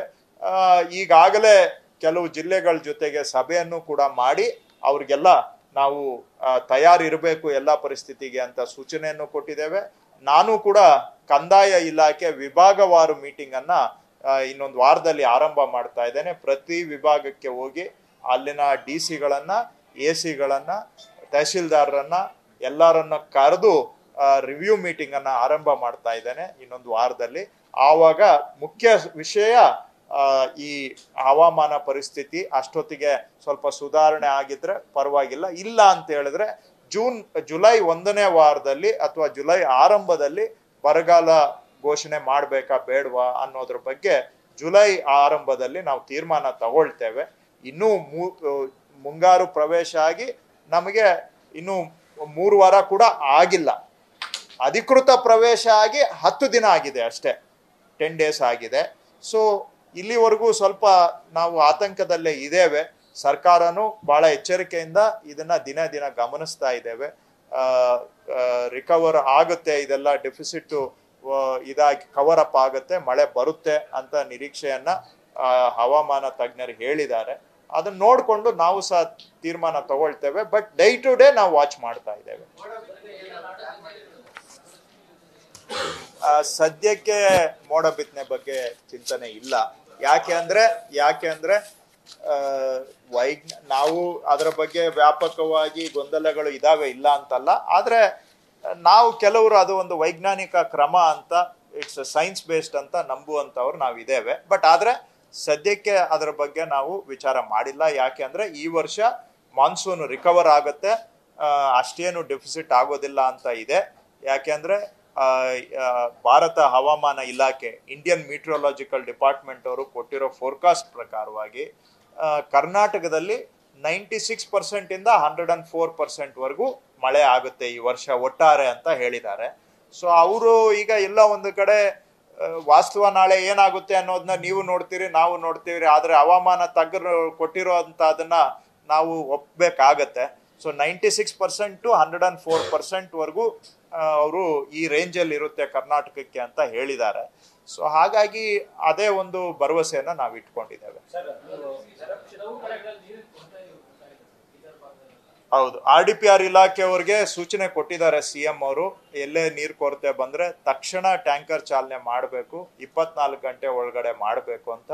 ನಿನ್ನೆ ಮೊನ್ನೆ ಕೆಲವು ಕಡೆ ಅದು ತಕ್ಷಣ ಆಗಿಲ್ಲ ಅನ್ನುವಂಥ ವರದಿಗಳನ್ನು ನಾವು ಸರ್ಕಾರದಲ್ಲಿ ಸಿ ಎಂ ಗಮನಿಸಿದ್ದಾರೆ. ಚೀಫ್ ಸೆಕ್ರೆಟರಿ ಅವರು R D P R minister ನಮ್ಮ ಇಲಾಖೆಯವರು, ನಾವೆಲ್ಲರೂ ಮಾನಿಟರ್ ಮಾಡ್ತಾ ಇದ್ದೀವಿ. ಸ್ಟ್ರಿಕ್ಟ್ಲಿ ಸೂಚನೆ ಕೊಟ್ಟಿದ್ದೇವೆ ಪ್ರಾಬ್ಲಮ್ ಬಂದು ಟ್ವೆಂಟಿ ಫೋರ್ ಅವರ್ಸ್ ಅಲ್ಲಿ ಶುರು ಮಾಡ್ಬೇಕು ಟ್ಯಾಂಕರ್ ಸಪ್ಲೈ ಅಂತ. ಕೆಲವು ಕಡೆ ಏನಾಗಿದೆ, ಈ ನಾಲ್ಕು ವರ್ಷದಿಂದ ಚೆನ್ನಾಗಿ ಮಳೆ ಆಗಿ ಸ್ವಲ್ಪ ಅಧಿಕಾರಿಗಳಿಗೂ ಈ ಈ ಸಿಚುವೇಶನ್ನು ಮರ್ತು ಬಿಟ್ಟಿದ್ದಾರೆ ಅಂತ ಕಾಣುತ್ತೆ. ಆದರೆ ಅದನ್ನು ನಾವು ಟೈಟನ್ ಮಾಡ್ತಾ ಇದ್ದೇವೆ. ನಾನು ಕೂಡ ಡಿವಿಷನ್ ವೈಸ್ ಮೀಟಿಂಗ್ಸ್ ಮಾಡಿ ಎಲ್ಲ ತಹಶೀಲ್ದಾರು ಎ ಸಿಗಳನ್ನ ಕರೆದು ಡಿ ಸಿಗಳನ್ನ ಕರೆದು ಕೂರಿಸ್ಕೊಂಡು ಆ, ಪ್ರಕ್ರಿಯೆಯನ್ನು ನಾನು ಆರಂಭ ಮಾಡ್ತಾ ಇದ್ದೇನೆ. ಚುರುಕು ಮಾಡಿ ತಕ್ಷಣ ಸ್ಪಂದಿಸುವಂತ ಕೆಲಸ ಮಾಡಿಸ್ತೇವೆ. ಇದೆ ಇದೆ ಕೊಡ್ತೇನೆ ಬೇಕಾದ್ರೆ. ಅದು ನನ್ನ ಪ್ರಕಾರ ಒಂದು ಎಂಟುನೂರು ಲೊಕೇಶನ್ಸ್ ಅಲ್ಲಿ ಪ್ರಾಬ್ಲಮ್ ಇದೆ ಅಂತ ನಮ್ಮ ಹತ್ರ ಇದೆ. ವಿಲೇಜ್ ವೈಸೇ ಇದೆ ನನ್ನ ಹತ್ರ ಮಾಹಿತಿ. Village wise panchayat wise taluk wise district wise day to day every day monitor ಮಾಡ್ತಾ ಇದ್ದೀವಿ ಎಂಟ್ನೂರು ಕಡೆ problem R D P R ಅವ್ರದ್ದು ಅವ್ರದ್ದು ಹೆಚ್ಚಿಗೆ ಇದೆ. ನಿಮ್ಗೆ ಅದು ಹೇಳ್ಬಿಡ್ತೇನೆ. ಆರ್ ಡಿ ಪಿ ಆರ್ ಅವ್ರ ಪ್ರಕಾರ ಹೆಚ್ಚಿಗೆ ಇದೆ. ರೆವಿನ್ಯೂ ಬಂದಿರೋದ್ರಲ್ಲಿ ಸ್ವಲ್ಪ ನಮಗೆ ಎಂಟ್ನೂರು ಅಂತ ಇದೆ. ನಮಗೂ ಅವ್ರಿಗೂ ವ್ಯತ್ಯಾಸ ಯಾಕೆ ಇರುತ್ತೆ ಅಂದ್ರೆ ಅವ್ರದ್ದು ನೀರಿನ ಪ್ರಮಾಣ ಕಡಿಮೆ ಆದಂಗೆ ಅವರು ಸ್ಟ್ರೆಸ್ಫುಲ್ ಅಂದ್ರೆ ಅಂತ ತಗೊಳ್ತಾರೆ. ವಲ್ನರಬಲ್ ಅಂತ. ಅವರು ವಲ್ನರಬಲ್ ನಂಬರ್ ತಗೊಂಡಾಗ ಜಾಸ್ತಿ ಇರುತ್ತೆ. ನಮ್ಮ ನಮ್ಮ ಹತ್ರ ಡೇಟಾ ಬರುತ್ತೆ. ಸೊ ಅವ್ರದ್ದು ಡೇಟಾಗೂ ನಮ್ಮ ಡೇಟಾಗೂ ಸ್ವಲ್ಪ ವ್ಯತ್ಯಾಸ ಇರುತ್ತೆ. ಎಂಟುನೂರು ಎಂಟುನೂರ ಆರು ಕಡೆ ಟ್ಯಾಂಕರ್ ಸಪ್ಲೈ ಅಥವಾ ಬಾಡಿಗೆ ಬೋರ್ವೆಲ್ ಮುಖಾಂತರ ನೀರು ಕೊಡ್ತಾ ಇದೆ. ಅದು ಎಂಟ್ನೂರ ಆರು ಪ್ರದೇಶಗಳಲ್ಲಿ, ವಸತಿ ಪ್ರದೇಶಗಳಲ್ಲಿ ಟ್ಯಾಂಕರ್ ಸಪ್ಲೈ ಅಥವಾ ಬಾಡಿಗೆ ಬೋರ್ವೆಲ್ ಮುಖಾಂತರ ನಡೀತಾ ಇದೆ. ಆ, ಸ್ವಲ್ಪ ಜಾಸ್ತಿ ಉಡುಪಿ, ಮಂಗಳೂರು, ಕಾರವಾರ ಇಲ್ಲೇ ಜಾಸ್ತಿ ಇತ್ತು. ಈಗ ನಿನ್ನೆಯಿಂದ ಅಲ್ಲಿ ಮಳೆ ಶುರುವಾಗಿರೋದ್ರಿಂದ ಸ್ವಲ್ಪ ಸುಧಾರಣೆ ಆಗುತ್ತೆ. ಅದು ಬಿಟ್ಟರೆ ಸ್ವಲ್ಪ ಕಲ್ಯಾಣ ಕರ್ನಾಟಕದ ಕೆಲವು ಭಾಗ ಶಿವಮೊಗ್ಗದಲ್ಲೂ ಇದೆ. ಸೊ ಸ್ವಲ್ಪ ನಮಗೆ ಮಳೆ ಪ್ರಾಬ್ಲಮ್ ಆಗಿರೋದು ಕರಾವಳಿ ಮಲೆನಾಡಿನಲ್ಲೇ ಆ್ಯಕ್ಚುಲಿ ಮಳೆ ಪ್ರಾಬ್ಲಮ್ ಆಗಿರೋದು. ಬಟ್ ಇವ, ನಿನ್ನೆಯಿಂದ ಅಲ್ಲೆಲ್ಲ ಆ್ಯಕ್ಟಿವ್ ಆಗಿದೆ. ಸೊ ನಾನು ಆಗಲೇ ನಿಮಗೆ ಮೂರು ಜಿಲ್ಲೆದು ಕೊಟ್ಟೆ. ಹಾಗೆ ನಾವು ಮಲ್ನಾಡ್ಗೆ ಇನ್ನು ಇವತ್ತು ಮೋಸ್ಟ್ಲಿ ಮಲ್ನಾಡ್ಗೆ ಎಂಟರ್ ಆಗುತ್ತೆ ಮಳೆ ಅಂತ ಅನ್ಕೊಂಡಿದೀವಿ. ನಿನ್ನೆ ಮಲ್ನಾಡಲ್ಲಿ ಇನ್ನೂ ಮಳೆ ಆಗಿಲ್ಲ. ಧನ್ಯವಾದ ಎಲ್ಲರಿಗೂ. Thank you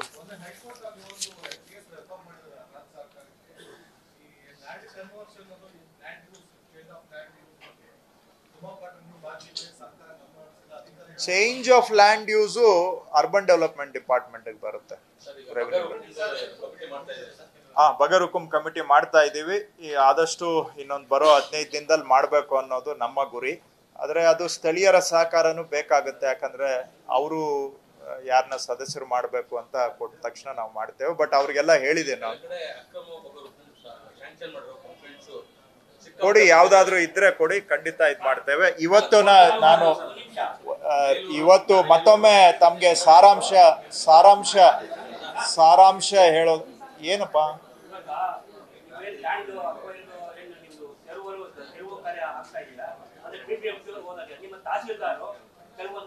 ನೀವು ಮೀಡಿಯಾದವರ ಏನು?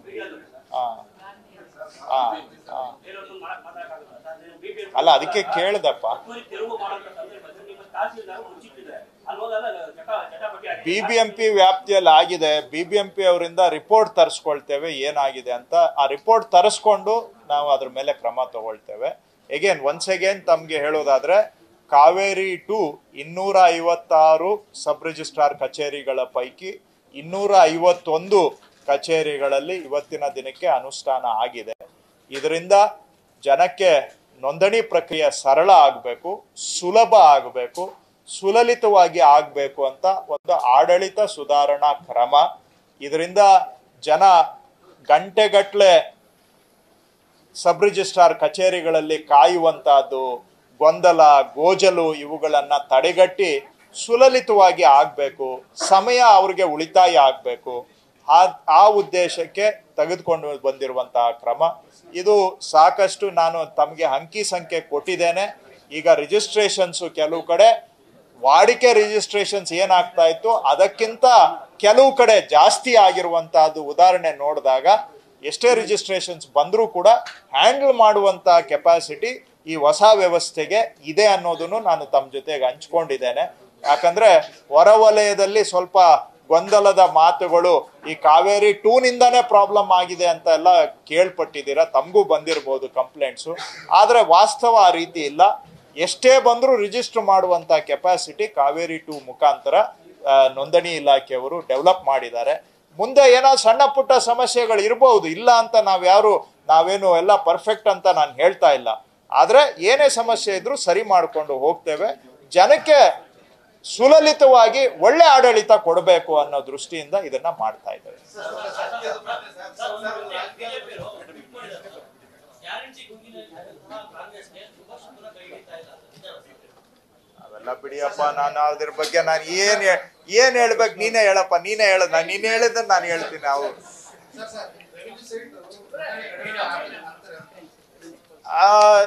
ನೋಡಿ ಅದ್ರ ಬಗ್ಗೆ ಇನ್ನೂ, ಅದ್ರ ಬಗ್ಗೆ ಇನ್ನೂ ಚರ್ಚೆ ಹಂತದಲ್ಲಿದೆ.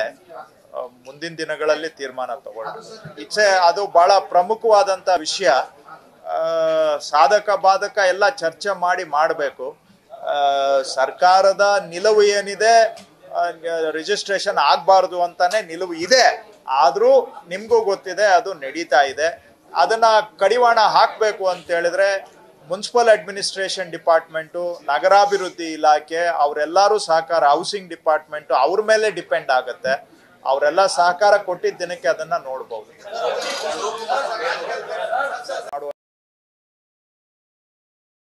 ಅಂತ ತಪ್ಪೋಗುತ್ತೆ. ಅದು ಇನ್ನು ಈಗ ಆ ಆ ಒಂದು ಅಂಶ ಈಗ ಇನ್ನೂ ಇಂಪ್ಲಿಮೆಂಟ್ ಆಗಿಲ್ಲ. ಯಾಕಂದ್ರೆ ನಾವು ರೆಡಿ ಇದ್ದೀವಿ. ಅದು ನಗರಸಭೆಗಳು ರೆಡಿ ಇರಬೇಕಲ್ಲ. ಅವ್ರ ಖಾತೆಗಳೆಲ್ಲ ಆನ್ಲೈನ್ ಆದ್ರೆ ಆವಾಗ ನಾವು ಇಲ್ಲಿ ಮ್ಯಾಂಡೇಟರಿಯನ್ನ ಮಾಡ್ಬೋದು. ಅದು ಮುಂದಿನ ದಿನಗಳಲ್ಲಿ, ತಕ್ಷಣಕ್ಕೆ ಇನ್ನೂ ಇಲ್ಲ. ಬಟ್ ಕಾವೇರಿ ಟೂನಲ್ಲಿ ಅದು ಆ ಥರ ಆಗದಂಗೆ ತಡೆಗಟ್ಟುವಂತಹ ಸುಧಾರಣಾ ಕ್ರಮ ಇದರಲ್ಲಿ ಅಡಕ ಆಗಿದೆ. ಇದು ಮುಗಿದ್ಬಿಡ್ಲಿ ಆಮೇಲೆ ಬರ್ತೀನಿ. ಅದು ಇದು ಆಗ್ಬಿಡ್ಲಿ. ಇದ್ರ ಬಗ್ಗೆ ಹೇಳ್ತೇನೆ. ಮಳೆದು ಹೇಳ್ತೇನೆ. ಇಲ್ಲಿ ಯಾರು? ಹಾ. ಹೌದು. ಎಲ್ರಿಗೂ ನಮಸ್ಕಾರ. ನಮ್ಮ ಪ್ರಧಾನ ಕಾರ್ಯದರ್ಶಿಯವರು ರಶ್ಮಿ ಮಹೇಶ್ ಅವರು, ಮಮತಾ ಅವರು ಐ ಜಿ ಆರ್ ರಿಜಿಸ್ಟ್ರೇಷನ್ಸ್ ಅವರು ನಮ್ಮ ಜೊತೆಗಿದ್ದಾರೆ. ಸೊ ನಾವು ಶನಿವಾರನೂ ಕೂಡ ಈ ಕಂದಾಯ ಇಲಾಖೆ ಅಡಿಯಲ್ಲಿ ಬರ್ತಕ್ಕಂತಹ ಈ ನೋಂದಣಿ ಇಲಾಖೆಯ ಕಾರ್ಯವೈಖರಿ ಪ್ರಗತಿ ಪರಿಶೀಲನೆ ಮಾಡಿದ್ವಿ. ಮತ್ತು ಇವತ್ತು ಬೆಳಿಗ್ಗೆನೂ ಕೂಡ ಸುಮಾರು ಒನ್ ಅವರಿಂದ ಇಲಾಖೆ ಪ್ರಗತಿ ಪರಿಶೀಲನೆಯನ್ನು ನಾನು ಮಾಡಿದ್ದೇನೆ. ಈ ನೋಂದಣಿ ಇಲಾಖೆಯಲ್ಲಿ ಕೆಲವು ಬದಲಾವಣೆಗಳನ್ನು ತರಲಾಗಿದೆ. ಅದರ ಬಗ್ಗೆ ತಮ್ಮ ಜೊತೆಗೆ ಆ ಬದಲಾವಣೆಗಳ ಕಾರಣ ಏನು ಹಾಗೂ ಬದಲಾವಣೆಗಳ ಸ್ಥಿತಿಗತಿ ಏನು ಅನ್ನೋದನ್ನ ತಮ್ಮ ಜೊತೆಗೆ ಹಂಚ್ಕೊಳ್ಳೋಕ್ಕೋಸ್ಕರ ಇವತ್ತು ಬೆಳಿಗ್ಗೆ ಇಲ್ಲಿ ಸೇರಿದ್ದೇವೆ. ತಾವೆಲ್ಲ ಬಂದಿದ್ದಕ್ಕೆ ತಮಗೆ ಧನ್ಯವಾದ. ಆಡಳಿತ ಸುಧಾರಣೆ ಆಗಬೇಕು ಹಾಗೂ ಜನಗಳಿಗೆ ಸರ್ಕಾರದ ಜೊತೆಗೆ ಯಾವುದೇ ಸಂಪರ್ಕ ಕಾರ್ಯ ಕೆಲಸ ಇದ್ದಾಗ ಆ ಜನಗಳ ಕೆಲಸ ಸರಾಗವಾಗಿ ಆಗಬೇಕು, ವಿಳಂಬ ಇಲ್ಲದೆ ಆಗಬೇಕು, ಜನಗಳಿಗೆ ತೊಂದರೆ ಕಡಿಮೆ ಆಗಬೇಕು, ಇದು ಸರ್ಕಾರದ ಒಂದು ಮುಖ್ಯ ಆದ್ಯತೆ. ಸರ್ಕಾರದ ಜೊತೆಗೆ ಜನ ಕಂದಾಯ ಇಲಾಖೆಯಲ್ಲಿ ಸುಮಾರು ಸಂಪರ್ಕ ಇದೆ. ಅದರಲ್ಲಿ ಒಂದು ಭಾಗ ಅವರು ನೋಂದಣಿ, ಅಂದರೆ ರಿಜಿಸ್ಟ್ರೇಷನ್ಸ್ ಮಾಡಿಸುವಂತಹದ್ದು ಒಂದು ಭಾಗ. ತಮಗೆ ಗೊತ್ತಿರೋ ಹಾಗೆ ಒಂದು ಪ್ರಾಪರ್ಟಿ ಕೊಂಡ್ಕೊಳ್ಳೋದಾಗಲಿ, ಮಾರಾಟ ಮಾಡೋದಾಗ್ಲಿ, ಲೀಸ್ ಮಾಡೋದಾಗ್ಲಿ, ಜಾಯಿಂಟ್ ಡೆವಲಪ್ಮೆಂಟ್ ಅಗ್ರಿಮೆಂಟ್ ಮಾಡೋದಾಗ್ಲಿ, ಅಥವಾ ಇವನ್ ಇನ್ನೂ ಮುಂದಕ್ಕೆ ಹೋಗಿ ಮದುವೆ ನೋಂದಣಿ, ಮ್ಯಾರೇಜ್ ರಿಜಿಸ್ಟ್ರೇಷನ್ ಆಗಲಿ ಅಥವಾ ಈವನ್ ಕೆಲವು ಪ್ರೈವೇಟ್ ಕಾಂಟ್ರಾಕ್ಟ್ಗಳು ರಿಜಿಸ್ಟ್ರೇಷನ್ ಆಗಲಿ, ಇವೆಲ್ಲವೂ ಕೂಡ ನೋಂದಣಿ ಇಲಾಖೆ ಮುಖಾಂತರ ರಿಜಿಸ್ಟ್ರೇಷನ್ ಆಗ್ತದೆ. ಸೊ ತಾವು ಬಹುಶಃ ತಮ್ಮ ಪತ್ರಿಕಾ ಕೆಲಸ ಮಾಡೋದಕ್ಕೆ ನೀವು ಅನೇಕ ರಿಜಿಸ್ಟ್ರೇಷನ್ ಇಲಾಖೆಗಳಿಗೆ ಭೇಟಿ ಕೊಟ್ಟಿರಬಹುದು. ಅಥವಾ ವೈಯಕ್ತಿಕವಾಗಿಯೂ ತಮ್ಮ ಕೆಲಸ ಕಾರ್ಯಗಳಿಗೆ ರಿಜಿಸ್ಟ್ರೇಷನ್ ಇಲಾಖೆಗೆ ಹೋಗಿರಬಹುದು. ಅಲ್ಲಿ ಬಹಳ ಅಸ್ತವ್ಯಸ್ತವಾದಂಥ ಪರಿಸ್ಥಿತಿ. ಜನ ನೂಕು ನುಗ್ಗಲು, ಆಮೇಲೆ ಒಂದು ಸಿಸ್ಟಮ್ ಇಲ್ಲ ಗಂಟೆಗಟ್ಟಲೆ ಕಾಯಬೇಕು ನೋಂದಣಿ ಇಲಾಖೆಯಲ್ಲಿ. ಯಾವಾಗ ನಮ್ಮ ಟೈಮ್ ಬರುತ್ತೆ ಅಂತ ಗೊತ್ತಿಲ್ಲ. ಬೆಳಿಗ್ಗೆ ಬಂದ್ರೆ ಸಾಯಂಕಾಲವರೆಗೂ ಕಾಯ್ಬೇಕು. ಅದರಲ್ಲೂ ಏನಾಗುತ್ತೆ ಒಂದು, ಯಾವುದೋ ನಾವು ಮಾರಾಟ ಮಾಡಬೇಕು ಒಂದು ಆಸ್ತಿ ಅಂತ ಹೇಳಿದ್ರೆ, ಅದಕ್ಕೆ ಹತ್ತಾರು ಜನ ಹಕ್ಕುದಾರರು ಇರ್ತಾರೆ. ಕುಟುಂಬದ ಎಲ್ಲಾ ಸದಸ್ಯರು ಬರಬೇಕು. ಅಜ್ಜ, ಅಜ್ಜಿಯಿಂದ ಹಿಡಿದು ಮೊಮ್ಮಕ್ಕಳವರೆಗೆ ಹತ್ತಿಪ್ಪತ್ತು ಜನ ಬರಬೇಕು. ಆದರೆ ಎಷ್ಟೊತ್ತಿಗೆ ರಿಜಿಸ್ಟ್ರೇಷನ್ ಅಂತ ಗೊತ್ತಿಲ್ಲ. ಕಾದು ಕಾದು ಸುಸ್ತಾಗಿ, ಜೊತೆಗೆ ಆ ನೋಂದಣಿ ಇಲಾ ಕಚೇರಿಗಳು ಸಬ್ ರಿಜಿಸ್ಟ್ರಾರ್ ಆಫೀಸಲ್ಲಿ ಜನ ಇಷ್ಟು ಜನ ಕಾಯೋದಕ್ಕೆ ಜಾಗನೂ ಇಲ್ಲ. ಸೊ ಎಲ್ಲ, ಆ ಸೊಂದು ಗೊಂದುಗಳಲ್ಲಿ ನಿಂತ್ಕೊಂಡು ಗೊಂದಲ, ಗೋಜಲು, ಮತ್ತೆ ಹೊರಗಡೆ ನಿಂತಿರಬೇಕು, ಎಲ್ಲೋ ಒಂದು ಕಡೆ ಜನ ಅವರ ಆಸ್ತಿ ಅವ್ರು ಮಾರಾಟ ಮಾಡೋದಕ್ಕೆ ಯಾರ್ದೋ ಮನೆ ಒಳಗಡೆ ಬಂದು ಒಳ್ಳೆ ಪಡಬಾರದ ಯಾತನೆ ಪಡುವಂತಹದ್ದು ನೀವೆಲ್ಲ ಬಹುಶಃ ನೋಡಿದೀರಾ ಅಂತ ಅನ್ಕೊಳ್ತೇನೆ. ನಾವು ಇದನ್ನ ಅನುಭವಿಸಿದ್ದೇವೆ. ಸೊ ಇದನ್ನ ಸುಧಾರಣೆ ಮಾಡಬೇಕು ಅಂತ ಹೇಳಿ ಬಹಳ ವರ್ಷಗಳ ಪ್ರಯತ್ನದಿಂದ ಮೊದಲು ಕಾವೇರಿ ಒನ್ ಅಂತ ಒಂದು ಸಾಫ್ಟ್ವೇರ್ ಡೆವಲಪ್ ಮಾಡಿ ಅದರ ಮುಖಾಂತರ ರಿಜಿಸ್ಟ್ರೇಷನ್ಸ್ ಮಾಡ್ತಾ ಇದ್ರು. ಅದು ಎರಡ್ ಸಾವಿರದ ಮೂರರಲ್ಲಿ ಆರಂಭ ಆಗಿತ್ತು. ಅದಾದ್ಮೇಲೆ ಕಾವೇರಿ ಟೂ ಅಂತ ಅದು ಬಹಳ ವರ್ಷಗಳಿಂದ ಇನ್ನಷ್ಟು ಸುಧಾರೀಕರಣ, ಸರಳೀಕರಣ ಹಾಗೂ ಸಲೀಸಾಗಿ ನೋಂದಣಿ ಆಗುವ ಉದ್ದೇಶದಿಂದ ಕಾವೇರಿ ಟೂ ರೋಲ್ಔಟ್ ಮಾಡಬೇಕು ಅಂತ ಬಹಳ ವರ್ಷಗಳ ಪ್ರಯತ್ನದ ನಂತರ ಈ ಏಪ್ರಿಲ್ ತಿಂಗಳಿಂದ ರೋಲ್ಔಟ್ ಅನ್ನ ಆರಂಭ ಮಾಡಿದ್ದಾರೆ. ಇದ್ರ ಬಗ್ಗೆ ಸಾರ್ವಜನಿಕ ವಲಯದಲ್ಲೂ ಕೂಡ ವ್ಯಾಪಕವಾಗಿ ಚರ್ಚೆ ಆಗಿದೆ. ಹಾಗೂ ಕೆಲವು ಸುದ್ದಿ ಮಾಧ್ಯಮಗಳಲ್ಲಿ ಇದರಿಂದ ಆಗಿರುವಂತಹ ತೊಂದರೆಗಳ ಬಗ್ಗೆನೂ ಕೂಡ ವ್ಯಾಪಕವಾಗಿ ಚರ್ಚೆ ಆಗಿದೆ. ನನಗೂ ಸುಮಾರು ಜನ ಸಾರ್ವಜನಿಕರು ಇದರ ಅನುಕೂಲ, ಅನಾನುಕೂಲದ ಬಗ್ಗೆ ನನ್ನ ಹತ್ರನೂ ನೇರವಾಗಿ ಮಾತಾಡ್ತಾ ಬಂದಿದ್ದಾರೆ. ಕೆಲವು ಜರ್ನಲಿಸ್ಟ್ಗಳು ಕೂಡ ನನ್ನ ಹತ್ರ ಸಾಧಕ ಬಾಧಕ ಮಾತಾಡಿದ್ದಾರೆ. ಅದಕ್ಕಾಗಿ ನಿಮ್ ಜೊತೆಗೆ ಇವತ್ತು ಇದರ ವಾಸ್ತವ ಸ್ಥಿತಿ ಏನು ಅನ್ನುವಂತ ಮಾಹಿತಿಯನ್ನ ತಮ್ಮ ಜೊತೆಗೆ ಹಂಚ್ಕೊಳ್ಳೋಕ್ಕೋಸ್ಕರ ಇಲ್ಲಿ ಸೇರಿದ್ದೇವೆ. ಈಗ ಸುಮಾರು ಏಪ್ರಿಲ್ ತಿಂಗಳಿಂದ ಈ ಕಾವೇರಿ ಟು ಸರಳೀಕೃತ ನೋಂದಣಿ ಪ್ರಕ್ರಿಯೆ ಆರಂಭ ಆಗಿದೆ. ಆರಂಭ ಆದಾಗ ಯಾಕೆ ಏಪ್ರಿಲ್ ತಿಂಗಳು ಅಂತ ತಾವು ಕೇಳ್ಬೋದು. ಚುನಾವಣೆ ಇದ್ದಾಗ ಸ್ವಲ್ಪ ರಿಜಿಸ್ಟ್ರೇಷನ್ಸ್ ಕಡಿಮೆ ಇರ್ತವೆ. ಈ ಏಪ್ರಿಲ್ ಮೇನಲ್ಲಿ ಚುನಾವಣೆ ಇತ್ತು. ಅಂತ ಸಂದರ್ಭದಲ್ಲಿ ರಿಜಿಸ್ಟ್ರೇಷನ್ಸೇ ಕಡಿಮೆ ಇರುತ್ತೆ. ಸೊ ಕಡಿಮೆ ಇದ್ದಾಗ ಹೊಸ ಪ್ರಕ್ರಿಯೆಯನ್ನ ಆರಂಭ ಮಾಡೋದು ವೈಜ್ಞಾನಿಕ ಅಂತೇಳಿ ಏಪ್ರಿಲ್ನಿಂದ ಆರಂಭ ಮಾಡಿ ಇಲ್ಲಿವರೆಗೂ ಕೂಡ ಒಟ್ಟು ಏನು ನಮ್ಮ ರಾಜ್ಯದಲ್ಲಿ ಸುಮಾರು ಇನ್ನೂರ ಐವತ್ತ ಆರು ಸಬ್ ರಿಜಿಸ್ಟ್ರಾರ್ ಆಫೀಸುಗಳು ಇದಾವೆ. ಉಪನೋಂದಣಿ ಕಚೇರಿಗಳು ಇದ್ದಾವೆ ಇವತ್ತು ಸಂಜೆ ಅಷ್ಟೊತ್ತಿಗೆ ಇನ್ನೂರ ಐವತ್ತೊಂದು ಸಬ್ ರಿಜಿಸ್ಟ್ರಾರ್ ಆಫೀಸಲ್ಲಿ ಕಾವೇರಿ ಎರಡು ಸರಳೀಕೃತ ನೋಂದಣಿ ಪ್ರಕ್ರಿಯೆಯನ್ನು ನಾವು ಅನುಷ್ಠಾನ ಮಾಡ್ದಂಗೆ ಆಗುತ್ತೆ ಇವತ್ತು ಸಂಜೆಗೆ. ಈ ಶನಿವಾರದಷ್ಟೊತ್ತಿಗೆ ಎಲ್ಲ ಇನ್ನೂರ ಐವತ್ತಾರು ಕೇಂದ್ರಗಳಲ್ಲೂ ಕೂಡ ಸರಳೀಕೃತ ನೋಂದಣಿ ಪ್ರಕ್ರಿಯೆಯನ್ನು ನಾವು ಅನುಷ್ಠಾನ ಮಾಡ್ತಿದ್ದೇವೆ. ಯಾಕೆ ಕಾವೇರಿ ಟು ಈ ಸರಳೀಕೃತ ಪ್ರಕ್ರಿಯೆ ತಂದಿದ್ದೇವೆ ಅಂತ ಆಗಲೇ ಹೇಳಿದೆ, ಇದರಲ್ಲಿ ಏನು ಅಂತ ಹೇಳಿದ್ರೆ, ಮೊದಲು ಎಲ್ಲ ಡಾಕ್ಯುಮೆಂಟ್ಸ್ ತಗೊಂಡ್ ಬಂದ್ಬಿಟ್ಟು ಅಲ್ಲಿ ಸಬ್ ರಿಜಿಸ್ಟ್ರಾರ್ ಕೈಗೆ ಕೊಟ್ಟು ಅವ್ರು ಅಲ್ಲೇ ಕೂತ್ಕೊಂಡು ವೆರಿಫೈ ಮಾಡಬೇಕಿತ್ತು. ನಿಮ್ಮ ಸರ್ ಡಾಕ್ಯುಮೆಂಟ್ ಅಲ್ಲಿ ಒಂದು ಹತ್ತಿಪ್ಪತ್ತು ಇಂಪಾರ್ಟೆಂಟ್ ಪಾಯಿಂಟ್ ಅನ್ನ ಅವ್ರು ಚೆಕ್ ಮಾಡಬೇಕು. ಈ ಡಾಕ್ಯುಮೆಂಟ್ನ, ಅಂದ್ರೆ ಡಾಕ್ಯುಮೆಂಟ್ನ ಡಾಕ್ಯುಮೆಂಟ್ನ ಉದ್ದೇಶ ಏನು? ಅದರಲ್ಲಿ ಹಾಕಿರೋ ರೇಟ್ ಸರಿ ಇದೆಯಾ? ಹಾಕಿರೋ ರೇಟು ಗೈಡೆನ್ಸ್ ವ್ಯಾಲ್ಯೂಗೆ ಮ್ಯಾಚ್ ಆಗ್ತಾ ಇದೆಯಾ? ಅದಕ್ಕೆ ಸಂಬಂಧಪಟ್ಟಂತ ಅವ್ರದ್ದು ಡಾಕ್ಯುಮೆಂಟ್ಗಳು ಸರಿ ಇದೆಯಾ? ಹೀಗೆ ಡಾಕ್ಯುಮೆಂಟ್ ವೆರಿಫಿಕೇಶನ್ಗೆನೆ ಅವರಿಗೆ ಸಬ್ಮಿಟ್ ಮಾಡಿಬಿಟ್ಟು ಎಲ್ಲ ಫ್ಯಾಮಿಲಿಯವರು ಕಾಯ್ಕೊಂಡಿರ್ಬೇಕಾಗಿತ್ತು. ಈಗ ಕಾವೇರಿ ಟೂನಲ್ಲಿ ಏನಂದ್ರೆ, ಆ ಡಾಕ್ಯುಮೆಂಟ್ ರಿಜಿಸ್ಟ್ರೇಷನ್ ಡಾಕ್ಯುಮೆಂಟ್ ಅನ್ನ ಆನ್ಲೈನ್ ಅಲ್ಲೇ ಸಬ್ಮಿಟ್ ಮಾಡ್ಬೋದು. ಮೊದಲೇ ಸಬ್ಮಿಟ್ ಮಾಡ್ಬೋದು. ಸೊ ಮೊದಲೇ ನೀವು ಆನ್ಲೈನ್ ಡಾಕ್ಯುಮೆಂಟ್ ಅನ್ನು ಸಬ್ಮಿಟ್ ಮಾಡ್ಬಿಟ್ರೆ ಎಲ್ಲಾನು ಅದನ್ನ ಸಬ್ ರಿಜಿಸ್ಟ್ರಾರು ಕೂಡ ಆನ್ಲೈನಲ್ಲೇ ವೆರಿಫೈ ಮಾಡಿ. ಅವರು ಎಲ್ಲ ನಿಮ್ದು ಡಾಕ್ಯುಮೆಂಟ್ ಸರಿ ಇದೆ ಅಂತ ಹೇಳಿ ನಿಮ್ಗೆ ವಾಪಸ್ಸು ಆನ್ಲೈನಲ್ಲೇ ಅವರು ನಿಮ್ಗೆ ಸುದ್ದಿಯನ್ನ ಮುಟ್ಟಿಸ್ತಾರೆ. ಸೊ ಆನ್ಲೈನ್ ಅಲ್ಲಿ ಸರಿ ಇದೆ ಅಂತ ನಿಮ್ಗೆ ಸುದ್ದಿ ವಾಪಸ್ ಮೆಸೇಜ್ ಬಂದ ಮೇಲೆ, ಆಮೇಲೆ ಅದಕ್ಕೆ ತಗಲುವಂತ ವೆಚ್ಚನೂ ಕೂಡ ಆನ್ಲೈನಲ್ಲೇ ಪೇಮೆಂಟ್ ಆಗುತ್ತೆ. ಅದನ್ನ ಅವರೇ ಮಾಡ್ಬೋದು. ಯಾರು ಸಾರ್ವಜನಿಕರೇ ಆನ್ಲೈನಲ್ಲಿ ಪೇಮೆಂಟು ಕೂಡ ಮಾಡ್ಬೋದು. ಆನ್ಲೈನ್ ಅಲ್ಲಿ ಪೇಮೆಂಟ್ ಮಾಡಿದ್ದು ಸೆಕೆಂಡ್ ಸ್ಟೆಪ್ ಥರ್ಡ್ ಸ್ಟೆಪ್ ಏನಂದ್ರೆ, ಆ ರಿಜಿಸ್ಟ್ರೇಷನ್ ಮಾಡೋರು ಕೊಂಡ್ಕೊಳ್ಳೋರು ಇರ್ತಾರಲ್ಲ, ಮಾರಾಟ ಮಾಡೋರು ಕೊಂಡ್ಕೊಳ್ಳೋರು. ಅವರಿಗೆ ಯಾವ ಸಮಯ ಅನುಕೂಲ ಆಗುತ್ತೆ, ಆ ಸಮಯಕ್ಕೆ ಅವರೇ ಅಪಾಯಿಂಟ್ಮೆಂಟ್ ಅನ್ನ ಸೆಲೆಕ್ಟ್ ಮಾಡಬಹುದು ಆನ್ಲೈನ್ ಅಲ್ಲೇ. ಇಂಥ ದಿನ, ಇಂತಿಷ್ಟು ಗಂಟೆಗೆ ನಮಗೆ ಅಪಾಯಿಂಟ್ಮೆಂಟ್ ಬೇಕು ಅಂತ ನಿಮ್ಗೆ ಅವ್ರದ್ದು ಯಾವತ್ತು ಯಾವತ್ತು ಅವೈಲಬಿಲಿಟಿ ಇದೆ ಅಂತ ಆನ್ಲೈನ್ ಅಲ್ಲಿ ಕಾಣುತ್ತೆ. ನಿಮಗೆ ಬೇಕಾಗಿರುವಂತ ಒಂದು ಹದಿನೈದು ನಿಮಿಷದ ಸ್ಲಾಟ್ ಅನ್ನ ರಿಜಿಸ್ಟ್ರೇಷನ್ ಸ್ಲಾಟ್ ಅನ್ನ ನೀವೇ ಸೆಲೆಕ್ಟ್ ಮಾಡ್ಕೋಬಹುದು ಸೊ ಆವತ್ತಿನ ದಿನ ಅಲ್ಲಿಗೆ ಹೋದಾಗ ಮಾರಾಟ ಮಾಡೋರು ಕೊಂಡ್ಕೊಳ್ಳೋರ್ದು ಕೆಲಸ ಏನಪ್ಪಾ ಅಂದ್ರೆ ಅಷ್ಟೊತ್ತಿಗೆ ಡಾಕ್ಯುಮೆಂಟ್ ವೆರಿಫಿಕೇಶನ್ ಆಗೋಗಿರುತ್ತೆ. ಹಾಗೆ ಫೀಸ್ ಪೇಮೆಂಟು ಆಗೋಗಿರುತ್ತೆ. ಸೊ ಬಾಕಿ ಇರೋದು ಏನಪ್ಪಾ ಅಂತ ಹೇಳಿದ್ರೆ ಅಲ್ಲಿ ಕಂಪ್ಯೂಟರ್ ಮುಂದೆ ಕುಟ್ಕೋ ಕೂತ್ಕೋಬೇಕು ಅವ್ರದ್ದು ಫೋಟೋ ತೆಗಿತಾರೆ, ತಂಬು ಕೊಡಬೇಕು. ಇಷ್ಟು ಕೊಟ್ರೆ ಅಲ್ಲಿಗೆ ಅವ್ರ ರಿಜಿಸ್ಟ್ರೇಷನ್ ಕೆಲಸ ಮುಗೀತು. ಒಂದು ಸಾಮಾನ್ಯ ರಿಜಿಸ್ಟ್ರೇಷನ್ನು ಹತ್ತು ನಿಮಿಷದಲ್ಲಿ ಅದೇ ಹತ್ತರಿಂದ ಹದಿನೈದು ನಿಮಿಷದಲ್ಲಿ ಮುಗಿಸ್ಬಿಟ್ಟು, ಅಂದ್ರೆ ಪಾರ್ಟಿಗಳು ಕಡಿಮೆ ಇದ್ದರೆ ಒಂದು ಐದಾರು ಪಾರ್ಟಿಗಳು ಮಾತ್ರ ಇದ್ದರೆ ಹತ್ತರಿಂದ ಹದಿನೈದು ನಿಮಿಷದಲ್ಲಿ ರಿಜಿಸ್ಟ್ರೇಷನ್ ಮುಗಿಸಿ ಅವರು ಹೊರಗಡೆ ಬರಬಹುದು. ಸೊ ಇದು ಸರಳೀಕೃತ ಕಾವೇರಿ ಟೂನ ಉಪಯೋಗ.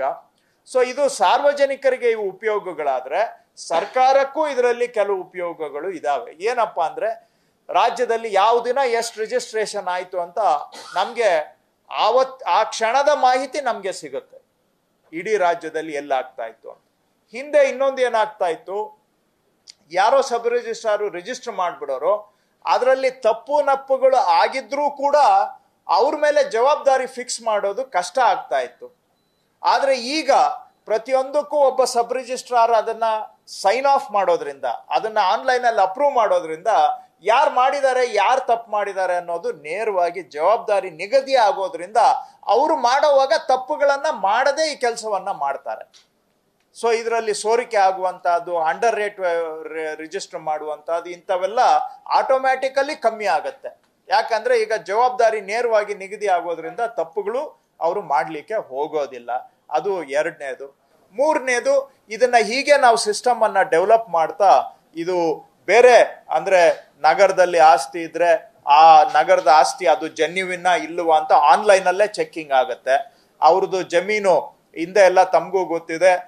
ಸರ್ಕಾರಿ ಅಂತ ಇದ್ರೂ ಕೂಡ ಅದು ಯಾರೋ ಎರಡು ಖಾಸಗಿ ವ್ಯಕ್ತಿಗಳು ಆ ಜಮೀನನ್ನ ರಿಜಿಸ್ಟರ್ ಮಾಡಿದಂತ ಪ್ರಕ್ರಿಯೆಗಳೆಲ್ಲ ನಡೆದಿದ್ದಾವೆ ಈಗ ಇದು ಆನ್ಲೈನ್ ಅಲ್ಲಿ ನೇರವಾಗಿ ವೆರಿಫಿಕೇಶನ್ ಆಗೋದ್ರಿಂದ ಯಾರೋ ಹೆಸರಲ್ಲಿ ಇರೋದನ್ನ ಯಾರೋ ರಿಜಿಸ್ಟರ್ ಮಾಡಕ್ ಆಗೋದಿಲ್ಲ ಯಾರೋ ಹೆಸರಲ್ಲಿ ಖಾತೆ ಇರೋದು ಇನ್ನೊಬ್ರು ಇನ್ನೊಬ್ರು ಮಾಡೋಕ್ಕಾಗಲ್ಲ, ಸರ್ಕಾರದ ಹೆಸರಿನಲ್ಲಿ ಜಮೀನ್ ಇದ್ರೆ ಅದನ್ನ ಖಾಸಗಿ ವ್ಯಕ್ತಿಗಳು ಕೂಡ ಒಬ್ಬರಿಂದ ಒಬ್ಬರಿಗೆ ರಿಜಿಸ್ಟ್ರೇಷನ್ ಮಾಡೋಕ್ಕಾಗೋದಿಲ್ಲ.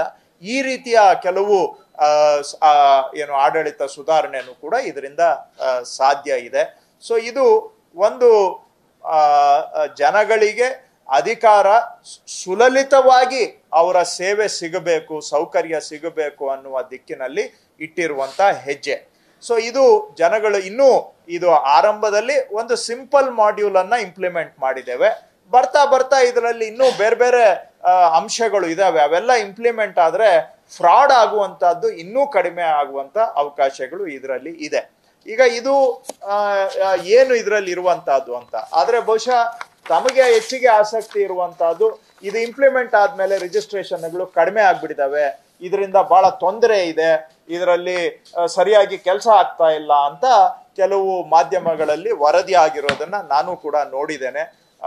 ಪತ್ರಿಕೆಗಳಲ್ಲೂ ಬಂದಿದೆ ಆನ್ಲೈನ್ ಅಲ್ಲೂ ಬಂದಿದೆ. ಸಾರ್ವಜನಿಕ ವಲಯದಲ್ಲೂ ಕೂಡ ಬಹಳ ಚರ್ಚೆ ಆಗ್ತಾ ಇದೆ. ಅದಕ್ಕಾಗಿ ನಾನು ಅಂಕಿ ಸಂಖ್ಯೆಯನ್ನ ತೆಗೆಸ್ ನೋಡಿದೆ.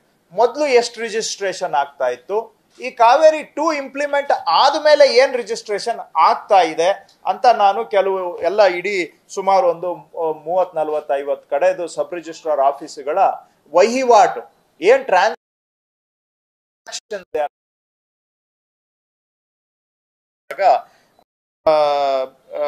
ಉದಾಹರಣೆಗೆ ಸಬ್ ರಿಜಿಸ್ಟ್ರಾರ್ ಆಫೀಸು ಅಲ್ಲಿ ಸ್ವಲ್ಪ ಇರೋದ್ರಲ್ಲಿ ಆವರೇಜ್ಗಿಂತ ಜಾಸ್ತಿ ರಿಜಿಸ್ಟ್ರೇಷನ್ಸ್ ನಡೆಯುವಂತಹ ಒಂದು ರಿಜಿಸ್ಟ್ರೇಷನ್ ಕಚೇರಿ ಅದು. ಅಲ್ಲಿ ಕಾವೇರಿ ಒನ್ ಇದ್ದಾಗ ಒಂದು ದಿನಕ್ಕೆ ಸರಾಸರಿ ಅರವತ್ಮೂರು ಡಾಕ್ಯುಮೆಂಟ್ ರಿಜಿಸ್ಟರ್ ಆಗ್ತಾ ಇತ್ತು. ಕಾವೇರಿ ಟೂ ಬಂದ ಮೇಲೆ ಒಂದು ದಿನಕ್ಕೆ ಅರವತ್ತ ಐದು ಡಾಕ್ಯುಮೆಂಟ್ ರಿಜಿಸ್ಟರ್ ಆಗ್ತಾ ಇದೆ. ಅಷ್ಟೇ ಅಲ್ಲ ಆ ಆ ಸಬ್ ರಿಜಿಸ್ಟ್ರಾರ್ ಆಫೀಸಲ್ಲಿ ಕೆಲವೊಂದು ದಿನ ನೂರ ಮೂವತ್ತೆರಡು ಡಾಕ್ಯುಮೆಂಟ್ ರಿಜಿಸ್ಟರ್ ಆಗಿದೆ. ಸೊ ಯಾಕೆ ಅದನ್ನು ಹೇಳ್ತಾ ಇದ್ದೀನಿ ಅಂದರೆ, ಸರಾಸರಿ ಅರವತ್ಮೂರು ಡಾಕ್ಯುಮೆಂಟ್ ಆಗ್ತಾ ರಿಜಿಸ್ಟರ್ ಆಗ್ತಾ ಇದ್ದಂಥ ಕಚೇರಿಯಲ್ಲಿ ನೂರ ಅರ್- ಮೂವತ್ತೆರಡು ಡಾಕ್ಯುಮೆಂಟ್ ರಿಜಿಸ್ಟರ್ ಮಾಡ್ಬೋದು ಒಂದೇ ದಿನದಲ್ಲಿ ಅಂತ ಹೇಳಿದ್ರೆ, ಅಲ್ಲಿಗೆ ರಿಜಿಸ್ಟ್ರೇಷನ್ ಕೆಪಾಸಿಟಿ ಎಷ್ಟು ಜಾಸ್ತಿ ಆಗಿದೆ ಅನ್ನೋದಕ್ಕೆ ಉದಾಹರಣೆ. ನೀವು ಕೇಳ್ಬೋದು ಅರವತ್ತೈದು ಯಾಕೆ ಆಗ್ತಾ ಇದೆ ಅಂತ. ಯಾಕಂದ್ರೆ ಅರವತ್ತೈದು ಬರ್ತಾ ಇದೆ, ಅರವತ್ತೈದು ಆಗ್ತಾ ಇದೆ. ನೂರ ಮೂವತ್ತೆರಡು ಬಂದರೂ ಕೂಡ ರಿಜಿಸ್ಟ್ರೇಷನ್ ಮಾಡಬಹುದು. ಅಷ್ಟು ಮಟ್ಟಿಗೆ ಕೆಪಾಸಿಟಿ ಜಾಸ್ತಿ ಆಗಿದೆ. ಅನ್ನೋದಕ್ಕೆ ಒಂದು ದಿನ ನೂರ ಮೂವತ್ತೆರಡು ಆಗಿರೋದು ಅಲ್ಲಿ ಉದಾಹರಣೆ. ಇನ್ನೊಂದು ಬಳ್ಳಾರಿದು ಉದಾಹರಣೆ ಕೊಡ್ತೇನೆ ತಮಗೆ. ಕಾವೇರಿ ಒನ್ನಲ್ಲೂ ಎಂಬತ್ತಾರು ರಿಜಿಸ್ಟ್ರೇಷನ್ ಆಗ್ತಾ ಇತ್ತು. ಕಾವೇರಿ ಟೂನಲ್ಲೂ ಸರಾಸರಿ ಎಂಬತ್ತಾರು ರಿಜಿಸ್ಟ್ರೇಷನ್ ಆಗ್ತಾ ಇದೆ. ಆದ್ರೆ ಈ ಕಾವೇರಿ ಟೂ ಬಂದ್ಮೇಲೆ ಒಂದು ದಿನ ನೂರ ನಲವತ್ತ ಮೂರು ನಲವತ್ತಾರು ರಿಜಿಸ್ಟ್ರೇಷನ್ ಆಗಿದೆ. ಸೊ ಉದಾಹರಣೆಗೆ ಎಷ್ಟು ಕೆಪಾಸಿಟಿ ಬಿಲ್ಡ್ ಆಗಿದೆ ಆನ್ಲೈನ್ ಸಿಸ್ಟಮ್ ಬಂದ ಮೇಲೆ ಅನ್ನೋದಕ್ಕೆ ಒಂದೇ ದಿನದಲ್ಲಿ ದಿನದಲ್ಲಿ ನೂರ ನಲವತ್ತಾರು ರಿಜಿಸ್ಟ್ರೇಷನ್ ಆಗುತ್ತೆ ಅಂದ್ರೆ ಅದೊಂದು ಪ್ರೂಫ್ ಸಿಸ್ಟಮ್ ಅಲ್ಲಿ ಕೆಪಾಸಿಟಿ ಇದೆ. ಹೆಚ್ಚಿಗೆ ಜನ ಬಂದರೂ ಕೂಡ ರಿಜಿಸ್ಟ್ರೇಷನ್ ಅನ್ನ ಸುಗಮವಾಗಿ ಮಾಡಿಕೊಡಬಹುದು ಅನ್ನೋದಕ್ಕೆ. ಅದೇ ತರ ಚಾಮರಾಜನಗರದಲ್ಲೂ ಕೂಡ ಹಿಂದೆನೂ ಮೂವತ್ಮೂರು ಆಗ್ತಾ ಇತ್ತು, ಈಗಲೂ ಮೂವತ್ತ್ಮೂರು ಆಗ್ತಾ ಇದೆ. ಚಿಕ್ಕಬಳ್ಳಾಪುರ, ಹಿಂದೆ ಇಪ್ಪತ್ತೊಂಬತ್ತು ಆಗ್ತಾ ಇತ್ತು, ಇವತ್ತಲ್ಲಿ ಇಪ್ಪತ್ತೊಂಬತ್ತು ಆಗ್ತಾ ಇದೆ. ಆದರೆ ಒಂದಿನ ನಲವತ್ತೊಂಬತ್ತಾಗಿದೆ ಗುಲ್ಬರ್ಗ, ಗುಲ್ಬರ್ಗಾದಲ್ಲಿ ಮೊದಲು ಎಪ್ಪತ್ತಾರು ಡಾಕ್ಯುಮೆಂಟ್ ರಿಜಿಸ್ಟರ್ ಆಗ್ತಾ ಇತ್ತು ಒಂದು ದಿನಕ್ಕೆ. ಈಗ ಸರಾಸರಿ ತೊಂಬತ್ತೊಂದು ಡಾಕ್ಯುಮೆಂಟ್ ರಿಜಿಸ್ಟರ್ ಆಗ್ತಾ ಇದೆ.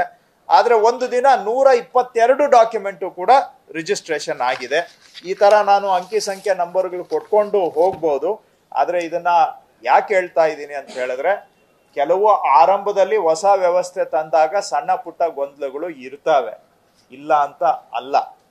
ಆದರೆ ಸರ್ಕಾರದ ಕರ್ತವ್ಯ ಏನು ಅಂದ್ರೆ, ಆ ಗೊಂದಲಗಳನ್ನ ಬಂದ ಕೂಡಲೇ ಅದಕ್ಕೊಂದು ಸೂಕ್ತ ಸಕಾರಾತ್ಮಕ ಪ್ರಕ್ರಿಯೆ ಇಟ್ಕೊಂಡು ರೆಸ್ಪಾನ್ಸಿವ್ ಮೆಕ್ಯಾನಿಸಮ್ ಇಟ್ಕೊಂಡು ಅವುಗಳನ್ನ ತತ್ಕ್ಷಣ ಕರೆಕ್ಟ್ ಮಾಡಿದ್ರೆ ಅದು ಬದಲಾವಣೆ ಆಗುತ್ತೆ. ಇದರಲ್ಲಿ ಪೇ ಪ್ರಾಬ್ಲಮ್ ಬಂದಿದ್ದು ಮೂರು ವಿಧದಲ್ಲಿ ನಮಗೆ ಪ್ರಾಬ್ಲಮ್ ಬಂದಿದೆ. ಒಂದು ಪೇಮೆಂಟು ಮಾಡೋವಾಗ, ಯಾಕಂದರೆ ಆನ್ಲೈನ್ ಪೇಮೆಂಟ್ ಮೊದಲೆಲ್ಲ ಅವರು ಬ್ಯಾಂಕ್ಗೆ ಹೋಗಿ ಚಲಾನು ಕಟ್ ದುಡ್ಡು ಕಟ್ಟಿ ಚಲಾನ್ ತೊಗೊಂಡು ಬಂದು ಸಬ್ ರಿಜಿಸ್ಟ್ರಾರ್ ಕೊಡಬೇಕಾಗಿತ್ತು. ಈಗ ನೀವು ನೆಟ್ ಬ್ಯಾಂಕಿಂಗ್ ಮಾಡ್ಬೋದು ಯು ಪಿ ಐ ಮಾಡ್ಬೋದು, ಅಥವಾ ಫೋನ್ ಪೇ ಮಾಡ್ಬೋದು, ಈ ಎಲ್ಲ ಸಿಸ್ಟಮ್ಗಳು ಕೊಟ್ಟಿದೆ. ಸೊ ಆಕ್ಚುಲಿ ನೀವು ಪೇಮೆಂಟ್ ಮಾಡೋಕ್ಕೆ ಈಗ ಬ್ಯಾಂಕ್ಗೂ ಹೋಗ್ಬೇಕಾಗಿಲ್ಲ. ಮನೆಯಲ್ಲೇ ಕುತ್ಕೊಂಡು ಪೇಮೆಂಟ್ ಮಾಡ್ಬೋದು. ಸೊ ಅದು ಹೊಸ್ದಾಗಿ ಪೇಮೆಂಟ್ ಮಾಡಿದಾಗ ಜನಕ್ಕೆ ಸ್ವಲ್ಪ ಕನ್ಫ್ಯೂಷನ್ ಆಗಿರುತ್ತೆ. ನೆಟ್ ಪೇಗೆ ಆಫ್ ಮಾಡ್ತಾರೆ. ನೆಟ್ ಪೇ ಆಗೋದಕ್ಕೆ ಒಂದು ಐದು ನಿಮಿಷ ಆದರೆ ಅದನ್ನು ಕ್ಯಾನ್ಸಲ್ ಮಾಡಿಬಿಟ್ಟು ಯು ಪೇಗೆ ಹೋಗ್ತಾರೆ. ಅದೊಂದು ಡಿಲೇ ಆದರೆ ಅದನ್ನ ಕ್ಯಾನ್ಸಲ್ ಮಾಡಿ ಇನ್ಯಾವುದಕ್ಕೂ ಇನ್ಯಾವುದಕ್ಕೋ ಫೋನ್ ಪೇಗೆ ಹೋಗ್ತಾರೆ. ಅಂಥ ಕನ್ಫ್ಯೂಷನ್ಸು ಇತ್ತು. ಅದಕ್ಕೆ ನಮ್ಮ ಅಧಿಕಾರಿಗಳು ತಕ್ಷಣ ಅದ್ರ ಬಗ್ಗೆ ಕೆಲವು ವಿಡಿಯೋ ಮಾಡಿಬಿಟ್ಟು ಹಾಕಿ ಅದರ ಗೊಂದಲಗಳನ್ನು ಪರಿಹಾರ ಮಾಡಿದ್ದಾರೆ. ಆಮೇಲೆ ಈ ಜೆ ಸ್ಲಿಪ್ ಕೊಡೋದ್ರಲ್ಲಿ ಸ್ವಲ್ಪ ತೊಂದರೆ ಆಗ್ತಾ ಇತ್ತು, ಅದನ್ನು ಪರಿಹಾರ ಮಾಡಿದ್ದಾರೆ. ಜಾಸ್ತಿ ಕಂಪ್ಲೇಂಟ್ಸ್ ಬಂದಿದ್ದು ಇ ಸಿ ಆಗ್ತಾ ಇಲ್ಲ ಅಂಥೇಳಿ. ಅದು ಭೂಮಿ ಸಾಫ್ಟ್ವೇರ್ಗೂ, ಈ ಕಾವೇರಿ ಸಾಫ್ಟ್ವೇರ್ಗೂ ಎರಡಕ್ಕೂ ಒಂದಕ್ಕೊಂದು ಲಿಂಕು ಅದು ಭೂಮಿ ಹಳೆ ಸಾಫ್ಟ್ವೇರು, ಕಾವೇರಿ ಹೊಸ ಸಾಫ್ಟ್ವೇರು. ಅದರಲ್ಲಿ ಸಣ್ಣ ಪುಟ್ಟ ಗೊಂದಲಗಳಿತ್ತು, ಅದನ್ನು ಕೂಡ ನಿವಾರಣೆ ಮಾಡಿದ್ದಾರೆ. ಇದಕ್ಕೆ ನಮ್ಮ ನೋಂದಣಿ ಇಲಾಖೆಯಲ್ಲಿ ಕಾಲ್ ಸೆಂಟರ್ ಮಾಡಿ ಈ ತರ ಯಾವುದೇ ಕಂಪ್ಲೇಂಟ್ ಬಂದರೂ ಇಮಿಡಿಯೇಟ್ ಆಗಿ ಅವುಗಳನ್ನ ಅಟೆಂಡ್ ಮಾಡಿ ಸಾಲ್ವ್ ಮಾಡಿಕೊಂಡು ಬಂದಿದ್ದಾರೆ. ಸೊ ಹಾಗಾಗಿ ಈ ಕಾವೇರಿ ಟು ಒಂದು ರೀತಿಯಲ್ಲಿ ನಾವು ರಿಜಿಸ್ಟ್ರೇಷನ್ ನಂಬರ್ಗಳನ್ನು ನೋಡಿದಾಗ, ಅಂಕಿ ಸಂಖ್ಯೆ ನೋಡಿದಾಗ ಸಕ್ಸಸ್ಫುಲ್ ಆಗಿ ಇಂಪ್ಲಿಮೆಂಟ್ ಆಗಿದೆ. ಮತ್ತು ವಾಡಿಕೆಗೆ ಗಿಂತ ಹೆಚ್ಚು ರಿಜಿಸ್ಟ್ರೇಷನ್ ಆಗಿರೋದನ್ನ ನಾವು ನೋಡಿದಾಗ ಮುಂದಿನ ದಿನ ಅಲ್ಲಿ ಏನಾದರೂ ಡಬಲ್ ವಾಲ್ಯೂಮ್ ರಿಜಿಸ್ಟ್ರೇಷನ್ ಆಗಬೇಕಾದರೂ ಕೂಡ ಸಿಸ್ಟಮ್ ಅಲ್ಲಿ ಅಷ್ಟು ಕೆಪಾಸಿಟಿ ಇದೆ. ಹೆಚ್ಚಿಗೆ ರಿಜಿಸ್ಟ್ರೇಷನ್ಸ್ ಬಂದರೆ ಹ್ಯಾಂಡಲ್ ಮಾಡುವಷ್ಟು ಕೆಪಾಸಿಟಿ ಆಗಿದೆ. ಮತ್ತು ಈಗ ಒಂದೇ ದಿನದಲ್ಲಿ ನೂರು, ನೂರಿಪ್ಪತ್ತು ನೂರ ನಲವತ್ತು ರಿಜಿಸ್ಟ್ರೇಷನ್ ಆಗುತ್ತೆ ಅಂದರೆ ಅಲ್ಲಿಗೆ ಸರಾಸರಿ ಹತ್ತು ನಿಮಿಷಕ್ಕೆ ಒಂದು ರಿಜಿಸ್ಟ್ರೇಷನ್ ಮಾಡಬಹುದು ಅನ್ನೋದಕ್ಕೆ ಅದೇ ಪ್ರೂಫು ರಿಜಿಸ್ಟ್ರೇಷನ್ ಆಗಿರೋದೇ ಪ್ರೂಫು ಕೆಲವು ಕಡೆ ಅಧಿಕಾರಿಗಳು ಸ್ವಲ್ಪ ಇದೇನಪ್ಪ ಆನ್ಲೈನ್ ಸಿಸ್ಟಮ್ ಅಂತ ಅವರಿಗೆ ಕನ್ಫ್ಯೂಷನ್ ಆಗಿ ಆರಂಭದಲ್ಲಿ ಸ್ವಲ್ಪ ಡಿಲೇಸ್ ಇತ್ತು. ನಿಜ ಇಲ್ಲ ಅಂತಲ್ಲ. ಯಾವುದೇ ಹೊಸದು ಇಷ್ಟು ದಿನ ಫಿಸಿಕಲ್ ಆಗಿ ಮಾಡ್ತಾ ಇದ್ದಾಗ ಸಡನ್ ಆಗಿ ಆನ್ಲೈನ್ಗೆ ಶಿಫ್ಟ್ ಆದಾಗ ಅಧಿಕಾರಿಗಳಿಗೂ ಅಡ್ಜಸ್ಟ್ ಆಗೋಕ್ಕೆ ಟೈಮ್ ಆಗುತ್ತೆ.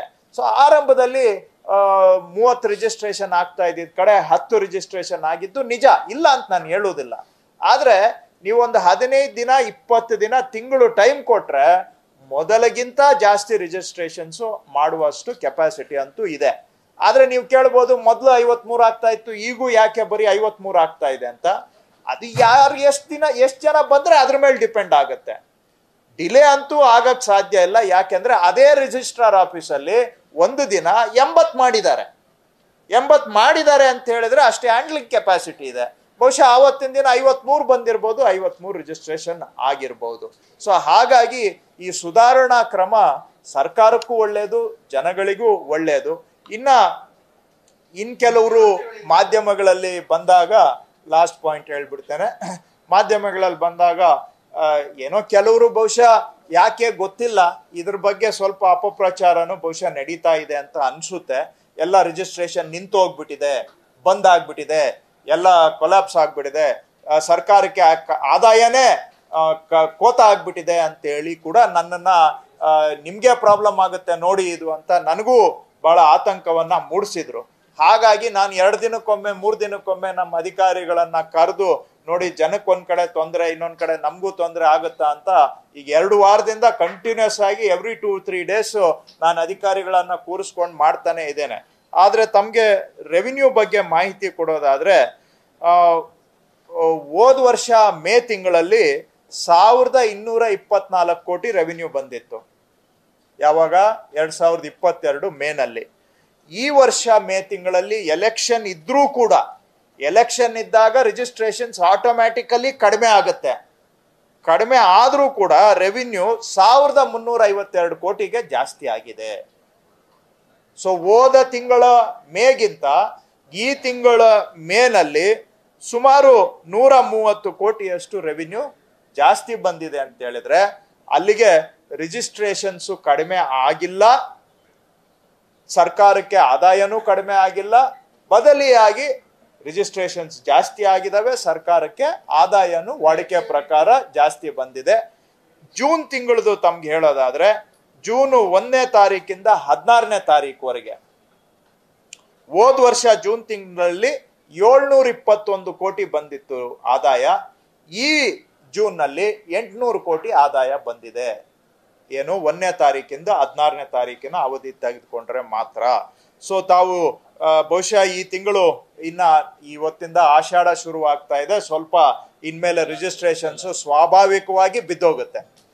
ಒಂದ್ ತಿಂಗಳು ಆಷಾಢ ಮುಗಿಯೋವರೆಗೂ ಬಿದ್ದೋಗುತ್ತೆ. ಆಷಾಢ ಪೂರ್ವದ ಮಾಹಿತಿಯನ್ನ ನಾವು ನೋಡಿದಾಗ ಒಳ್ಳೆ ರಿಜಿಸ್ಟ್ರೇಷನ್ಸ್ ಆಗಿರೋದು ಈ ಅಂಕಿ ಸಂಖ್ಯೆಗಳಿಂದಾನೇ ಗೊತ್ತಾಗ್ತದೆ. ಇದನ್ನ ತಮ್ಮ ಜೊತೆಗೆ ಹಂಚ್ಕೊಳ್ಳೋದು ಒಳ್ಳೇದು. ಯಾಕೆ ಅಂದ್ರೆ ಯಾವುದು ಈ ಕಾವೇರಿ ಟು ಜನಕ್ಕೆ ಒಳ್ಳೆ ಮಾಡೋದಕ್ಕೋಸ್ಕರ ಜನಗಳಿಗೆ ಸರ್ಕಾರಿ ಸೇವೆ ಸುಲಲಿತ ಆಗಬೇಕು ಸಲೀಸ ಆಗಬೇಕು ಅಂತ ತೆಗೆದುಕೊಂಡು ಬಂದಿರುವಂತಹದ್ದು. ಯಾರೋ ಕೆಲವರು ಇದ್ರ ಬಗ್ಗೆ ಗೊಂದಲದ ಮಾಹಿತಿಗಳನ್ನ ಅಲ್ಲಿ ಇಲ್ಲಿ ಕೊಡ್ತಾ ಇರೋದ್ರಿಂದ ವಾಸ್ತವ ಸ್ಥಿತಿಯನ್ನ ತಮ್ಮ ಜೊತೆಗೆ ಹಂಚ್ಕೊಳ್ಬೇಕು. ಕಾವೇರಿ ಟು ತಗೊಂಡ್ ಬಂದಿರೋದು ಜನಕ್ಕೆ ಸಲೀಸಾಗಬೇಕು. ಇದರಲ್ಲಿ ಭ್ರಷ್ಟಾಚಾರನೂ ಕಡಿಮೆ ಆಗಬೇಕು. ಒಳ್ಳೆ ಆಡಳಿತ ಸಿಗಬೇಕು. ಜನಕ್ಕೆ ತೊಂದರೆ ಕಡಿಮೆ ಆಗಬೇಕು. ಈ ಎಲ್ಲ ಉದ್ದೇಶಗಳಿಂದ ಕಾವೇರಿ ಟು ಆಡಳಿತ ಸುಧಾರಣಾ ಕ್ರಮವಾಗಿ ತೆಗೆದುಕೊಂಡು ಬಂದಿರುವಂತಹದ್ದು ಆ ಉದ್ದೇಶವನ್ನ ಅದು ಬಹುತೇಕವಾಗಿ ಈಡೇರಿಸ್ತಾ ಇದೆ ಅನ್ನೋದನ್ನ ಸಂತೋಷದಿಂದ ತಮ್ಮ ಜೊತೆಗೆ ಹಂಚ್ಕೊಳ್ಳಿಕ್ಕೆ ಬಯಸ್ತೇನೆ. ಇಷ್ಟು ವಿಚಾರ. ಗೈಡೆನ್ಸ್ ವ್ಯಾಲ್ಯೂ ನಾವು ನಾನು ಕಳೆದ ವಾರ ರಿವ್ಯೂ ಮಾಡಿ ನೋಡಿದ್ದೇನೆ. ಹಿಂದೆ ವರ್ಷಗಳು, ನಾನು ಕಳೆದ ಹತ್ತು ವರ್ಷಗಳಲ್ಲಿ ಯಾವಾಗ ಯಾವಾಗ ಗೈಡೆನ್ಸ್ ವ್ಯಾಲ್ಯೂ ರಿವಿಷನ್ ಆಗಿದೆ ಅಂತ ನೋಡಿದಾಗ ಸ್ವಾಭಾವಿಕವಾಗಿ ಒಂದು ವರ್ಷಕ್ಕೊಮ್ಮೆ, ಒಂದೂವರೆ ವರ್ಷಕ್ಕೊಮ್ಮೆ ಮ್ಯಾಕ್ಸಿಮಮ್ ಎರಡು ವರ್ಷಕ್ಕೊಮ್ಮೆ ಗೈಡೆನ್ಸ್ ವ್ಯಾಲ್ಯೂವನ್ನ ಕಾಲದಿಂದ ಕಾಲಕ್ಕೆ ರಿವೈಸ್ ಮಾಡಿಕೊಂಡು ಬಂದಿದ್ದಾರೆ. ಆದರೆ ಆದ್ರೆ ಈಗ ಏನಾಗಿದೆ ಅಂದ್ರೆ, ಎರಡು ಸಾವಿರದ ಹದಿನೆಂಟರಲ್ಲಿ ರಿವಿಷನ್ ಆದಮೇಲೆ ಇಲ್ಲಿವರೆಗೂ ಕೂಡ ರಿವಿಷನ್ ಆಗೇ ಇಲ್ಲ. ಸೊ ನಾಲ್ಕೂವರೆ ವರ್ಷ ಆಗಿದೆ ಈಗ ಗೈಡೆನ್ಸ್ ವ್ಯಾಲ್ಯೂ ರಿವಿಷನ್ ಆಗಿ. ಬಹುಶಃ ಕರ್ನಾಟಕದಲ್ಲಿ ಯಾವತ್ತೂ ಕೂಡ ಎರಡು ವರ್ಷಕ್ಕಿಂತ ಹೆಚ್ಚು ಅವಧಿಗೆ ರಿವಿಷನ್ ಆಗದೆ ಹಾಗೆ ಬಿಟ್ಟಂತಹದ್ದು ಉದಾಹರಣೆನೇ ಇಲ್ಲ. ಸೊ ಈಗ ನಾಲ್ಕೂವರೆ ವರ್ಷ ಆಗಿರೋದ್ರಿಂದ ಏನಾಗಿದೆ? ಮಾರುಕಟ್ಟೆ ಬೆಲೆಗೂ ಗೈಡೆನ್ಸ್ ವ್ಯಾಲ್ಯೂಗೂ ಬಹಳ ಅಂತರ ಬಂದ್ಬಿಟ್ಟಿದೆ. ಇದರಿಂದ ರೈತರಿಗೂ ಅನ್ಯಾಯ ಆಗುತ್ತೆ ಪ್ರಾಪರ್ಟಿ ಸೆಲ್ಲರ್ಸ್ಗೂ ಅನ್ಯಾಯ ಆಗುತ್ತೆ. ಯಾಕೆಂದ್ರೆ ನೀವು ಏನೇ ಮಾರ್ಕೆಟ್ ವ್ಯಾಲ್ಯೂ ಇದ್ರೂ ಗೈಡೆನ್ಸ್ ವ್ಯಾಲ್ಯೂ ಇಷ್ಟಿದೆಯಲ್ಲ ಅಂತ ಹೇಳ್ಬಿಟ್ಟು ಕೊಂಡ್ಕೊಳ್ಳೋರು ಬಂದ್ಬಿಟ್ಟು ಏನ್ ಮಾಡ್ತಾರೆ? ಕಮ್ಮಿನೇ ರೈ, ಕೊಡೋ ರೈತರಿಗೆ ಏನು ಮಾರಾಟ ಮಾಡುವಂತ ಸಂದರ್ಭದಲ್ಲಿ ರೈತರಿಗೆ ಸಿಗಬೇಕಾದಂತ ಸಂಪೂರ್ಣ ಬೆಲೆ ಸಿಗದೆ ರೈತರಿಗೆ ಒಂದು ಕಡೆ ಅನ್ಯಾಯ ಆಗ್ತಾ ಇದೆ. ಹಾಗೂ ಇನ್ನೊಂದು ಕಡೆ ಏನಾಗುತ್ತೆ, ಮಾರ್ಕೆಟ್ ರೇಟ್ಗಿಂತ ಗೈಡೆನ್ಸ್ ರೇಟ್ ತುಂಬಾ ಕಮ್ಮಿ ಇದ್ದಾಗ ಎಲ್ಲ ಕ್ಯಾಶ್ ಟ್ರಾನ್ಸಾಕ್ಷನ್ ಆಗಿ ಅದು ಕಪ್ಪು ಹಣಕ್ಕೆ ನೇರವಾಗಿ ನಾವು ಪ್ರೋತ್ಸಾಹ ಕೊಟ್ಟಂಗೂ ಆಗುತ್ತೆ. ಬ್ಲ್ಯಾಕ್ ಮನಿ ಕಾಂಪೊನೆಂಟು ರಿಜಿಸ್ಟ್ರೇಷನ್ ಅಲ್ಲಿ ಜಾಸ್ತಿ ಆಗುತ್ತೆ, ಕ್ಯಾಶ್ ಕಾಂಪೊನೆಂಟ್. ಅದು ಕೂಡ ಬ್ಲ್ಯಾಕ್ ಮನಿಗೆ ನಾವು, ನಾವಾಗಿ ನಾವು ಅದಕ್ಕೆ ರೈತ, ಒಂದ್ ಕಡೆ ರೈತರಿಗೆ ಅನ್ಯಾಯ ಆಗೋದಾದ್ರೆ ಕಡಿಮೆ ಗೈಡೆನ್ಸ್ ವ್ಯಾಲಿಯಿಂದ ಇನ್ನೊಂದು ಕಡೆ ಬ್ಲ್ಯಾಕ್ ಮನಿ ಕಾಂಪೊನೆಂಟು ಜಾಸ್ತಿ ಆಗುತ್ತೆ. ಸೊ ಇವೆರಡನ್ನೂ ಗಮನದಲ್ಲಿ ಇಟ್ಕೊಂಡು ಈ ಗೈಡೆನ್ಸ್ ವ್ಯಾಲ್ಯೂ ರಿವಿಷನ್ ಬಗ್ಗೆ ಸದ್ಯದಲ್ಲೇ ಒಂದು ತೀರ್ಮಾನ ತೆಗೆದುಕೊಳ್ತೇವೆ. ಇಲ್ಲ, ಇನ್ನು ಆ ಲೆವೆಲ್ಗೆ ಹೋಗಿಲ್ಲ. ನೋಡಿ, ನನಗೂ ಅಧಿಕಾರಿಗಳಿದೆ, ಕೇಳಿದ್ರು, ಅಕಸ್ಮಾತ್ ಮಾಡೋದಾದ್ರೆ ಎಷ್ಟು ಪರ್ಸೆಂಟೇಜ್ ಮಾಡಬೇಕು ಅಂತ. ನಿಯಮ ಏನು ಹೇಳುತ್ತೆ ಅಂದ್ರೆ ಮಾರ್ಕೆಟ್ ವ್ಯಾಲ್ಯೂಗೆ ತಕ್ಕಂಗೆ ಇರಬೇಕು ಅಂತ ಹೇಳುತ್ತೆ. ಬಟ್ ಹಾಗಂತೇಳಿ ಒಂದೇ ಸತಿಗೆ ನಾವು ಅದನ್ನೆಲ್ಲ ಮಾಡ್ಲಿಕ್ಕೆ ಆಗೋದಿಲ್ಲ. ಬಟ್ ಪ್ರಿನ್ಸಿಪಲ್ ಒಂದು ನಿಯಮ ಇರೋದು ಆ ರೀತಿಯಾಗಿ. ಬಟ್ ಹಾಗಂತೇಳಿ ಮಾರ್ಕೆಟ್ ರೇಟ್ಗೆ ನಾವು ಸಡನ್ ಆಗಿ ತೆಗೆದುಕೊಂಡು ಹೋಗ್ಲಿಕ್ಕೆ ಆಗೋದಿಲ್ಲ. ಅದು ನೋಡ್ತೇವೆ. ಈಗ ಫಸ್ಟು ನಾನು ಏನು ಹೇಳಿದ್ದೇನೆ ಗೈಡೆನ್ಸ್ ವ್ಯಾಲ್ಯೂಗೂ ಆ್ಯಕ್ಚುಲಿ ನಡೀತಾ ಇರೋ ವಹಿವಾಟುಗಳಿಗೂ ಎರಡೂ ಫಿಗರ್ಸ್ ಕೊಡಿ ಎಲ್ಲ ಸ್ಟೇಟ್ದು ಅಂತ ಅಷ್ಟು ಕೇಳಿದ್ದೇನೆ. ನೋಡಿಕೊಂಡು ಆಮೇಲೆ ನೋಡೋಣ. ಇನ್ನೂ ಅದ್ರ ಬಗ್ಗೆ ನಾವಿನ್ನೂ ಆ ಸ್ಟೇಜಿಗೆ ಬಂದಿಲ್ಲ. ಹೌದು.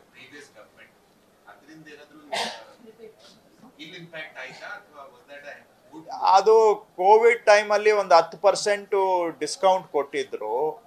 ಸೊ ಆವತ್ತಿನ ಕಾಲಕ್ಕೆ ಬಹುಶಃ ಅದು ಅವಶ್ಯಕತೆ ಇತ್ತು ಅಂತ ಅನಿಸುತ್ತೆ. ಅದರಿಂದ ನಾನು ನೋಡಿದಾಗ ಏನು ಭಾಳ ಏನು ಏರುಪೇರು ಅನುಕೂಲನೂ ಆಗಿಲ್ಲ, ಅನಾನುಕೂಲನೂ ಆಗಿಲ್ಲ. ಸ್ವಲ್ಪ ಆ ಟೈಮಲ್ಲಿ ರಿಜಿಸ್ಟ್ರೇಷನ್ಸ್ ಒಂಚೂರು ಜಾಸ್ತಿ ಆಗಿದೆ, ಹತ್ತು ಪರ್ಸೆಂಟ್ ರಿಬೇಟ್ ಇತ್ತಲ್ಲ ಅಂತೇಳಿ ಸ್ವಲ್ಪ ರಿಜಿಸ್ಟ್ರೇಷನ್ಸ್ ಬಟ್ ಈ ರಿಜಿಸ್ಟ್ರೇಷನ್ಸ್ ಪ್ರಾಸೆಸ್ ನನಗೆ ತಿಳಿದಾಗೆ ಇದು ಮಾರಬೇಕು ಅನ್ನೋರ್ನ ಕೊಂಡ್ಕೋಬೇಕು ಅನ್ನೋರು ಯಾರು ಕೂಡ ಡ್ಯೂಟಿ ಸ್ಟ್ರಕ್ಚರ್ ಆಧಾರದ ಮೇಲೆ ತೀರ್ಮಾನ ಮಾಡೋದಿಲ್ಲ. ಪ್ರಾಪರ್ಟಿ ಕೊಂಡ್ಕೋಬೇಕು ಅಂದ್ರೆ ಕೊಂಡ್ಕೊಂಡೇ ಕೊಳ್ಕೊಳ್ತಾರೆ ಮಾರೋರು ಮಾರಬೇಕು ಅನ್ನೋ ಅನಿವಾರ್ಯತೆ ಬಂದ್ರೆ ಮಾರೇ ಮಾರ್ತಾರೆ. Whatever may be the duty structure so why ಯಾಕೆ ಕೊಟ್ಟರು ಅನ್ನೋದು ಆಕ್ಚುಲಿ ಯಕ್ಷ ಪ್ರಶ್ನೆ ಅದು. So I will not get into that ಆಗೋಗಿದೆ. ಈಗ in my view it was not necessary but ಕೊಟ್ಟಿದ್ದಾರೆ ಆವತ್ತಿನ ದಿನ. ಅದು ಆಗೋಗಿದೆ. ಬಟ್ ಈಗ ರೇಟ್ ರಿವಿಷನ್ಗೆ ವಾಪಸ್ ಬರೋದಾದರೆ ನಾನು ಅಧಿಕಾರಿಗಳಿಗೆ ಹೇಳಿದ್ದೇನೆ.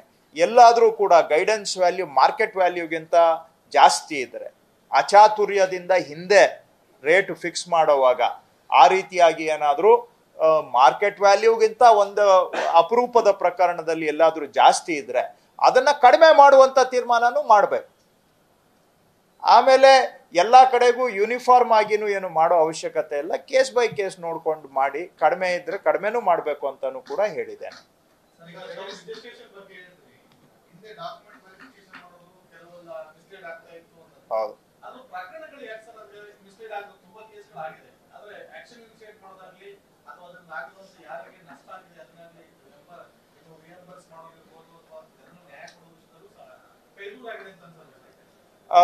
ಈಗ ನಾನು ಕಳೆದ ವಾರ ಅದನ್ನ ನಮ್ಮ ಅಧಿಕಾರಿಗಳ ಜೊತೆ ಕೂತ್ಕೊಂಡು ಚರ್ಚೆ ಮಾಡಿದ್ದೇನೆ. ಸುಮಾರು ನಿನ್ನೆ ಕೂಡ ನಾನು ನಮ್ಮ ಹೋಮ್ ಆಫೀಸಲ್ಲಿ ಮನೆಯಲ್ಲೇ ಕೂತ್ಕೊಂಡು ಐ ಜಿ ಆರ್ ಅವ್ರ ಜೊತೆಗೆ ಮಾತಾಡಿದೆ. ಸುಮಾರು ನೂರು ನೂರು ಮೂವತ್ತು ಎನ್ಕ್ವೈರಿಗಳು ಸರ್ಕಾರ ಇನ್ನೂ ಅನುಮತಿ ಕೊಡದೆ ಪೆಂಡಿಂಗ್ ಇಟ್ಕೊಂಡಿದ್ದಾನೆ ಸೊ ನಾನು ಅವರಿಗೆ ಹೇಳಿದ್ದೇನೆ ಇಮಿಡಿಯೇಟ್ಲಿ ಅವೆಲ್ಲ ಫೈಲ್ಸ್ ಹಿಂದೆ ಯಾಕೆ ಪೆಂಡಿಂಗ್ ಇಟ್ಟಿದ್ರು, ಯಾಕೆ ಅವ್ರ ಮೇಲೆ ಎನ್ಕ್ವೈರಿ ಇನಿಷಿಯೇಟ್ ಮಾಡಲಿ, ಕೆಲವು ಎನ್ಕ್ವೈರಿ ಆರಂಭ ಆಗಿ ವರ್ಷಗಳಾಗಿದೆ. ಅದನ್ನ ಮೂರು ತಿಂಗಳಲ್ಲಿ ಮುಗಿಬೇಕಾದಂತ ಎನ್ಕ್ವೈರಿಗಳು ವರ್ಷಾನುಗಟ್ಲೆ ಮುಗಿದಿಲ್ಲ. ಇನ್ ಕೆಲವು ಎನ್ಕ್ವೈರಿಗೆ ಅನುಮತಿನೇ ಕೊಟ್ಟಿಲ್ಲ. ಉದಾಹರಣೆಗೆ ಶನಿವಾರ ನನಗೊಂದು ಫೈಲ್ ಬಂತು. ಒಂದು ಪ್ರಕರಣದಲ್ಲಿ ಎರಡ್ ಸಾವಿರದ ಹತ್ತೊಂಬತ್ತರಲ್ಲಿ ಅವರು ಲೋಕಾಯುಕ್ತ ಅನ್ನೋರು ಅವ್ರ ಮೇಲೆ ಆರೋಪ ಹೊರಿಸಿದ್ದಾರೆ. ಎರಡ್ ಸಾವಿರದ ಹತ್ತೊಂಬತ್ತು. ಅದು ಅವ್ರ ಮೇಲೆ ತನಿಖೆ ಆರಂಭ ಮಾಡೋದಕ್ಕೆ ನಾನು ಹೋದ ಶುಕ್ರವಾರ ಶನಿವಾರ ಸೈನ್ ಹಾಕಿದ್ದೇನೆ. ಎರಡ್ ಸಾವಿರದ ಹತ್ತೊಂಬತ್ತು, ಎರಡ್ ಸಾವಿರದ ಇಪ್ಪತ್ತ್ ಮೂರು ಅಂದ್ರೆ ಎಷ್ಟೋ ವರ್ಷ ಆಯ್ತು. ಅವ್ರು ಇನ್ನೇನು ಇನ್ನೂ ರಿಟೈರ್ ಆಗಿಲ್ಲ ಇದ್ದಾರೆ ನಾಲ್ಕು ವರ್ಷ ಆಗಿದೆ, ಅವ್ರ ಮೇಲೆ ಎನ್ಕ್ವೈರಿಗೆ ಇಲ್ಲಿವರೆಗೂ ಸಹ ಪರ್ಮಿಷನ್ನು ಕೊಟ್ಟಿಲ್ಲ. ಸೊ ನಾನು ಅದಕ್ಕೆ ಸೂಚನೆಯನ್ನ ಕೊಟ್ಟಿದ್ದೇನೆ ಪ್ರಧಾನ ಕಾರ್ಯದರ್ಶಿಗಳಿಗೆ. ಮೊನ್ನೆ ಶನಿವಾರ ಇದೇ ಹಾಲಲ್ಲಿ ಮೀಟಿಂಗ್ ಮಾಡಿ ಹೇಳಿದ್ದೇನೆ. ಈ ಡಿಲೇ ಆಗೋದಕ್ಕೆ ಯಾವ ಅಧಿಕಾರಿ ಕಾರಣ, ಅದನ್ನ ನನ್ನ ಗಮನಕ್ಕೆ ತಗೊಂಡ್ ಬರಬೇಕು, ಅವ್ರ ಮೇಲೂ ಆಕ್ಷನ್ ಆಗಬೇಕು ಅಂತ ಹೇಳಿದ್ದೇನೆ ನಾನು ಅವರಿಗೆ. ಸೊ ಈ ತರಹ ನೀವು ಹೇಳ್ದಂಗೆ ಸುಮಾರು ಕೇಸುಗಳಲ್ಲಿ ಎನ್ಕ್ವೈರಿನ ಸ್ಟಾರ್ಟ್ ಮಾಡೋಕ್ಕೆ ಪರ್ಮಿಷನ್ ಕೊಟ್ಟಿಲ್ಲ. ಹೋದ ಬಾರಿ. ಅವೆಲ್ಲ ವಿಳಂಬ ಆಗಿದೆ. ಕೆಲವು ಸಚಿವಾಲಯದಲ್ಲಿ ವಿಳಂಬ ಆಗಿರ್ಬೋದು, ಕೆಲವು ಮಂತ್ರಿಗಳ ಕಚೇರಿಯಲ್ಲಿ ವಿಳಂಬ ಆಗಿರ್ಬೋದು. ನಾನು ಅವ್ರಿಗೆ ಹೇಳಿದ್ದೇನೆ ಎನ್ಕ್ವೈರಿಗೆ ಇನ್ಮೇಲೆ ಯಾವುದೇ ಕಾರಣಕ್ಕೂ ವಿಳಂಬ ಆಗಬಾರ್ದು. ಯಾರಾದರೂ ಎಲ್ಲಾದರೂ ಫೈಲನ್ನು ಎತ್ತಿಡುವಂಥ ಕೆಲಸ ಮಾಡಿದರೆ, ಆ ಅಧಿಕಾರಿಗಳ ಮೇಲೆ ನಾನು ಎನ್ಕ್ವೈರಿ ಮಾಡಬೇಕಾಗತ್ತೆ ಅಂತಲೂ ಹೇಳಿದ್ದೇನೆ. ಮತ್ತು ಯಾವ ಎನ್ಕ್ವೈರಿಗಳು ಶುರುವಾಗಿದ್ದಾವೆ ಅವುಗಳನ್ನ ಆ ಎನ್ಕ್ವೈರಿ ಆಫೀಸರ್ಸ್ ಅನ್ನ ಕರೆಸಿ ಮೀಟಿಂಗ್ ಮಾಡಬೇಕು ಅಂತ ನಾನು ಪ್ರಿನ್ಸಿಪಲ್ ಸೆಕ್ರೆಟರಿ ಅವರಿಗೆ ಹೇಳಿದ್ದೇನೆ. ಮೂರು ತಿಂಗಳು ಟೈಮು ಒಂದು ತಿಂಗಳು ಎಕ್ಸ್ಟೆನ್ಷನ್ ಅದಕ್ಕಿಂತ ಹೆಚ್ಚಿಗೆ ಎಕ್ಸ್ಟೆನ್ಷನ್ ಕೊಡೋ ಅವಶ್ಯಕತೆ ಇಲ್ಲ. ಯಾ ಇನಿಷಿಯೇಟ್ ಆಗಿರೋ ಎನ್ಕ್ವೈರಿಗಳು ತಕ್ಷಣ ತಾತ್ಪರ್ಯ ಒಂದು ಲಾಜಿಕಲ್ ಎಂಡಿಗೆ ಬರಬೇಕು. ಅವ್ರು ಏನಾದರೂ ಕೊಡಲಿ. ಅವ್ರು ಒಳ್ಳೆ ಎನ್ಕ್ವೈರಿ ಮಾಡಲಿ, ಸಮಾಧಾನ ಆಗದೆ ಇರುವಂತ ಎನ್ಕ್ವೈರಿ ಮಾಡಲಿ. ಅಟ್ಲೀಸ್ಟ್ ಎನ್ಕ್ವೈರಿ ಕನ್ಕ್ಲೂಡ್ ಆಗಬೇಕು. ನೂರಾರು ಪ್ರಕರಣಗಳು ಪೆಂಡಿಂಗ್ ಎನ್ಕ್ವೈರಿ ಪೆಂಡಿಂಗ್ ಎನ್ಕ್ವೈರಿ ಅಂತ ಹೇಳುವಂತಹದ್ದು ಸರಿಯಲ್ಲ. ಸೊ ಎನ್ಕ್ವೈರಿ ಇನಿಷಿಯೇಟ್ ಆಗೋದ್ರಲ್ಲೂ ವಿಳಂಬ ಆಗಬಾರ್ದು. ಎನ್ಕ್ವೈರಿ ಪೂರ್ಣ ಆಗೋದ್ರಲ್ಲೂ ವಿಳಂಬ ಆಗಬಾರ್ದು ಅಂತ ನಾನು ಐ ಜಿ ಆರ್ ಅವ್ರಿಗೆ ಪ್ರಿನ್ಸಿಪಲ್ ಸೆಕ್ರೆಟರಿ ಇಬ್ಬರಿಗೂ ಕ್ಲಿಯರ್ ಆಗಿ ಇನ್ಸ್ಟ್ರಕ್ಷನ್ ಕೊಟ್ಟಿದ್ದೇನೆ. ತಿಮ್ಮಪ್ಪ ಅವರು ಕಂದಾಯ ಸಚಿವರಾಗಿದ್ದಾಗ ಬೆಂಗಳೂರು ನಗರ ಇರ್ಬೋದು ಅಥವಾ ಬೇರೆ ಬೇರೆ ನಗರ ಪ್ರದೇಶಗಳಲ್ಲಿ ಇನ್ನು ಗ್ರಾಮಾಂತರ ಅಥವಾ ಏನು ಗ್ರಾಮಾಂತರ ಈ ಖಾತರಿಗಳಲ್ಲಿ ನೋಂದಣಿ ಮಾಡಿಕೊಂಡು ಸಿಟಿ ಸರ್ವೆನ ಅಥವಾ ಸಿಟಿ ಜಾಗವನ್ನ ಈ ಖಾತಾ ನೋಂದಣಿ ಮಾಡ್ಕೊಂಡು ತುಂಬಾ ಪ್ರಕರಣಗಳಾಗಿವೆ ಹಿಂದೆ ಅದ್ರ ಬಗ್ಗೆ ಕೆಲವು ತನಿಖೆ ಆಗಿತ್ತು ಮುಳುವೆಲ್ಲ ಆರನೇ ಎಲ್ಲ ಡ್ರಾಪ್ ಆಗಿದೆ ಇದು ಯಾಕೆ ಆ ಥರ ಆಗ್ತಾ ಇರೋ ಪ್ರಕರಣ ಬಗ್ಗೆ ಅಲ್ಲ, ಅದಕ್ಕೇನೆ ಕಾವೇರಿ ಟೂ ಬಂದಿರೋದು. ಕಾವೇರಿ ಟೂನಲ್ಲಿ ಸದ್ಯಕ್ಕೆ ಅಟ್ಲೀಸ್ಟ್ ಬೇರೆಯವರ ಹೆಸರಿನಲ್ಲಿರೋ ಜಮೀನು ಇನ್ನೊಬ್ರು ಹೋಗಿ ರಿಜಿಸ್ಟ್ರೇಷನ್ ಮಾಡಕ್ ಆಗೋದಿಲ್ಲ. ಮುಂದಿನ ದಿನಗಳಲ್ಲಿ ಅದು ನಗರ ಪ್ರದೇಶಗಳಿಗೂ ಕೂಡ ವಿಸ್ತರಿಸಬೇಕು ಅಂತ ಒಂದು ಈ ಕಾವೇರಿ ಟೂನಲ್ಲಿ ಪ್ರಾವಿಷನ್ ಮಾಡಿದೆ. ಸೊ ಹಂಗಾಗಿ ಮಾಡಿದಾಗ ಯಾರ್ದೋ ಖಾತೆ ತಗೊಂಡು ಯಾರೋ ರಿಜಿಸ್ಟ್ರೇಷನ್ ಮಾಡುವಂತ ತಪ್ಪೋಗುತ್ತೆ ಅದು ಇನ್ನು ಈಗ ಆ ಆ ಒಂದು ಅಂಶ ಈಗ ಇನ್ನೂ ಇಂಪ್ಲಿಮೆಂಟ್ ಆಗಿಲ್ಲ. ಯಾಕಂದ್ರೆ ನಾವು ರೆಡಿ ಇದ್ದೀವಿ. ಅದು ನಗರಸಭೆಗಳು ರೆಡಿ ಇರಬೇಕಲ್ಲ, ಅವ್ರ ಖಾತೆಗಳೆಲ್ಲ ಆನ್ಲೈನ್ ಆದ್ರೆ ಆವಾಗ ನಾವಿಲ್ಲಿ ಮ್ಯಾಂಡೇಟರಿಯನ್ನ ಮಾಡ್ಬೋದು. ಅದು ಮುಂದಿನ ದಿನಗಳಲ್ಲಿ, ತಕ್ಷಣಕ್ಕೆ ಇನ್ನೂ ಇಲ್ಲ. ಬಟ್ ಕಾವೇರಿ ಟೂನಲ್ಲಿ ಅದು ಆ ಥರ ಆಗದಂಗೆ ತಡೆಗಟ್ಟುವಂತಹ ಸುಧಾರಣಾ ಕ್ರಮ ಇದರಲ್ಲಿ ಅಡಕ ಆಗಿದೆ. ಇದು ಮುಗಿದ್ಬಿಡ್ಲಿ, ಆಮೇಲೆ ಬರ್ತೀನಿ ಅದು. ಇದು ಆಗ್ಬಿಡ್ಲಿ ಇದ್ರ ಬಗ್ಗೆ ಹೇಳ್ತೇನೆ, ಮಳೆದು ಹೇಳ್ತೇನೆ. ಇಲ್ಲಿ ಯಾರು? ಹಾ ಸರ್ ಎರಡೂವರೆ ತಿಂಗಳಾಯ್ತು ಈ ಕಾವೇರಿ ಟೂರ್ ಹೌದು.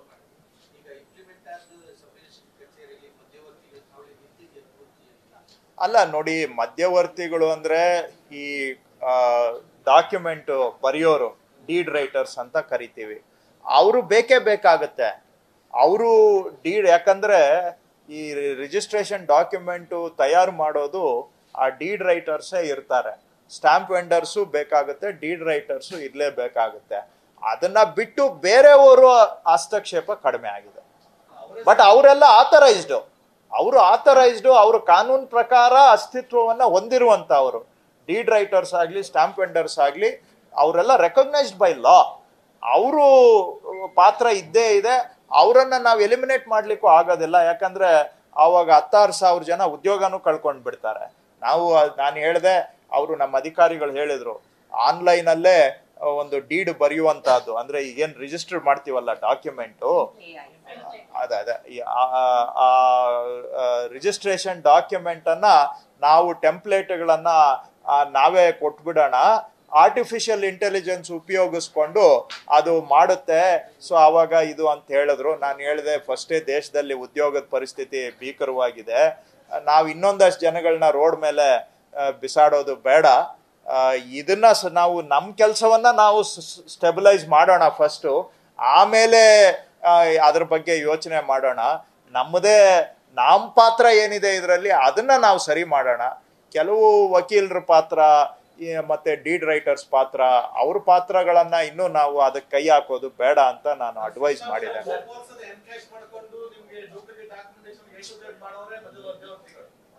ಅಲ್ಲ, ಅವರು ಅವರು ಫ್ರಾಡ್ಸ್ಟರ್ಸ್ ಅವರು ಅವರು ಫ್ರಾಡ್ಗಳು ಇವ್ರು ಹೇಳ್ದಂಗೆ ಇವರು ಡೀಡ್ ರೈಟರ್ಸ್ ಅವ್ರದ್ದೆಲ್ಲ ಅಫಿಷಿಯಲಿ ರೋಲ್ ಇದೆ ಅವ್ರದ್ದು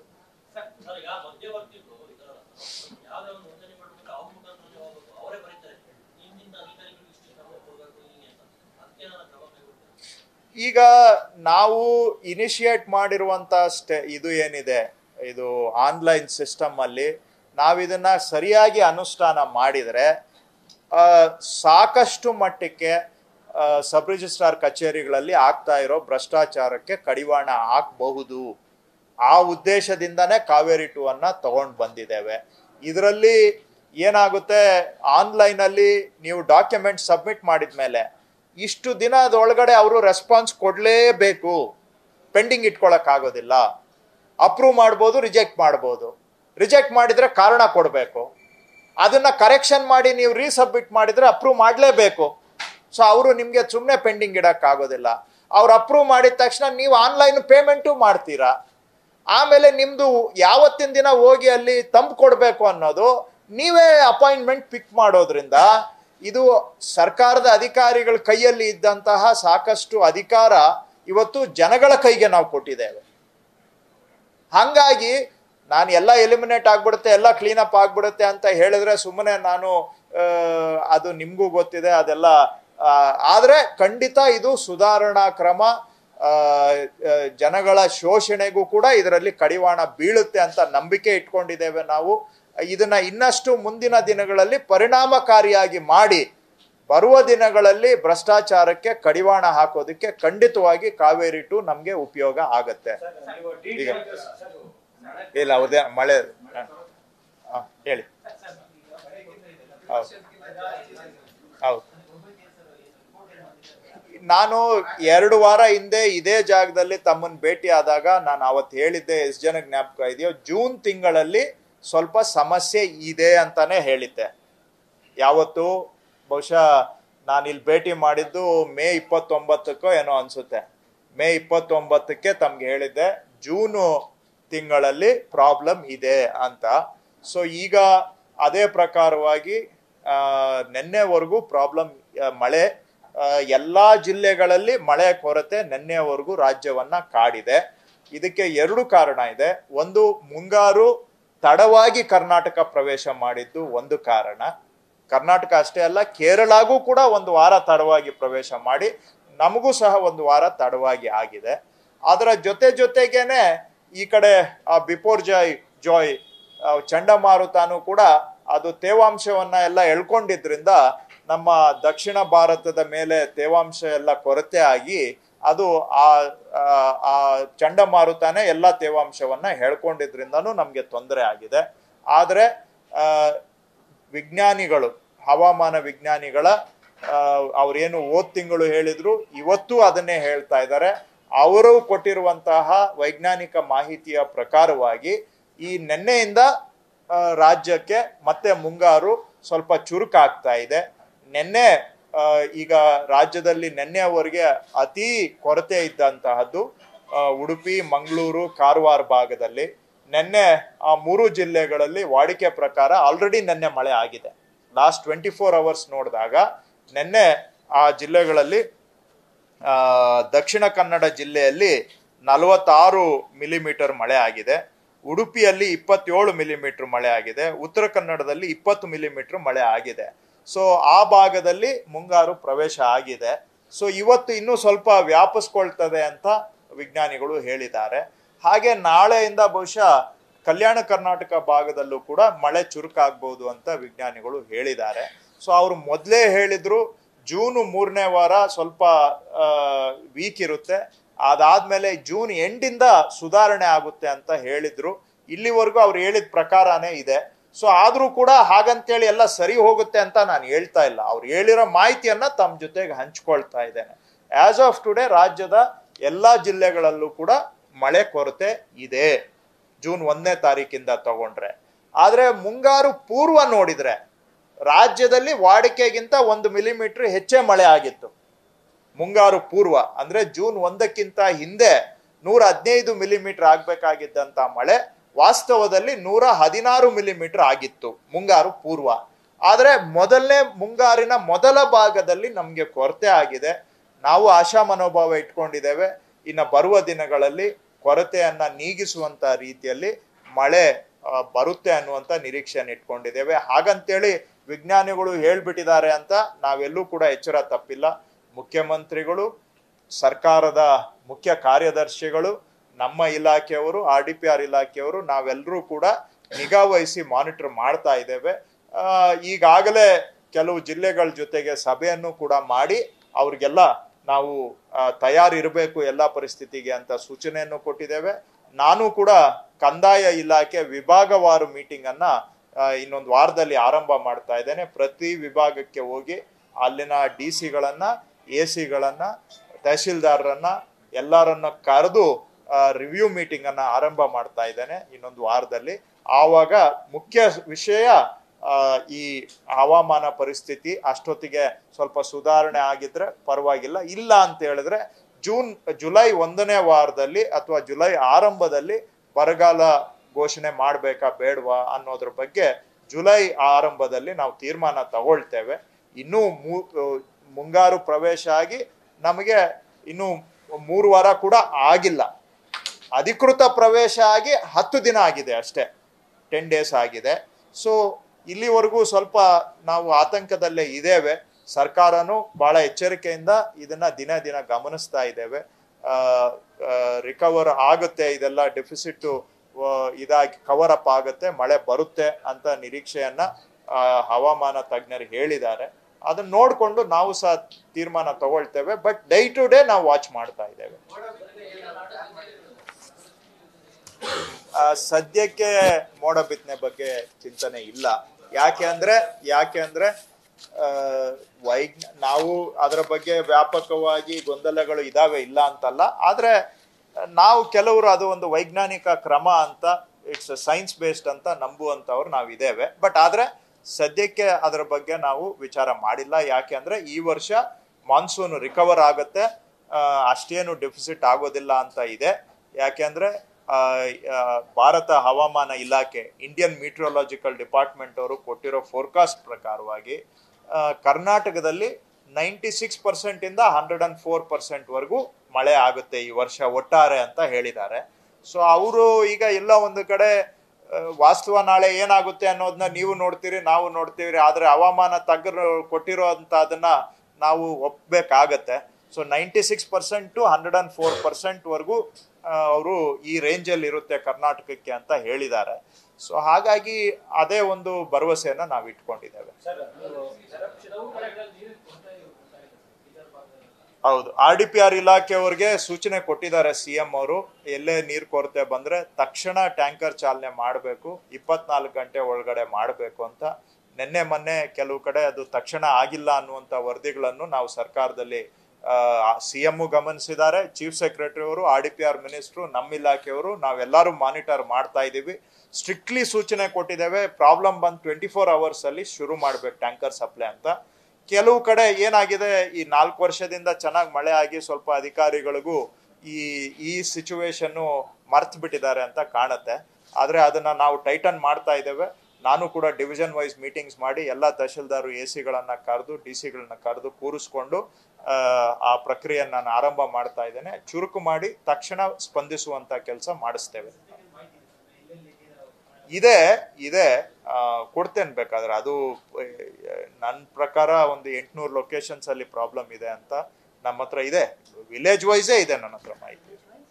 Village wise panchayat wise taluk wise district wise day to day every day monitor ಮಾಡ್ತಾ ಇದ್ದೀವಿ ಎಂಟ್ನೂರು ಕಡೆ problem R D P R ಅವ್ರದ್ದು ಅವ್ರದ್ದು ಹೆಚ್ಚಿಗೆ ಇದೆ. ನಿಮ್ಗೆ ಅದು ಹೇಳ್ಬಿಡ್ತೇನೆ. ಆರ್ ಡಿ ಪಿ ಆರ್ ಅವ್ರ ಪ್ರಕಾರ ಹೆಚ್ಚಿಗೆ ಇದೆ. ರೆವಿನ್ಯೂ ಬಂದಿರೋದ್ರಲ್ಲಿ ಸ್ವಲ್ಪ ನಮಗೆ ಎಂಟ್ನೂರು ಅಂತ ಇದೆ. ನಮಗೂ ಅವ್ರಿಗೂ ವ್ಯತ್ಯಾಸ ಯಾಕೆ ಇರುತ್ತೆ ಅಂದ್ರೆ ಅವ್ರದ್ದು ನೀರಿನ ಪ್ರಮಾಣ ಕಡಿಮೆ ಆದಂಗೆ ಅವರು ಸ್ಟ್ರೆಸ್ಫುಲ್ ಅಂದ್ರೆ ಅಂತ ತಗೊಳ್ತಾರೆ. ವಲ್ನರಬಲ್ ಅಂತ. ಅವರು ವಲ್ನರಬಲ್ ನಂಬರ್ ತಗೊಂಡಾಗ ಜಾಸ್ತಿ ಇರುತ್ತೆ. ನಮ್ಮ ಹತ್ರ ಡೇಟಾ ಬರುತ್ತೆ. ಸೊ ಅವ್ರದ್ದು ಡೇಟಾಗೂ ನಮ್ಮ ಡೇಟಾಗೂ ಸ್ವಲ್ಪ ವ್ಯತ್ಯಾಸ ಇರುತ್ತೆ. ಎಂಟುನೂರು ಎಂಟ್ನೂರ ಆರು ಕಡೆ ಟ್ಯಾಂಕರ್ ಸಪ್ಲೈ ಅಥವಾ ಬಾಡಿಗೆ ಬೋರ್ವೆಲ್ ಮುಖಾಂತರ ನೀರು ಕೊಡ್ತಾ ಇದೆ.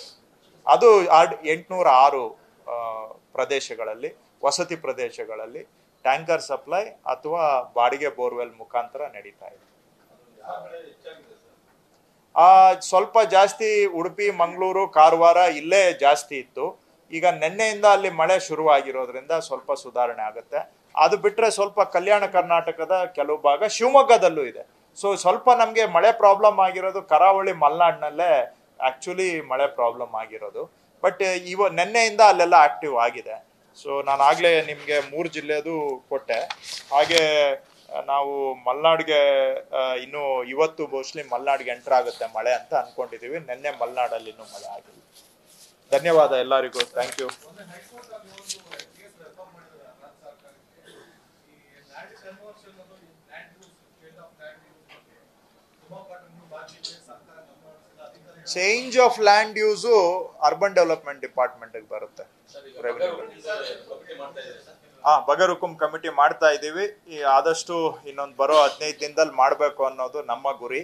ಆದರೆ ಅದು ಸ್ಥಳೀಯರ ಸಹಕಾರನೂ ಬೇಕಾಗುತ್ತೆ ಯಾಕಂದ್ರೆ ಅವರು ಯಾರನ್ನ ಸದಸ್ಯರು ಮಾಡಬೇಕು ಅಂತ ಕೊಟ್ಟ ತಕ್ಷಣ ನಾವು ಮಾಡ್ತೇವೆ. ಬಟ್ ಅವ್ರಿಗೆಲ್ಲ ಹೇಳಿದೆ ನಾನು. ಕೊಡಿ ಯಾವ್ದಾದ್ರು ಇದ್ರೆ ಕೊಡಿ ಖಂಡಿತ ಇದ್ ಮಾಡ್ತೇವೆ. ಇವತ್ತು ನಾನು ಇವತ್ತು ಮತ್ತೊಮ್ಮೆ ತಮ್ಗೆ ಸಾರಾಂಶ ಸಾರಾಂಶ ಸಾರಾಂಶ ಹೇಳೋದು ಏನಪ್ಪ?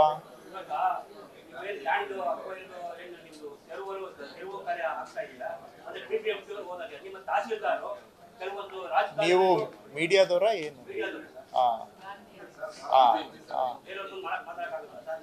ಅಲ್ಲ ಅದಕ್ಕೆ ಕೇಳ್ದಪ್ಪ. ಒತ್ತುವರಿ ಬಿ ಎಂ ಪಿ ವ್ಯಾಪ್ತಿಯಲ್ಲಿ ಆಗಿದೆ ಬಿ ಬಿ ಎಂ ಪಿ ಅವರಿಂದ ರಿಪೋರ್ಟ್ ತರಿಸ್ಕೊಳ್ತೇವೆ, ಏನಾಗಿದೆ ಅಂತ. ಆ ರಿಪೋರ್ಟ್ ತರಿಸ್ಕೊಂಡು ನಾವು ಅದ್ರ ಮೇಲೆ ಕ್ರಮ ತಗೊಳ್ತೇವೆ. ಎಗೇನ್ ಒನ್ಸ್ ಅಗೇನ್ ತಮಗೆ ಹೇಳೋದಾದ್ರೆ, ಕಾವೇರಿ ಟು ಇನ್ನೂರ ಐವತ್ತಾರು ಸಬ್ ರಿಜಿಸ್ಟ್ರಾರ್ ಕಚೇರಿಗಳ ಪೈಕಿ ಇನ್ನೂರ ಐವತ್ತೊಂದು ಕಚೇರಿಗಳಲ್ಲಿ ಇವತ್ತಿನ ದಿನಕ್ಕೆ ಅನುಷ್ಠಾನ ಆಗಿದೆ. ಇದರಿಂದ ಜನಕ್ಕೆ ನೋಂದಣಿ ಪ್ರಕ್ರಿಯೆ ಸರಳ ಆಗಬೇಕು, ಸುಲಭ ಆಗಬೇಕು, ಸುಲಲಿತವಾಗಿ ಆಗಬೇಕು ಅಂತ ಒಂದು ಆಡಳಿತ ಸುಧಾರಣಾ ಕ್ರಮ. ಇದರಿಂದ ಜನ ಗಂಟೆಗಟ್ಟಲೆ ಸಬ್ ರಿಜಿಸ್ಟ್ರಾರ್ ಕಚೇರಿಗಳಲ್ಲಿ ಕಾಯುವಂತಹದ್ದು ಗೊಂದಲ, ಗೋಜಲು ಇವುಗಳನ್ನು ತಡೆಗಟ್ಟಿ ಸುಲಲಿತವಾಗಿ ಆಗಬೇಕು, ಸಮಯ ಅವ್ರಿಗೆ ಉಳಿತಾಯ ಆಗಬೇಕು. ಆ ಆ ಉದ್ದೇಶಕ್ಕೆ ತೆಗೆದುಕೊಂಡು ಬಂದಿರುವಂತಹ ಕ್ರಮ. ಇದು ಸಾಕಷ್ಟು ನಾನು ತಮಗೆ ಅಂಕಿ ಸಂಖ್ಯೆ ಕೊಟ್ಟಿದ್ದೇನೆ. ಈಗ ರಿಜಿಸ್ಟ್ರೇಷನ್ಸು ಕೆಲವು ಕಡೆ, ವಾಡಿಕೆ ರಿಜಿಸ್ಟ್ರೇಷನ್ಸ್ ಏನಾಗ್ತಾ ಇತ್ತು, ಅದಕ್ಕಿಂತ ಕೆಲವು ಕಡೆ ಜಾಸ್ತಿ ಆಗಿರುವಂತಹದ್ದು ಉದಾಹರಣೆ ನೋಡಿದಾಗ, ಎಷ್ಟೇ ರಿಜಿಸ್ಟ್ರೇಷನ್ಸ್ ಬಂದರೂ ಕೂಡ ಹ್ಯಾಂಡಲ್ ಮಾಡುವಂತಹ ಕೆಪಾಸಿಟಿ ಈ ಹೊಸ ವ್ಯವಸ್ಥೆಗೆ ಇದೆ ಅನ್ನೋದನ್ನು ನಾನು ತಮ್ಮ ಜೊತೆಗೆ ಹಂಚ್ಕೊಂಡಿದ್ದೇನೆ. ಯಾಕಂದ್ರೆ ಹೊರವಲಯದಲ್ಲಿ ಸ್ವಲ್ಪ ಗೊಂದಲದ ಮಾತುಗಳು ಈ ಕಾವೇರಿ ಟೂ ನಿಂದಾನೇ ಪ್ರಾಬ್ಲಮ್ ಆಗಿದೆ ಅಂತ ಎಲ್ಲ ಕೇಳ್ಪಟ್ಟಿದ್ದೀರಾ? ತಮಗೂ ಬಂದಿರಬಹುದು ಕಂಪ್ಲೇಂಟ್ಸು ಆದರೆ ವಾಸ್ತವ ಆ ರೀತಿ ಇಲ್ಲ. ಎಷ್ಟೇ ಬಂದರೂ ರಿಜಿಸ್ಟರ್ ಮಾಡುವಂಥ ಕೆಪಾಸಿಟಿ ಕಾವೇರಿ ಟೂ ಮುಖಾಂತರ ನೋಂದಣಿ ಇಲಾಖೆಯವರು ಡೆವಲಪ್ ಮಾಡಿದ್ದಾರೆ. ಮುಂದೆ ಏನೋ ಸಣ್ಣ ಪುಟ್ಟ ಸಮಸ್ಯೆಗಳು ಇರಬಹುದು ಇಲ್ಲ ಅಂತ ನಾವ್ಯಾರು ನಾವೇನು ಎಲ್ಲ ಪರ್ಫೆಕ್ಟ್ ಅಂತ ನಾನು ಹೇಳ್ತಾ ಇಲ್ಲ. ಆದರೆ ಏನೇ ಸಮಸ್ಯೆ ಇದ್ರೂ ಸರಿ ಮಾಡಿಕೊಂಡು ಹೋಗ್ತೇವೆ. ಜನಕ್ಕೆ ಸುಲಲಿತವಾಗಿ ಒಳ್ಳೆ ಆಡಳಿತ ಕೊಡಬೇಕು ಅನ್ನೋ ದೃಷ್ಟಿಯಿಂದ ಇದನ್ನ ಮಾಡ್ತಾ ಇದ್ದಾರೆ.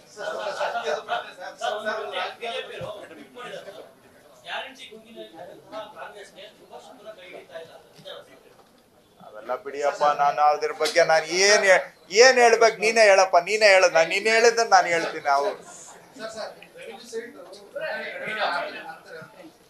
ಆ, ನೋಡಿ, ಅದ್ರ ಬಗ್ಗೆ ಇನ್ನೂ ಅದ್ರ ಬಗ್ಗೆ ಇನ್ನೂ ಚರ್ಚೆ ಹಂತದಲ್ಲಿದೆ. ಮುಂದಿನ ದಿನಗಳಲ್ಲಿ ತೀರ್ಮಾನ ತಗೊಳ್ಳಿ ಇಚ್ಛೆ, ಅದು ಬಹಳ ಪ್ರಮುಖವಾದಂತ ವಿಷಯ. ಸಾಧಕ ಬಾಧಕ ಎಲ್ಲ ಚರ್ಚೆ ಮಾಡಿ ಮಾಡಬೇಕು.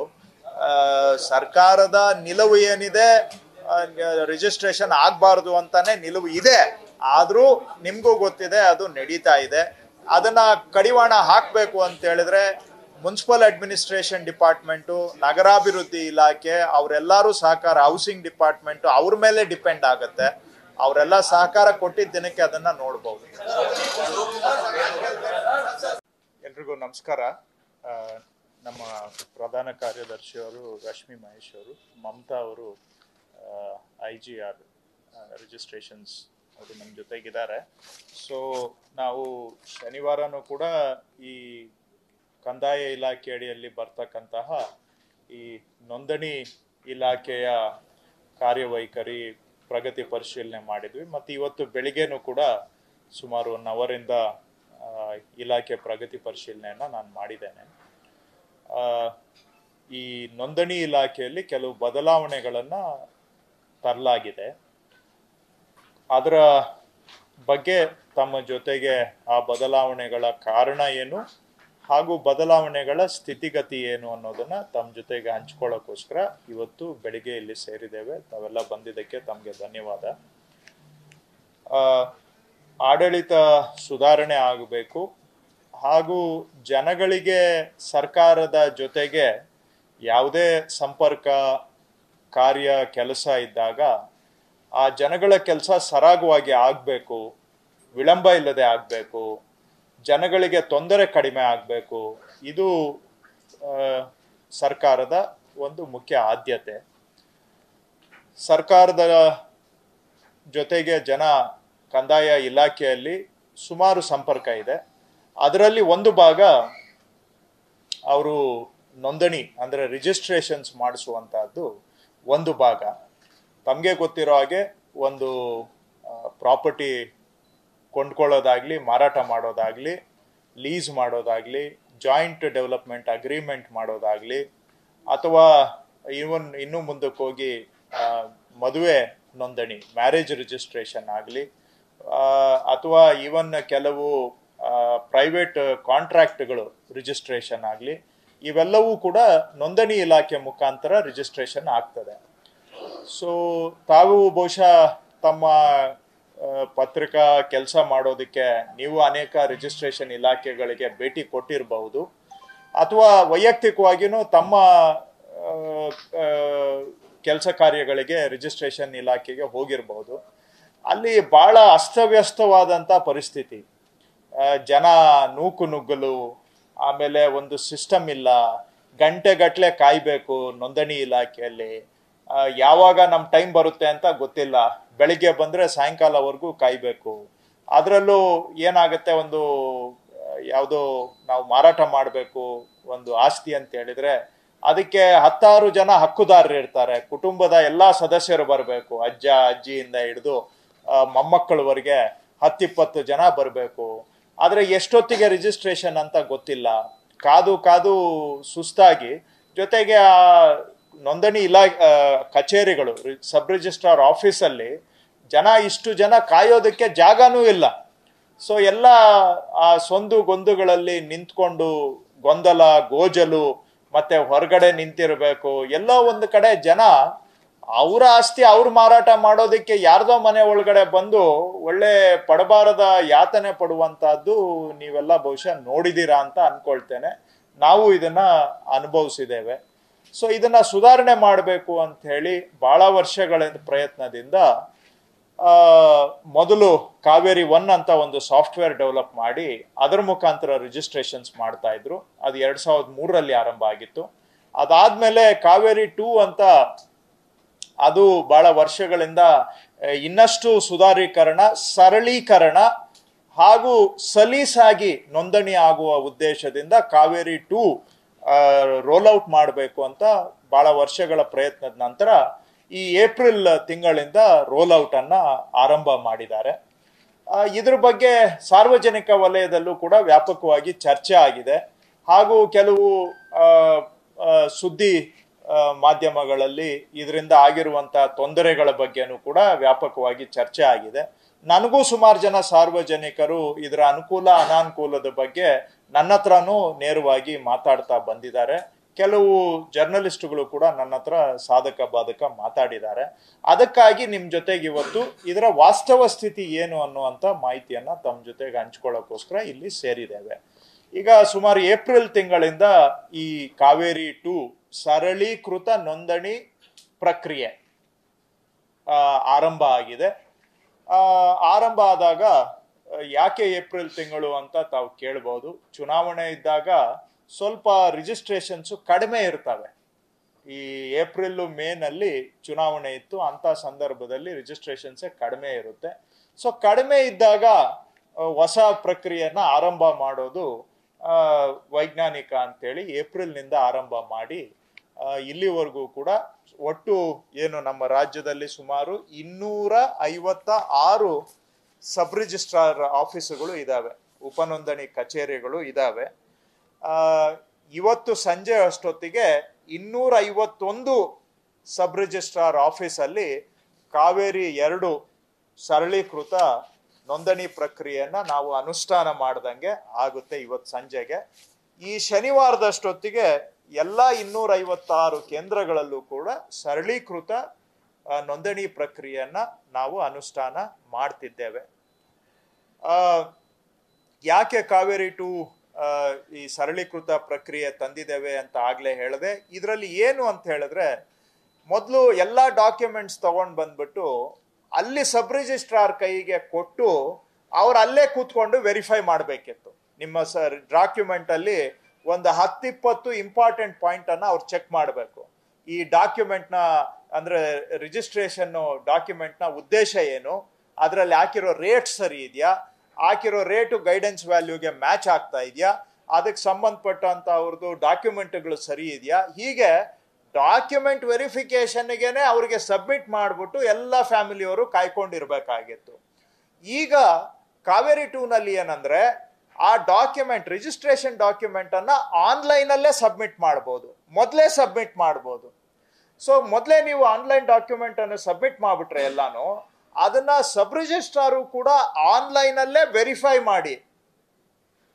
ಅವರು ಎಲ್ಲ ನಿಮ್ದು ಡಾಕ್ಯುಮೆಂಟ್ ಸರಿ ಇದೆ ಅಂತ ಹೇಳಿ ನಿಮ್ಗೆ ವಾಪಸ್ಸು ಆನ್ಲೈನಲ್ಲೇ ಅವರು ನಿಮ್ಗೆ ಸುದ್ದಿಯನ್ನ ಮುಟ್ಟಿಸ್ತಾರೆ. ಸೊ ಆನ್ಲೈನ್ ಅಲ್ಲಿ ಸರಿ ಇದೆ ಅಂತ ನಿಮ್ಗೆ ಸುದ್ದಿ ವಾಪಸ್ ಮೆಸೇಜ್ ಬಂದ ಮೇಲೆ, ಆಮೇಲೆ ಅದಕ್ಕೆ ತಗಲುವಂತ ವೆಚ್ಚನೂ ಕೂಡ ಆನ್ಲೈನಲ್ಲೇ ಪೇಮೆಂಟ್ ಆಗುತ್ತೆ. ಅದನ್ನ ಅವರೇ ಮಾಡ್ಬೋದು. ಯಾರು ಸಾರ್ವಜನಿಕರೇ ಆನ್ಲೈನಲ್ಲಿ ಪೇಮೆಂಟು ಕೂಡ ಮಾಡ್ಬೋದು.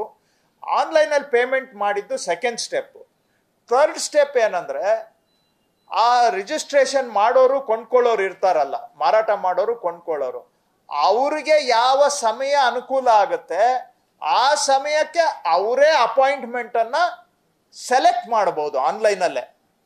ಇಂಥ ದಿನ, ಇಂತಿಷ್ಟು ಗಂಟೆಗೆ ನಮಗೆ ಅಪಾಯಿಂಟ್ಮೆಂಟ್ ಬೇಕು ಅಂತ ನಿಮ್ಗೆ ಅವ್ರದ್ದು ಯಾವತ್ತು ಯಾವತ್ತು ಅವೈಲಬಿಲಿಟಿ ಇದೆ ಅಂತ ಆನ್ಲೈನ್ ಅಲ್ಲಿ ಕಾಣುತ್ತೆ. ನಿಮಗೆ ಬೇಕಾಗಿರುವಂತ ಒಂದು ಹದಿನೈದು ನಿಮಿಷದ ಸ್ಲಾಟ್ ಅನ್ನ ರಿಜಿಸ್ಟ್ರೇಷನ್ ಸ್ಲಾಟ್ ಅನ್ನ ನೀವೇ ಸೆಲೆಕ್ಟ್ ಮಾಡ್ಕೋಬಹುದು ಸೊ ಆವತ್ತಿನ ದಿನ ಅಲ್ಲಿಗೆ ಹೋದಾಗ ಮಾರಾಟ ಮಾಡೋರು ಕೊಂಡ್ಕೊಳ್ಳೋರ್ದು ಕೆಲಸ ಏನಪ್ಪಾ ಅಂದ್ರೆ ಅಷ್ಟೊತ್ತಿಗೆ ಡಾಕ್ಯುಮೆಂಟ್ ವೆರಿಫಿಕೇಶನ್ ಆಗೋಗಿರುತ್ತೆ. ಹಾಗೆ ಫೀಸ್ ಪೇಮೆಂಟು ಆಗೋಗಿರುತ್ತೆ. ಸೊ ಬಾಕಿ ಇರೋದು ಏನಪ್ಪಾ ಅಂತ ಹೇಳಿದ್ರೆ ಅಲ್ಲಿ ಕಂಪ್ಯೂಟರ್ ಮುಂದೆ ಕುಟ್ಕೋ ಕೂತ್ಕೋಬೇಕು ಅವ್ರದ್ದು ಫೋಟೋ ತೆಗಿತಾರೆ, ತಂಬು ಕೊಡಬೇಕು. ಇಷ್ಟು ಕೊಟ್ರೆ ಅಲ್ಲಿಗೆ ಅವ್ರ ರಿಜಿಸ್ಟ್ರೇಷನ್ ಕೆಲಸ ಮುಗೀತು. ಒಂದು ಸಾಮಾನ್ಯ ರಿಜಿಸ್ಟ್ರೇಷನ್ನು ಹತ್ತು ನಿಮಿಷದಲ್ಲಿ ಅದೇ ಹತ್ತರಿಂದ ಹದಿನೈದು ನಿಮಿಷದಲ್ಲಿ ಮುಗಿಸ್ಬಿಟ್ಟು, ಅಂದ್ರೆ ಪಾರ್ಟಿಗಳು ಕಡಿಮೆ ಇದ್ರೆ, ಒಂದು ಐದಾರು ಪಾರ್ಟಿಗಳು ಮಾತ್ರ ಇದ್ರೆ ಹತ್ತರಿಂದ ಹದಿನೈದು ನಿಮಿಷದಲ್ಲಿ ರಿಜಿಸ್ಟ್ರೇಷನ್ ಮುಗಿಸಿ ಅವರು ಹೊರಗಡೆ ಬರಬಹುದು. ಸೊ ಇದು ಸರಳೀಕೃತ ಕಾವೇರಿ ಟೂನ ಉಪಯೋಗ. ಸೊ ಇದು ಸಾರ್ವಜನಿಕರಿಗೆ ಇವು ಉಪಯೋಗಗಳಾದ್ರೆ ಸರ್ಕಾರಕ್ಕೂ ಇದರಲ್ಲಿ ಕೆಲವು ಉಪಯೋಗಗಳು ಇದಾವೆ. ಏನಪ್ಪಾ ಅಂದ್ರೆ ರಾಜ್ಯದಲ್ಲಿ ಯಾವ ದಿನ ಎಷ್ಟು ರಿಜಿಸ್ಟ್ರೇಷನ್ ಆಯಿತು ಅಂತ ನಮಗೆ ಆವತ್, ಆ ಕ್ಷಣದ ಮಾಹಿತಿ ನಮಗೆ ಸಿಗುತ್ತೆ. ಇಡೀ ರಾಜ್ಯದಲ್ಲಿ ಎಲ್ಲಾಗ್ತಾ ಇತ್ತು ಅಂತ. ಹಿಂದೆ ಇನ್ನೊಂದು ಏನಾಗ್ತಾ ಇತ್ತು? ಯಾರೋ ಸಬ್ ರಿಜಿಸ್ಟ್ರಾರು ರಿಜಿಸ್ಟರ್ ಮಾಡಿಬಿಡೋರು, ಅದರಲ್ಲಿ ತಪ್ಪು ನಪ್ಪುಗಳು ಆಗಿದ್ರೂ ಕೂಡ ಅವ್ರ ಮೇಲೆ ಜವಾಬ್ದಾರಿ ಫಿಕ್ಸ್ ಮಾಡೋದು ಕಷ್ಟ ಆಗ್ತಾ ಇತ್ತು. ಆದ್ರೆ ಈಗ ಪ್ರತಿಯೊಂದಕ್ಕೂ ಒಬ್ಬ ಸಬ್ ರಿಜಿಸ್ಟ್ರಾರ್ ಅದನ್ನ ಸೈನ್ ಆಫ್ ಮಾಡೋದ್ರಿಂದ, ಅದನ್ನ ಆನ್ಲೈನ್ ಅಲ್ಲಿ ಅಪ್ರೂವ್ ಮಾಡೋದ್ರಿಂದ ಯಾರು ಮಾಡಿದ್ದಾರೆ, ಯಾರು ತಪ್ಪು ಮಾಡಿದ್ದಾರೆ ಅನ್ನೋದು ನೇರವಾಗಿ ಜವಾಬ್ದಾರಿ ನಿಗದಿ ಆಗೋದ್ರಿಂದ ಅವರು ಮಾಡೋವಾಗ ತಪ್ಪುಗಳನ್ನು ಮಾಡದೇ ಈ ಕೆಲಸವನ್ನ ಮಾಡ್ತಾರೆ. ಸೊ ಇದರಲ್ಲಿ ಸೋರಿಕೆ ಆಗುವಂಥದ್ದು ಅಂಡರ್ ರೇಟ್ ರಿಜಿಸ್ಟರ್ ಮಾಡುವಂಥದ್ದು ಇಂಥವೆಲ್ಲ ಆಟೋಮ್ಯಾಟಿಕಲಿ ಕಮ್ಮಿ ಆಗುತ್ತೆ. ಯಾಕಂದ್ರೆ ಈಗ ಜವಾಬ್ದಾರಿ ನೇರವಾಗಿ ನಿಗದಿ ಆಗೋದ್ರಿಂದ ತಪ್ಪುಗಳು ಅವರು ಮಾಡ್ಲಿಕ್ಕೆ ಹೋಗೋದಿಲ್ಲ. ಅದು ಎರಡನೇದು. ಮೂರನೇದು, ಇದನ್ನ ಹೀಗೆ ನಾವು ಸಿಸ್ಟಮ್ ಅನ್ನ ಡೆವಲಪ್ ಮಾಡ್ತಾ, ಇದು ಬೇರೆ ಅಂದ್ರೆ ನಗರದಲ್ಲಿ ಆಸ್ತಿ ಇದ್ರೆ ಆ ನಗರದ ಆಸ್ತಿ ಅದು ಜೆನ್ಯುವಿನ ಇಲ್ಲವ ಅಂತ ಆನ್ಲೈನ್ ಅಲ್ಲೇ ಚೆಕ್ಕಿಂಗ್ ಆಗುತ್ತೆ. ಅವ್ರದ್ದು ಜಮೀನು ಹಿಂದೆ ಎಲ್ಲ ತಮಗೂ ಗೊತ್ತಿದೆ.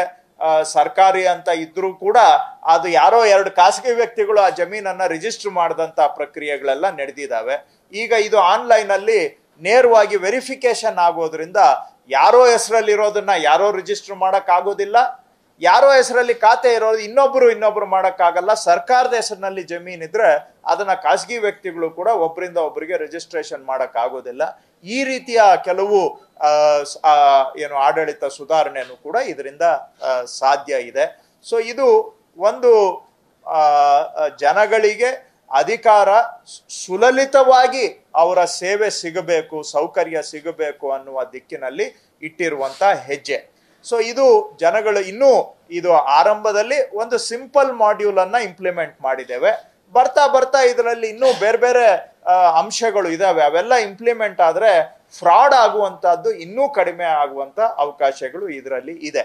ಈಗ ಇದು ಏನು ಇದರಲ್ಲಿ ಇರುವಂತಹದ್ದು ಅಂತ. ಆದ್ರೆ ಬಹುಶಃ ತಮಗೆ ಹೆಚ್ಚಿಗೆ ಆಸಕ್ತಿ ಇರುವಂತಹದ್ದು ಇದು ಇಂಪ್ಲಿಮೆಂಟ್ ಆದ್ಮೇಲೆ ರಿಜಿಸ್ಟ್ರೇಷನ್ಗಳು ಕಡಿಮೆ ಆಗ್ಬಿಟ್ಟಿದಾವೆ. ಇದರಿಂದ ಬಹಳ ತೊಂದರೆ ಇದೆ. ಇದರಲ್ಲಿ ಸರಿಯಾಗಿ ಕೆಲಸ ಆಗ್ತಾ ಇಲ್ಲ ಅಂತ ಕೆಲವು ಮಾಧ್ಯಮಗಳಲ್ಲಿ ವರದಿ ಆಗಿರೋದನ್ನ ನಾನು ಕೂಡ ನೋಡಿದ್ದೇನೆ. ಪತ್ರಿಕೆಗಳಲ್ಲೂ ಬಂದಿದೆ ಆನ್ಲೈನ್ ಅಲ್ಲೂ ಬಂದಿದೆ. ಸಾರ್ವಜನಿಕ ವಲಯದಲ್ಲೂ ಕೂಡ ಬಹಳ ಚರ್ಚೆ ಆಗ್ತಾ ಇದೆ. ಅದಕ್ಕಾಗಿ ನಾನು ಅಂಕಿ ಸಂಖ್ಯೆಯನ್ನ ತೆಗೆಸ್ ನೋಡಿದೆ. ಮೊದಲು ಎಷ್ಟು ರಿಜಿಸ್ಟ್ರೇಷನ್ ಆಗ್ತಾ ಇತ್ತು? ಈ ಕಾವೇರಿ ಟೂ ಇಂಪ್ಲಿಮೆಂಟ್ ಆದ್ಮೇಲೆ ಏನ್ ರಿಜಿಸ್ಟ್ರೇಷನ್ ಆಗ್ತಾ ಇದೆ ಅಂತ ನಾನು ಕೆಲವು ಎಲ್ಲ ಇಡೀ ಸುಮಾರು ಒಂದು ಮೂವತ್ ನಲ್ವತ್ ಐವತ್ ಕಡೆದು ಸಬ್ ರಿಜಿಸ್ಟ್ರಾರ್ ಆಫೀಸ್ಗಳ ವಹಿವಾಟು ಏನ್ ಟ್ರಾನ್ಸಾಕ್ಷನ್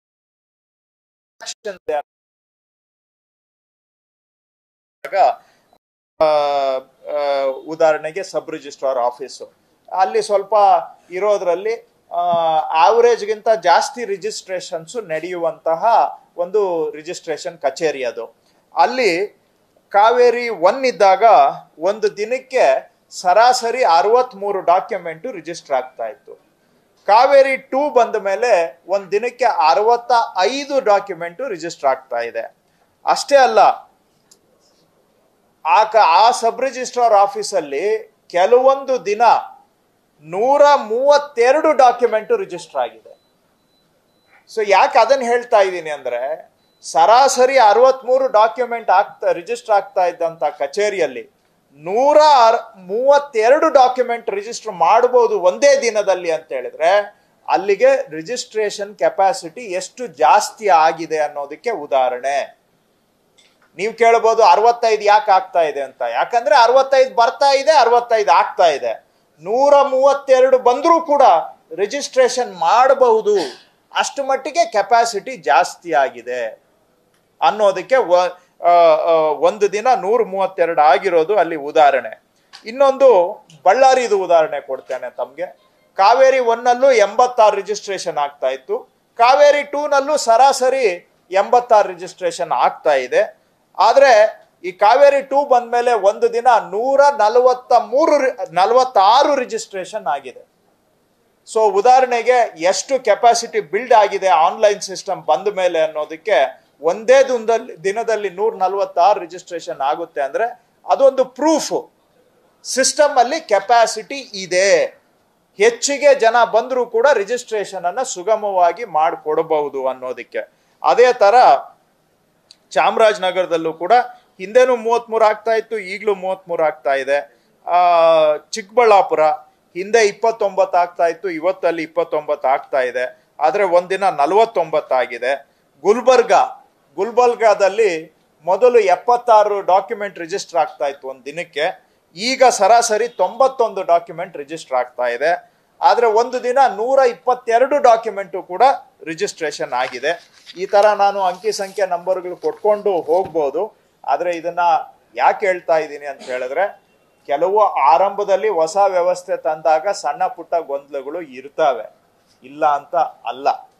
ಆದರೆ ಸರ್ಕಾರದ ಕರ್ತವ್ಯ ಏನು ಅಂದ್ರೆ, ಆ ಗೊಂದಲಗಳನ್ನ ಬಂದ ಕೂಡಲೇ ಅದಕ್ಕೊಂದು ಸೂಕ್ತ ಸಕಾರಾತ್ಮಕ ಪ್ರಕ್ರಿಯೆ ಇಟ್ಕೊಂಡು ರೆಸ್ಪಾನ್ಸಿವ್ ಮೆಕ್ಯಾನಿಸಮ್ ಇಟ್ಕೊಂಡು ಅವುಗಳನ್ನ ತತ್ಕ್ಷಣ ಕರೆಕ್ಟ್ ಮಾಡಿದ್ರೆ ಅದು ಬದಲಾವಣೆ ಆಗುತ್ತೆ. ಇದರಲ್ಲಿ ಪೇ ಪ್ರಾಬ್ಲಮ್ ಬಂದಿದ್ದು ಮೂರು ವಿಧದಲ್ಲಿ ನಮಗೆ ಪ್ರಾಬ್ಲಮ್ ಬಂದಿದೆ. ಒಂದು ಪೇಮೆಂಟ್ ಮಾಡೋವಾಗ, ಯಾಕಂದ್ರೆ ಆನ್ಲೈನ್ ಪೇಮೆಂಟ್ ಮೊದಲೆಲ್ಲ ಅವರು ಬ್ಯಾಂಕ್ಗೆ ಹೋಗಿ ಚಲಾನು ಕಟ್ಟು ಕ- ದುಡ್ಡು ಕಟ್ಟಿ ಚಲಾನ್ ತಗೊಂಡು ಬಂದು ಸಬ್ ರಿಜಿಸ್ಟ್ರಾರ್ ಕೊಡಬೇಕಾಗಿತ್ತು. ಈಗ ನೀವು ನೆಟ್ ಬ್ಯಾಂಕಿಂಗ್ ಮಾಡ್ಬೋದು ಯು ಪಿ ಐ ಮಾಡ್ಬೋದು, ಅಥವಾ ಫೋನ್ ಪೇ ಮಾಡ್ಬೋದು, ಈ ಎಲ್ಲ ಸಿಸ್ಟಮ್ಗಳು ಕೊಟ್ಟಿದೆ. ಸೊ ಆಕ್ಚುಲಿ ನೀವು ಪೇಮೆಂಟ್ ಮಾಡೋಕ್ಕೆ ಈಗ ಬ್ಯಾಂಕ್ಗೂ ಹೋಗ್ಬೇಕಾಗಿಲ್ಲ. ಮನೆಯಲ್ಲೇ ಕುತ್ಕೊಂಡು ಪೇಮೆಂಟ್ ಮಾಡ್ಬೋದು. ಸೊ ಅದು ಹೊಸ್ದಾಗಿ ಪೇಮೆಂಟ್ ಮಾಡಿದಾಗ ಜನಕ್ಕೆ ಸ್ವಲ್ಪ ಕನ್ಫ್ಯೂಷನ್ ಆಗಿರುತ್ತೆ. ನೆಟ್ ಪೇಗೆ ಆಫ್ ಮಾಡ್ತಾರೆ. ನೆಟ್ ಪೇ ಆಗೋದಕ್ಕೆ ಒಂದು ಐದು ನಿಮಿಷ ಆದರೆ ಅದನ್ನು ಕ್ಯಾನ್ಸಲ್ ಮಾಡಿಬಿಟ್ಟು ಯು ಪೇಗೆ ಹೋಗ್ತಾರೆ. ಅದೊಂದು ಡಿಲೇ ಆದರೆ ಅದನ್ನ ಕ್ಯಾನ್ಸಲ್ ಮಾಡಿ ಇನ್ಯಾವುದಕ್ಕೂ ಇನ್ಯಾವುದಕ್ಕೋ ಫೋನ್ ಪೇಗೆ ಹೋಗ್ತಾರೆ. ಅಂಥ ಕನ್ಫ್ಯೂಷನ್ಸು ಇತ್ತು. ಅದಕ್ಕೆ ನಮ್ಮ ಅಧಿಕಾರಿಗಳು ತಕ್ಷಣ ಅದ್ರ ಬಗ್ಗೆ ಕೆಲವು ವಿಡಿಯೋ ಮಾಡಿಬಿಟ್ಟು ಹಾಕಿ ಅದರ ಗೊಂದಲಗಳನ್ನು ಪರಿಹಾರ ಮಾಡಿದ್ದಾರೆ.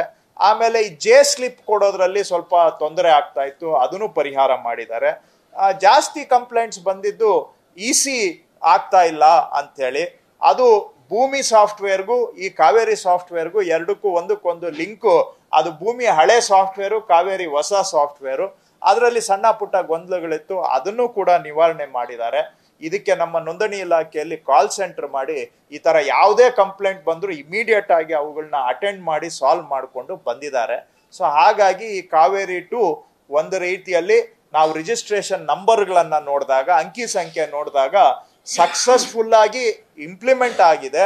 ಮತ್ತು ವಾಡಿಕೆಗೆ ಗಿಂತ ಹೆಚ್ಚು ರಿಜಿಸ್ಟ್ರೇಷನ್ ಆಗಿರೋದನ್ನ ನಾವು ನೋಡಿದಾಗ ಮುಂದಿನ ದಿನ ಅಲ್ಲಿ ಏನಾದರೂ ಡಬಲ್ ವಾಲ್ಯೂಮ್ ರಿಜಿಸ್ಟ್ರೇಷನ್ ಆಗಬೇಕಾದರೂ ಕೂಡ ಸಿಸ್ಟಮ್ ಅಲ್ಲಿ ಅಷ್ಟು ಕೆಪಾಸಿಟಿ ಇದೆ.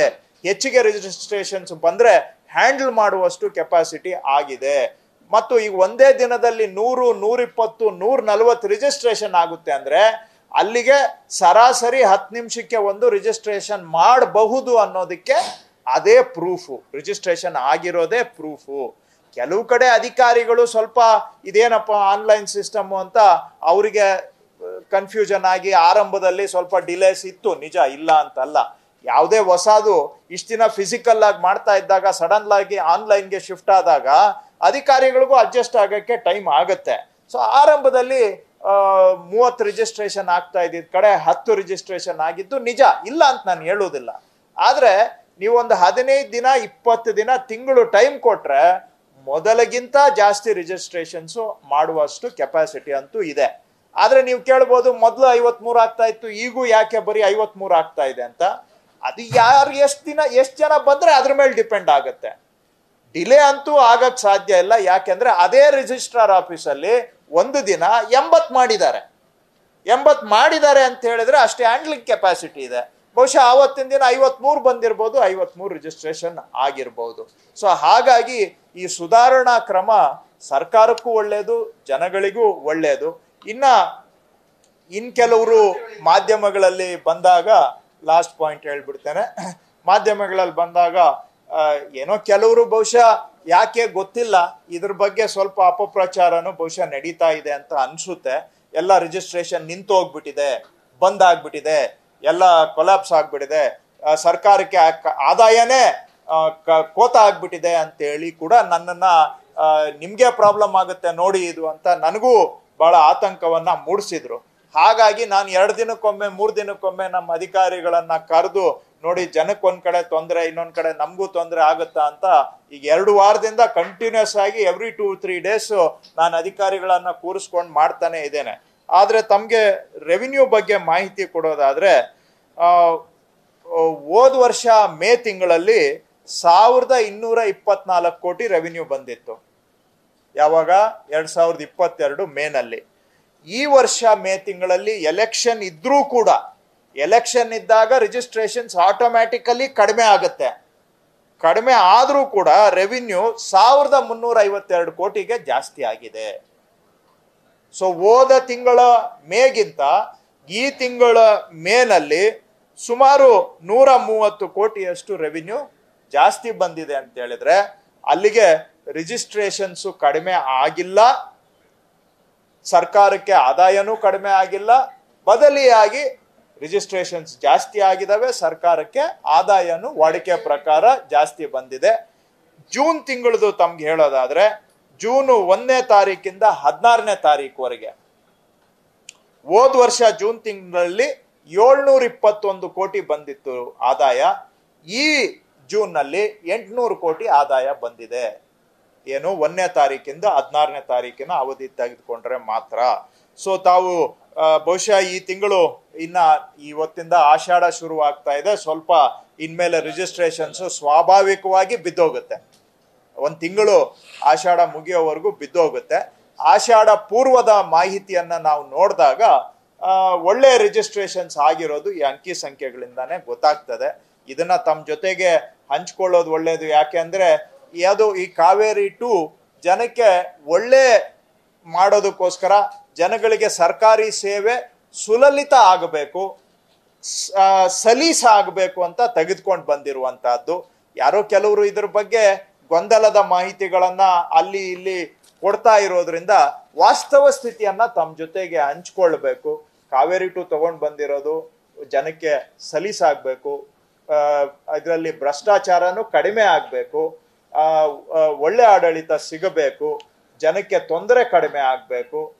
ಈ ಎಲ್ಲ ಉದ್ದೇಶಗಳಿಂದ ಕಾವೇರಿ ಟು ಆಡಳಿತ ಸುಧಾರಣಾ ಕ್ರಮವಾಗಿ ತೆಗೆದುಕೊಂಡು ಬಂದಿರುವಂತಹದ್ದು ಆ ಉದ್ದೇಶವನ್ನ ಅದು ಬಹುತೇಕವಾಗಿ ಈಡೇರಿಸ್ತಾ ಇದೆ ಅನ್ನೋದನ್ನ ಸಂತೋಷದಿಂದ ತಮ್ಮ ಜೊತೆಗೆ ಹಂಚ್ಕೊಳ್ಳಿಕ್ಕೆ ಬಯಸ್ತೇನೆ. ಇಷ್ಟು ವಿಚಾರ. ಗೈಡೆನ್ಸ್ ವ್ಯಾಲ್ಯೂ ನಾವು ನಾನು ಕಳೆದ ವಾರ ರಿವ್ಯೂ ಮಾಡಿ ನೋಡಿದ್ದೇನೆ. ಹಿಂದೆ ವರ್ಷಗಳು, ನಾನು ಕಳೆದ ಹತ್ತು ವರ್ಷಗಳಲ್ಲಿ ಯಾವಾಗ ಯಾವಾಗ ಗೈಡೆನ್ಸ್ ವ್ಯಾಲ್ಯೂ ರಿವಿಷನ್ ಆಗಿದೆ ಅಂತ ನೋಡಿದಾಗ ಸ್ವಾಭಾವಿಕವಾಗಿ ಒಂದು ವರ್ಷಕ್ಕೊಮ್ಮೆ ಒಂದೂವರೆ ವರ್ಷಕ್ಕೊಮ್ಮೆ ಮ್ಯಾಕ್ಸಿಮಮ್ ಎರಡು ವರ್ಷಕ್ಕೊಮ್ಮೆ ಗೈಡೆನ್ಸ್ ವ್ಯಾಲ್ಯೂನ್ನ ಕಾಲದಿಂದ ಕಾಲಕ್ಕೆ ರಿವೈಸ್ ಮಾಡಿಕೊಂಡು ಬಂದಿದ್ದಾರೆ. ಆದರೆ ಆದ್ರೆ ಈಗ ಏನಾಗಿದೆ ಅಂದ್ರೆ, ಎರಡು ಸಾವಿರದ ಹದಿನೆಂಟರಲ್ಲಿ ರಿವಿಷನ್ ಆದ್ಮೇಲೆ ಇಲ್ಲಿವರೆಗೂ ಕೂಡ ರಿವಿಷನ್ ಆಗೇ ಇಲ್ಲ. ಸೊ ನಾಲ್ಕೂವರೆ ವರ್ಷ ಆಗಿದೆ ಈಗ ಗೈಡೆನ್ಸ್ ವ್ಯಾಲ್ಯೂ ರಿವಿಷನ್ ಆಗಿ. ಬಹುಶಃ ಕರ್ನಾಟಕದಲ್ಲಿ ಯಾವತ್ತೂ ಕೂಡ ಎರಡು ವರ್ಷಕ್ಕಿಂತ ಹೆಚ್ಚು ಅವಧಿಗೆ ರಿವಿಷನ್ ಆಗದೆ ಹಾಗೆ ಬಿಟ್ಟಂತಹದ್ದು ಉದಾಹರಣೆನೇ ಇಲ್ಲ. ಸೊ ಈಗ ನಾಲ್ಕೂವರೆ ವರ್ಷ ಆಗಿರೋದ್ರಿಂದ ಏನಾಗಿದೆ? ಮಾರುಕಟ್ಟೆ ಬೆಲೆಗೂ ಗೈಡೆನ್ಸ್ ವ್ಯಾಲ್ಯೂಗೂ ಬಹಳ ಅಂತರ ಬಂದ್ಬಿಟ್ಟಿದೆ. ಇದರಿಂದ ರೈತರಿಗೂ ಅನ್ಯಾಯ ಆಗುತ್ತೆ ಪ್ರಾಪರ್ಟಿ ಸೆಲ್ಲರ್ಸ್ಗೂ ಅನ್ಯಾಯ ಆಗುತ್ತೆ. ಯಾಕೆಂದ್ರೆ ನೀವು ಏನೇ ಮಾರ್ಕೆಟ್ ವ್ಯಾಲ್ಯೂ ಇದ್ರೂ ಗೈಡೆನ್ಸ್ ವ್ಯಾಲ್ಯೂ ಇಷ್ಟಿದೆಯಲ್ಲ ಅಂತ ಹೇಳ್ಬಿಟ್ಟು ಕೊಂಡ್ಕೊಳ್ಳೋರು ಬಂದ್ಬಿಟ್ಟು ಏನ್ ಮಾಡ್ತಾರೆ? ಕಮ್ಮಿನೇ ರೈ, ಕೊಡೋ ರೈತರಿಗೆ ಏನು ಮಾರಾಟ ಮಾಡುವಂತ ಸಂದರ್ಭದಲ್ಲಿ ರೈತರಿಗೆ ಸಿಗಬೇಕಾದಂತ ಸಂಪೂರ್ಣ ಬೆಲೆ ಸಿಗದೆ ರೈತರಿಗೆ ಒಂದು ಕಡೆ ಅನ್ಯಾಯ ಆಗ್ತಾ ಇದೆ. ಹಾಗೂ ಇನ್ನೊಂದು ಕಡೆ ಏನಾಗುತ್ತೆ, ಮಾರ್ಕೆಟ್ ರೇಟ್ಗಿಂತ ಗೈಡೆನ್ಸ್ ರೇಟ್ ತುಂಬಾ ಕಮ್ಮಿ ಇದ್ದಾಗ ಎಲ್ಲ ಕ್ಯಾಶ್ ಟ್ರಾನ್ಸಾಕ್ಷನ್ ಆಗಿ ಅದು ಕಪ್ಪು ಹಣಕ್ಕೆ ನೇರವಾಗಿ ನಾವು ಪ್ರೋತ್ಸಾಹ ಕೊಟ್ಟಂಗೂ ಆಗುತ್ತೆ. ಬ್ಲ್ಯಾಕ್ ಮನಿ ಕಾಂಪೊನೆಂಟು ರಿಜಿಸ್ಟ್ರೇಷನ್ ಅಲ್ಲಿ ಜಾಸ್ತಿ ಆಗುತ್ತೆ, ಕ್ಯಾಶ್ ಕಾಂಪೊನೆಂಟ್. ಅದು ಕೂಡ ಬ್ಲ್ಯಾಕ್ ಮನಿಗೆ ನಾವು, ನಾವಾಗಿ ನಾವು ಅದಕ್ಕೆ ರೈತ, ಒಂದ್ ಕಡೆ ರೈತರಿಗೆ ಅನ್ಯಾಯ ಆಗೋದಾದ್ರೆ ಕಡಿಮೆ ಗೈಡೆನ್ಸ್ ವ್ಯಾಲಿಯಿಂದ ಇನ್ನೊಂದು ಕಡೆ ಬ್ಲ್ಯಾಕ್ ಮನಿ ಕಾಂಪೊನೆಂಟು ಜಾಸ್ತಿ ಆಗುತ್ತೆ. ಸೊ ಇವೆರಡನ್ನು ಗಮನದಲ್ಲಿ ಇಟ್ಕೊಂಡು ಈ ಗೈಡೆನ್ಸ್ ವ್ಯಾಲ್ಯೂ ರಿವಿಷನ್ ಬಗ್ಗೆ ಸದ್ಯದಲ್ಲೇ ಒಂದು ತೀರ್ಮಾನ ತೆಗೆದುಕೊಳ್ತೇವೆ. ಇಲ್ಲ, ಇನ್ನು ಆ ಲೆವೆಲ್ಗೆ ಹೋಗಿಲ್ಲ. ನೋಡಿ, ನನಗೂ ಅಧಿಕಾರಿಗಳಿದೆ, ಕೇಳಿದ್ರು, ಅಕಸ್ಮಾತ್ ಮಾಡೋದಾದ್ರೆ ಎಷ್ಟು ಪರ್ಸೆಂಟೇಜ್ ಮಾಡಬೇಕು ಅಂತ. ನಿಯಮ ಏನ್ ಹೇಳುತ್ತೆ ಅಂದ್ರೆ ಮಾರ್ಕೆಟ್ ವ್ಯಾಲ್ಯೂಗೆ ತಕ್ಕಂಗೆ ಇರಬೇಕು ಅಂತ ಹೇಳುತ್ತೆ. ಬಟ್ ಹಾಗಂತೇಳಿ ಒಂದೇ ಸತಿಗೆ ನಾವು ಅದನ್ನೆಲ್ಲ ಮಾಡ್ಲಿಕ್ಕೆ ಆಗೋದಿಲ್ಲ. ಬಟ್ ಪ್ರಿನ್ಸಿಪಲ್ ಒಂದು ನಿಯಮ ಇರೋದು ಆ ರೀತಿಯಾಗಿ. ಬಟ್ ಹಾಗಂತೇಳಿ ಮಾರ್ಕೆಟ್ ರೇಟ್ಗೆ ನಾವು ಸಡನ್ ಆಗಿ ತೆಗೆದುಕೊಂಡು ಹೋಗ್ಲಿಕ್ಕೆ ಆಗೋದಿಲ್ಲ. ಅದು ನೋಡ್ತೇವೆ. ಈಗ ಫಸ್ಟ್ ನಾನು ಏನು ಹೇಳಿದ್ದೇನೆ ಗೈಡೆನ್ಸ್ ವ್ಯಾಲ್ಯೂಗೂ ಆಕ್ಚುಲಿ ನಡೀತಾ ಇರೋ ವಹಿವಾಟುಗಳಿಗೂ, ಎರಡೂ ಫಿಗರ್ಸ್ ಕೊಡಿ ಎಲ್ಲ ಸ್ಟೇಟ್ದು ಅಂತ ಅಷ್ಟು ಕೇಳಿದ್ದೇನೆ. ನೋಡ್ಕೊಂಡು ಆಮೇಲೆ ನೋಡೋಣ. ಇನ್ನೂ ಅದ್ರ ಬಗ್ಗೆ ನಾವಿನ್ನೂ ಆ ಸ್ಟೇಜಿಗೆ ಬಂದಿಲ್ಲ. ಹೌದು.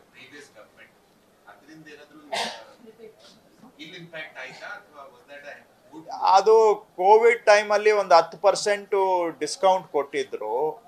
ಸೊ ಆವತ್ತಿನ ಕಾಲಕ್ಕೆ ಬಹುಶಃ ಅದು ಅವಶ್ಯಕತೆ ಇತ್ತು ಅಂತ ಅನ್ಸುತ್ತೆ. ಅದರಿಂದ ನಾನು ನೋಡಿದಾಗ ಏನು ಭಾಳ ಏನು ಏರುಪೇರು ಅನುಕೂಲನೂ ಆಗಿಲ್ಲ, ಅನಾನುಕೂಲನೂ ಆಗಿಲ್ಲ. ಸ್ವಲ್ಪ ಆ ಟೈಮಲ್ಲಿ ರಿಜಿಸ್ಟ್ರೇಷನ್ಸ್ ಒಂಚೂರು ಜಾಸ್ತಿ ಆಗಿದೆ, ಹತ್ತು ಪರ್ಸೆಂಟ್ ರಿಬೇಟ್ ಇತ್ತಲ್ಲ ಅಂತೇಳಿ ಸ್ವಲ್ಪ ರಿಜಿಸ್ಟ್ರೇಷನ್ಸ್ ಬಟ್ ಈ ರಿಜಿಸ್ಟ್ರೇಷನ್ಸ್ ಪ್ರಾಸೆಸ್ ನನಗೆ ತಿಳಿದಾಗೆ ಇದು ಮಾರಬೇಕು ಅನ್ನೋರ್ನ ಕೊಂಡ್ಕೋಬೇಕು ಅನ್ನೋರು ಯಾರು ಕೂಡ ಡ್ಯೂಟಿ ಸ್ಟ್ರಕ್ಚರ್ ಆಧಾರದ ಮೇಲೆ ತೀರ್ಮಾನ ಮಾಡೋದಿಲ್ಲ. ಪ್ರಾಪರ್ಟಿ ಕೊಂಡ್ಕೋಬೇಕು ಅಂದ್ರೆ ಕೊಂಡ್ಕೊಂಡೇ ಕೊಂಡ್ಕೊಳ್ತಾರೆ. ಮಾರೋರು ಮಾರಬೇಕು ಅನ್ನೋ ಅನಿವಾರ್ಯತೆ ಬಂದ್ರೆ ಮಾರೇ ಮಾರ್ತಾರೆ. Whatever may be the duty structure so why ಯಾಕೆ ಕೊಟ್ಟರು ಅನ್ನೋದು ಆಕ್ಚುಲಿ ಯಕ್ಷ ಪ್ರಶ್ನೆ ಅದು. So I will not get into that ಆಗೋಗಿದೆ. ಈಗ in my view it was not necessary but ಕೊಟ್ಟಿದ್ದಾರೆ ಆವತ್ತಿನ ದಿನ. ಅದು ಆಗೋಗಿದೆ. ಬಟ್ ಈಗ ರೇಟ್ ರಿವಿಷನ್ಗೆ ವಾಪಸ್ ಬರೋದಾದರೆ ನಾನು ಅಧಿಕಾರಿಗಳಿಗೆ ಹೇಳಿದ್ದೇನೆ. ಎಲ್ಲಾದರೂ ಕೂಡ ಗೈಡೆನ್ಸ್ ವ್ಯಾಲ್ಯೂ ಮಾರ್ಕೆಟ್ ವ್ಯಾಲ್ಯೂಗಿಂತ ಜಾಸ್ತಿ ಇದ್ರೆ ಅಚಾತುರ್ಯದಿಂದ ಹಿಂದೆ ರೇಟ್ ಫಿಕ್ಸ್ ಮಾಡೋವಾಗ ಆ ರೀತಿಯಾಗಿ ಏನಾದರೂ ಮಾರ್ಕೆಟ್ ವ್ಯಾಲ್ಯೂಗಿಂತ ಒಂದು ಅಪರೂಪದ ಪ್ರಕರಣದಲ್ಲಿ ಎಲ್ಲಾದರೂ ಜಾಸ್ತಿ ಇದ್ರೆ ಅದನ್ನ ಕಡಿಮೆ ಮಾಡುವಂತ ತೀರ್ಮಾನನೂ ಮಾಡಬೇಕು. ಆಮೇಲೆ ಎಲ್ಲ ಕಡೆಗೂ ಯೂನಿಫಾರ್ಮ್ ಆಗಿನೂ ಏನು ಮಾಡೋ ಅವಶ್ಯಕತೆ ಇಲ್ಲ. ಕೇಸ್ ಬೈ ಕೇಸ್ ನೋಡ್ಕೊಂಡು ಮಾಡಿ ಕಡಿಮೆ ಇದ್ರೆ ಕಡಿಮೆನೂ ಮಾಡಬೇಕು ಅಂತಾನು ಕೂಡ ಹೇಳಿದ್ದೇನೆ. ಹಿಂದೆ. ಪ್ರಕರಣಗಳು ಯಾಕೆ ಸರ್ ಅಂದ್ರೆ ಮಿಸ್ಲೀಡ್ ಆಗೋದು ತುಂಬಾ ಕೇಸ್ಗಳು ಆಗಿದೆ. ಆದ್ರೆ ಆಕ್ಷನ್ ಇನಿಷಿಯೇಟ್ ಮಾಡೋದಾಗ್ಲಿ ಅಥವಾ ಅದನ್ನ ಆಗುವಂತ ಯಾರಿಗೆ ನಷ್ಟ ಆಗಿದೆ ಅದನ್ನಲ್ಲಿ ರಿಯಂಬರ್ಸ್ ಮಾಡೋದಿರ್ಬೋದು ಅಥವಾ ಜನರು ನ್ಯಾಯ ಕೊಡುವಂತದ್ದು ಸಹ ಫೇಲ್ಯೂರ್ ಆಗಿದೆ ಅಂತ ಈಗ ನಾನು ಕಳೆದ ವಾರ ಅದನ್ನ ನಮ್ಮ ಅಧಿಕಾರಿಗಳ ಜೊತೆ ಕೂತ್ಕೊಂಡು ಚರ್ಚೆ ಮಾಡಿದ್ದೇನೆ. ಸುಮಾರು ನಿನ್ನೆ ಕೂಡ ನಾನು ನಮ್ಮ ಹೋಮ್ ಆಫೀಸಲ್ಲಿ ಮನೆಯಲ್ಲೇ ಕೂತ್ಕೊಂಡು ಐ ಜಿ ಆರ್ ಅವ್ರ ಜೊತೆಗೆ ಮಾತಾಡಿದೆ. ಸುಮಾರು ನೂರು ನೂರು ಮೂವತ್ತು ಎನ್ಕ್ವೈರಿಗಳು ಸರ್ಕಾರ ಇನ್ನೂ ಅನುಮತಿ ಕೊಡದೆ ಪೆಂಡಿಂಗ್ ಇಟ್ಕೊಂಡಿದ್ದಾರೆ. ಸೊ ನಾನು ಅವರಿಗೆ ಹೇಳಿದ್ದೇನೆ ಇಮಿಡಿಯೇಟ್ಲಿ ಅವೆಲ್ಲ ಫೈಲ್ಸ್ ಹಿಂದೆ ಯಾಕೆ ಪೆಂಡಿಂಗ್ ಇಟ್ಟಿದ್ರು, ಯಾಕೆ ಅವ್ರ ಮೇಲೆ ಎನ್ಕ್ವೈರಿ ಇನಿಷಿಯೇಟ್ ಮಾಡಲಿ, ಕೆಲವು ಎನ್ಕ್ವೈರಿ ಆರಂಭ ಆಗಿ ವರ್ಷಗಳಾಗಿದೆ. ಅದನ್ನ ಮೂರು ತಿಂಗಳಲ್ಲಿ ಮುಗಿಬೇಕಾದಂತ ಎನ್ಕ್ವೈರಿಗಳು ವರ್ಷಾನುಗಟ್ಲೆ ಮುಗಿದಿಲ್ಲ. ಇನ್ ಕೆಲವು ಎನ್ಕ್ವೈರಿಗೆ ಅನುಮತಿನೇ ಕೊಟ್ಟಿಲ್ಲ. ಉದಾಹರಣೆಗೆ ಶನಿವಾರ ನನಗೊಂದು ಫೈಲ್ ಬಂತು. ಒಂದು ಪ್ರಕರಣದಲ್ಲಿ ಎರಡು ಸಾವಿರದ ಹತ್ತೊಂಬತ್ತರಲ್ಲಿ ಅವರು ಲೋಕಾಯುಕ್ತ ಅನ್ನೋರು ಅವ್ರ ಮೇಲೆ ಆರೋಪ ಹೊರಿಸಿದ್ದಾರೆ. ಎರಡು ಸಾವಿರದ ಹತ್ತೊಂಬತ್ತು. ಅದು ಅವ್ರ ಮೇಲೆ ತನಿಖೆ ಆರಂಭ ಮಾಡೋದಕ್ಕೆ ನಾನು ಹೋದ ಶುಕ್ರವಾರ ಶನಿವಾರ ಸೈನ್ ಹಾಕಿದ್ದೇನೆ. ಎರಡು ಸಾವಿರದ ಹತ್ತೊಂಬತ್ತು, ಎರಡು ಸಾವಿರದ ಇಪ್ಪತ್ತ್ ಮೂರು ಅಂದ್ರೆ ಎಷ್ಟೋ ವರ್ಷ ಆಯ್ತು.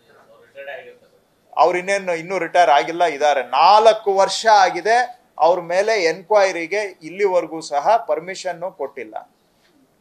ಸೊ ನಾನು ಅದಕ್ಕೆ ಸೂಚನೆಯನ್ನ ಕೊಟ್ಟಿದ್ದೇನೆ ಪ್ರಧಾನ ಕಾರ್ಯದರ್ಶಿಗಳಿಗೆ. ಮೊನ್ನೆ ಶನಿವಾರ ಇದೇ ಹಾಲಲ್ಲಿ ಮೀಟಿಂಗ್ ಮಾಡಿ ಹೇಳಿದ್ದೇನೆ. ಈ ಡಿಲೇ ಆಗೋದಕ್ಕೆ ಯಾವ ಅಧಿಕಾರಿ ಕಾರಣ, ಅದನ್ನ ನನ್ನ ಗಮನಕ್ಕೆ ತಗೊಂಡ್ ಬರಬೇಕು, ಅವ್ರ ಮೇಲೂ ಆಕ್ಷನ್ ಆಗಬೇಕು ಅಂತ ಹೇಳಿದ್ದೇನೆ ನಾನು ಅವರಿಗೆ. ಸೊ ಈ ತರಹ ನೀವು ಹೇಳ್ದಂಗೆ ಸುಮಾರು ಕೇಸುಗಳಲ್ಲಿ ಎನ್ಕ್ವೈರಿನ ಸ್ಟಾರ್ಟ್ ಮಾಡೋಕ್ಕೆ ಪರ್ಮಿಷನ್ ಕೊಟ್ಟಿಲ್ಲ. ಹೋದ ಬಾರಿ. ಅವೆಲ್ಲ ವಿಳಂಬ ಆಗಿದೆ. ಕೆಲವು ಸಚಿವಾಲಯದಲ್ಲಿ ವಿಳಂಬ ಆಗಿರ್ಬೋದು, ಕೆಲವು ಮಂತ್ರಿಗಳ ಕಚೇರಿಯಲ್ಲಿ ವಿಳಂಬ ಆಗಿರ್ಬೋದು. ನಾನು ಅವ್ರಿಗೆ ಹೇಳಿದ್ದೇನೆ ಎನ್ಕ್ವೈರಿಗೆ ಇನ್ಮೇಲೆ ಯಾವುದೇ ಕಾರಣಕ್ಕೂ ವಿಳಂಬ ಆಗಬಾರ್ದು. ಯಾರಾದರೂ ಎಲ್ಲಾದರೂ ಫೈಲನ್ನು ಎತ್ತಿಡುವಂಥ ಕೆಲಸ ಮಾಡಿದರೆ, ಆ ಅಧಿಕಾರಿಗಳ ಮೇಲೆ ನಾನು ಎನ್ಕ್ವೈರಿ ಮಾಡಬೇಕಾಗತ್ತೆ ಅಂತಲೂ ಹೇಳಿದ್ದೇನೆ. ಮತ್ತು ಯಾವ ಎನ್ಕ್ವೈರಿಗಳು ಶುರುವಾಗಿದ್ದಾವೆ ಅವುಗಳನ್ನ ಆ ಎನ್ಕ್ವೈರಿ ಆಫೀಸರ್ಸ್ ಅನ್ನ ಕರೆಸಿ ಮೀಟಿಂಗ್ ಮಾಡಬೇಕು ಅಂತ ನಾನು ಪ್ರಿನ್ಸಿಪಲ್ ಸೆಕ್ರೆಟರಿ ಅವರಿಗೆ ಹೇಳಿದ್ದೇನೆ. ಮೂರು ತಿಂಗಳು ಟೈಮು ಒಂದ್ ತಿಂಗಳು ಎಕ್ಸ್ಟೆನ್ಷನ್ ಅದಕ್ಕಿಂತ ಹೆಚ್ಚಿಗೆ ಎಕ್ಸ್ಟೆನ್ಷನ್ ಕೊಡೋ ಅವಶ್ಯಕತೆ ಇಲ್ಲ. ಯಾ ಇನಿಷಿಯೇಟ್ ಆಗಿರೋ ಎನ್ಕ್ವೈರಿಗಳು ತಕ್ಷಣ ತಾತ್ಪರ್ಯ ಒಂದು ಲಾಜಿಕಲ್ ಎಂಡಿಗೆ ಬರಬೇಕು. ಅವ್ರು ಏನಾದರೂ ಕೊಡ್ಲಿ. ಅವ್ರು ಒಳ್ಳೆ ಎನ್ಕ್ವೈರಿ ಮಾಡಲಿ, ಸಮಾಧಾನ ಆಗದೆ ಇರುವಂತ ಎನ್ಕ್ವೈರಿ ಮಾಡಲಿ. ಅಟ್ಲೀಸ್ಟ್ ಎನ್ಕ್ವೈರಿ ಕನ್ಕ್ಲೂಡ್ ಆಗಬೇಕು. ನೂರಾರು ಪ್ರಕರಣಗಳು ಪೆಂಡಿಂಗ್ ಎನ್ಕ್ವೈರಿ ಪೆಂಡಿಂಗ್ ಎನ್ಕ್ವೈರಿ ಅಂತ ಹೇಳುವಂತಹದ್ದು ಸರಿಯಲ್ಲ. ಸೊ ಎನ್ಕ್ವೈರಿ ಇನಿಷಿಯೇಟ್ ಆಗೋದ್ರಲ್ಲೂ ವಿಳಂಬ ಆಗಬಾರ್ದು. ಎನ್ಕ್ವೈರಿ ಪೂರ್ಣ ಆಗೋದ್ರಲ್ಲೂ ವಿಳಂಬ ಆಗಬಾರ್ದು ಅಂತ ನಾನು ಐ ಜಿ ಆರ್ ಅವ್ರಿಗೆ ಪ್ರಿನ್ಸಿಪಲ್ ಸೆಕ್ರೆಟರಿ ಇಬ್ಬರಿಗೂ ಕ್ಲಿಯರ್ ಆಗಿ ಇನ್ಸ್ಟ್ರಕ್ಷನ್ ಕೊಟ್ಟಿದ್ದೇನೆ. ಹಿಂದೆ ಕಾಗೋಡು ತಿಮ್ಮಪ್ಪ ಅವರು ಕಂದಾಯ ಸಚಿವರಾಗಿದ್ದಾಗ ಬೆಂಗಳೂರು ನಗರ ಇರ್ಬೋದು ಅಥವಾ ಬೇರೆ ಬೇರೆ ನಗರ ಪ್ರದೇಶಗಳಲ್ಲಿ ಇನ್ನು ಗ್ರಾಮಾಂತರ ಅಥವಾ ಏನು ಗ್ರಾಮಾಂತರ ಈ ಖಾತರಿಗಳಲ್ಲಿ ನೋಂದಣಿ ಮಾಡಿಕೊಂಡು ಸಿಟಿ ಸರ್ವೆನ ಅಥವಾ ಸಿಟಿ ಜಾಗವನ್ನ ಈ ಖಾತಾ ನೋಂದಣಿ ಮಾಡ್ಕೊಂಡು ತುಂಬಾ ಪ್ರಕರಣಗಳಾಗಿವೆ ಹಿಂದೆ ಅದ್ರ ಬಗ್ಗೆ ಕೆಲವು ತನಿಖೆ ಆಗಿತ್ತು ಮುಳುವೆಲ್ಲ ಆರನೇ ಎಲ್ಲ ಡ್ರಾಪ್ ಆಗಿದೆ ಇದು ಯಾಕೆ ಆ ಥರ ಆಗ್ತಾ ಇರೋ ಪ್ರಕರಣ ಬಗ್ಗೆ ಅಲ್ಲ, ಅದಕ್ಕೇನೆ ಕಾವೇರಿ ಟೂ ಬಂದಿರೋದು. ಕಾವೇರಿ ಟೂನಲ್ಲಿ ಸದ್ಯಕ್ಕೆ ಅಟ್ಲೀಸ್ಟ್ ಬೇರೆಯವರ ಹೆಸರಿನಲ್ಲಿರೋ ಜಮೀನು ಇನ್ನೊಬ್ರು ಹೋಗಿ ರಿಜಿಸ್ಟ್ರೇಷನ್ ಮಾಡಕ್ ಆಗೋದಿಲ್ಲ. ಮುಂದಿನ ದಿನಗಳಲ್ಲಿ ಅದು ನಗರ ಪ್ರದೇಶಗಳಿಗೂ ಕೂಡ ವಿಸ್ತರಿಸಬೇಕು ಅಂತ ಒಂದು ಈ ಕಾವೇರಿ ಟೂನಲ್ಲಿ ಪ್ರಾವಿಷನ್ ಮಾಡಿದೆ. ಸೊ ಹಂಗಾಗಿ ಮಾಡಿದಾಗ ಯಾರ್ದೋ ಖಾತೆ ತಗೊಂಡು ಯಾರೋ ರಿಜಿಸ್ಟ್ರೇಷನ್ ಮಾಡುವಂತ ತಪ್ಪೋಗುತ್ತೆ ಅದು ಇನ್ನು ಈಗ ಆ ಆ ಒಂದು ಅಂಶ ಈಗ ಇನ್ನೂ ಇಂಪ್ಲಿಮೆಂಟ್ ಆಗಿಲ್ಲ. ಯಾಕಂದ್ರೆ ನಾವು ರೆಡಿ ಇದ್ದೀವಿ. ಅದು ನಗರಸಭೆಗಳು ರೆಡಿ ಇರಬೇಕಲ್ಲ, ಅವ್ರ ಖಾತೆಗಳೆಲ್ಲ ಆನ್ಲೈನ್ ಆದ್ರೆ ಆವಾಗ ನಾವು ಇಲ್ಲಿ ಮ್ಯಾಂಡೇಟರಿಯನ್ನ ಮಾಡ್ಬೋದು. ಅದು ಮುಂದಿನ ದಿನಗಳಲ್ಲಿ, ತಕ್ಷಣಕ್ಕೆ ಇನ್ನೂ ಇಲ್ಲ. ಬಟ್ ಕಾವೇರಿ ಟೂನಲ್ಲಿ ಅದು ಆ ಥರ ಆಗದಂಗೆ ತಡೆಗಟ್ಟುವಂತಹ ಸುಧಾರಣಾ ಕ್ರಮ ಇದರಲ್ಲಿ ಅಡಕ ಆಗಿದೆ. ಇದು ಮುಗಿದ್ಬಿಡ್ಲಿ, ಆಮೇಲೆ ಬರ್ತೀನಿ ಅದು. ಇದು ಆಗ್ಬಿಡ್ಲಿ ಇದ್ರ ಬಗ್ಗೆ ಹೇಳ್ತೇನೆ, ಮಳೆದು ಹೇಳ್ತೇನೆ. ಇಲ್ಲಿ ಯಾರು? ಹಾ. ಪೂರ್ತಿಯಾಗಿ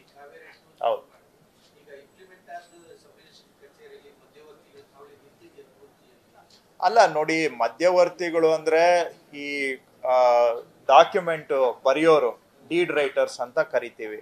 ಅವರು ಬೇಕೇ ಬೇಕಾಗತ್ತೆ. ಅವರು ಡೀಡ್ ಯಾಕಂದ್ರೆ ಈ ರಿಜಿಸ್ಟ್ರೇಷನ್ ಡಾಕ್ಯುಮೆಂಟು ತಯಾರು ಮಾಡೋದು ಆ ಡೀಡ್ ರೈಟರ್ಸೇ ಇರ್ತಾರೆ. ಸ್ಟಾಂಪ್ ವೆಂಡರ್ಸು ಬೇಕಾಗುತ್ತೆ ಡೀಡ್ ರೈಟರ್ಸು ಇರಲೇಬೇಕಾಗುತ್ತೆ ಅದನ್ನ ಬಿಟ್ಟು ಬೇರೆಯವರು ಹಸ್ತಕ್ಷೇಪ ಕಡಿಮೆ ಆಗಿದೆ.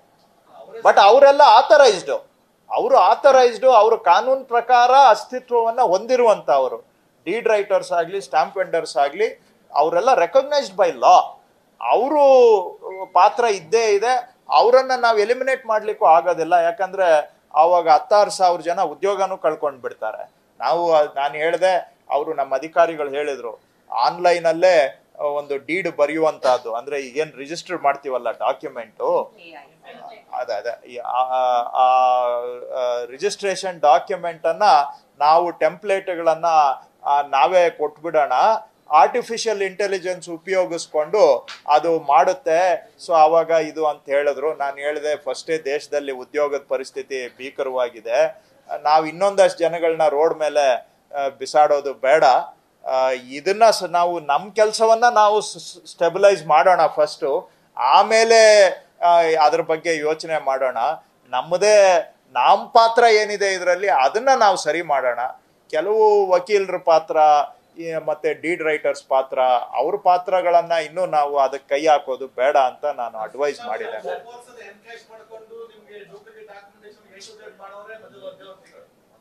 ಅಲ್ಲ, ಅವರು ಅವರು ಫ್ರಾಡ್ಸ್ಟರ್ಸ್ ಅವರು ಅವರು ಫ್ರಾಡ್ಗಳು ಇವ್ರು ಹೇಳ್ದಂಗೆ ಇವರು ಡೀಡ್ ರೈಟರ್ಸ್ ಅವ್ರದ್ದೆಲ್ಲ ಅಫಿಷಿಯಲಿ ರೋಲ್ ಇದೆ ಅವ್ರದ್ದು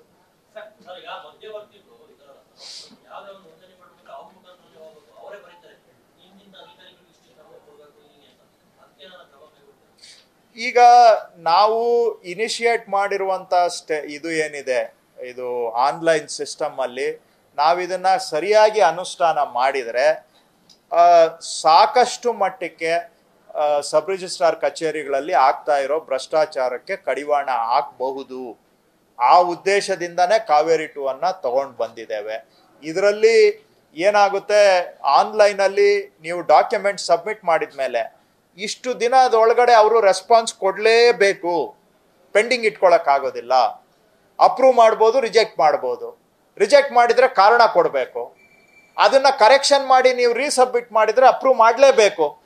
ಸೊ ಅವರು ನಿಮಗೆ ಸುಮ್ಮನೆ ಪೆಂಡಿಂಗ್ ಇಡಕ್ ಆಗೋದಿಲ್ಲ ಅವ್ರು ಅಪ್ರೂವ್ ಮಾಡಿದ ತಕ್ಷಣ ನೀವು ಆನ್ಲೈನ್ ಪೇಮೆಂಟು ಮಾಡ್ತೀರಾ. ಆಮೇಲೆ ನಿಮ್ದು ಯಾವತ್ತಿನ ದಿನ ಹೋಗಿ ಅಲ್ಲಿ ತಂಪು ಕೊಡಬೇಕು ಅನ್ನೋದು ನೀವೇ ಅಪಾಯಿಂಟ್ಮೆಂಟ್ ಪಿಕ್ ಮಾಡೋದ್ರಿಂದ ಇದು ಸರ್ಕಾರದ ಅಧಿಕಾರಿಗಳ ಕೈಯಲ್ಲಿ ಇದ್ದಂತಹ ಸಾಕಷ್ಟು ಅಧಿಕಾರ ಇವತ್ತು ಜನಗಳ ಕೈಗೆ ನಾವು ಕೊಟ್ಟಿದ್ದೇವೆ. ಹಂಗಾಗಿ ನಾನು ಎಲ್ಲ ಎಲಿಮಿನೇಟ್ ಆಗ್ಬಿಡುತ್ತೆ ಎಲ್ಲ ಕ್ಲೀನಪ್ ಆಗ್ಬಿಡುತ್ತೆ ಅಂತ ಹೇಳಿದ್ರೆ ಸುಮ್ಮನೆ ನಾನು ಅದು ನಿಮಗೂ ಗೊತ್ತಿದೆ ಅದೆಲ್ಲ ಆದರೆ ಖಂಡಿತ ಇದು ಸುಧಾರಣಾ ಕ್ರಮ ಜನಗಳ ಶೋಷಣೆಗೂ ಕೂಡ ಇದರಲ್ಲಿ ಕಡಿವಾಣ ಬೀಳುತ್ತೆ ಅಂತ ನಂಬಿಕೆ ಇಟ್ಕೊಂಡಿದ್ದೇವೆ ನಾವು. ಇದನ್ನ ಇನ್ನಷ್ಟು ಮುಂದಿನ ದಿನಗಳಲ್ಲಿ ಪರಿಣಾಮಕಾರಿಯಾಗಿ ಮಾಡಿ ಬರುವ ದಿನಗಳಲ್ಲಿ ಭ್ರಷ್ಟಾಚಾರಕ್ಕೆ ಕಡಿವಾಣ ಹಾಕೋದಕ್ಕೆ ಖಂಡಿತವಾಗಿ ಕಾವೇರಿ ಟು ನಮಗೆ ಉಪಯೋಗ ಆಗತ್ತೆ. ಈಗ ಇಲ್ಲ ಅವ್ರದೇ ಮಳೆ. ಹಾಂ ಹೇಳಿ.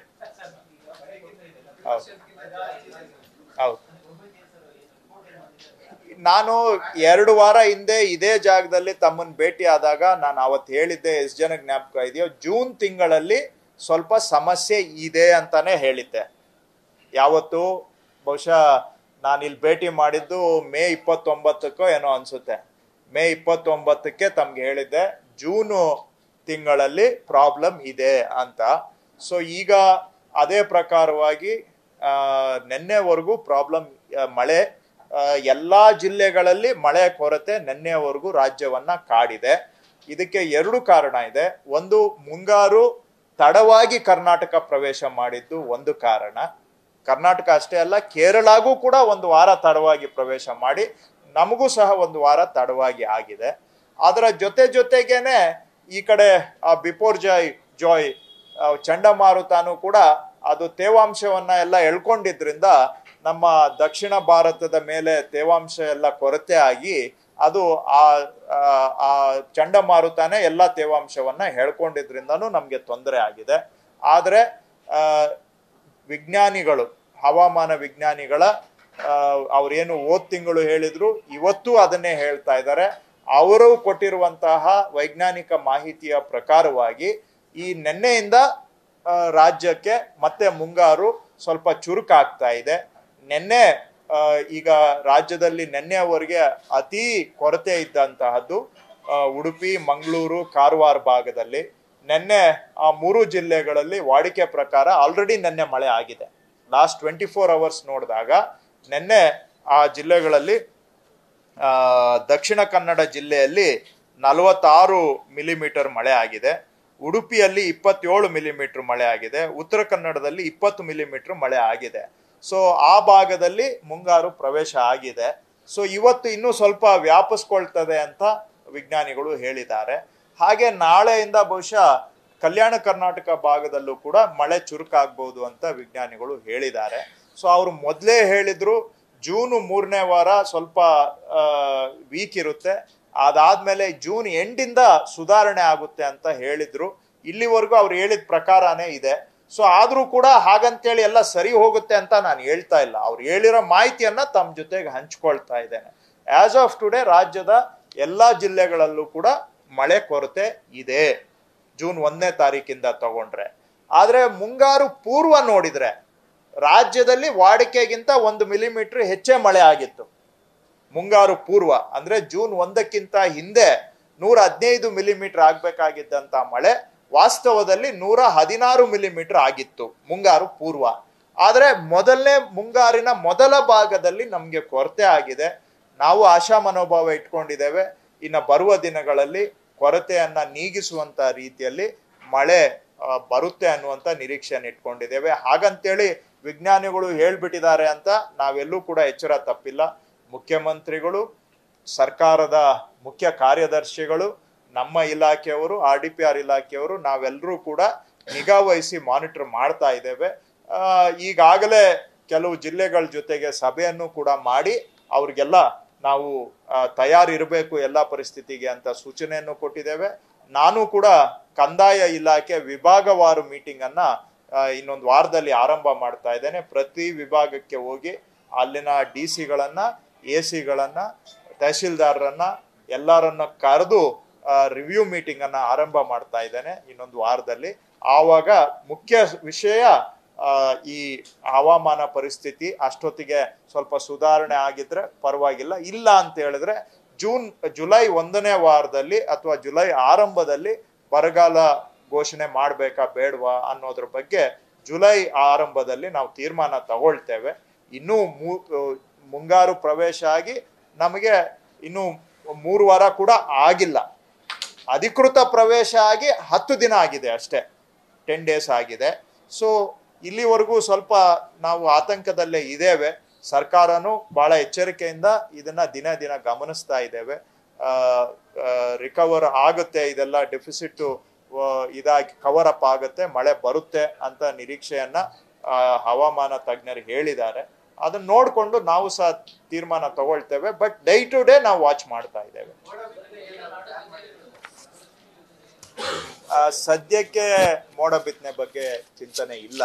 ಯಾಕೆ ಅಂದ್ರೆ ಯಾಕೆ ಅಂದ್ರೆ ವೈಜ್ಞ, ನಾವು ಅದರ ಬಗ್ಗೆ ವ್ಯಾಪಕವಾಗಿ ಗೊಂದಲಗಳು ಇದಾವೆ, ಇಲ್ಲ ಅಂತಲ್ಲ. ಆದ್ರೆ ನಾವು ಕೆಲವರು ಅದು ಒಂದು ವೈಜ್ಞಾನಿಕ ಕ್ರಮ ಅಂತ ಇಟ್ಸ್ ಸೈನ್ಸ್ ಬೇಸ್ಡ್ ಅಂತ ನಂಬುವಂಥವ್ರು ನಾವಿದ್ದೇವೆ. ಬಟ್ ಆದ್ರೆ ಸದ್ಯಕ್ಕೆ ಅದರ ಬಗ್ಗೆ ನಾವು ವಿಚಾರ ಮಾಡಿಲ್ಲ. ಯಾಕೆ ಅಂದ್ರೆ ಈ ವರ್ಷ ಮಾನ್ಸೂನ್ ರಿಕವರ್ ಆಗುತ್ತೆ.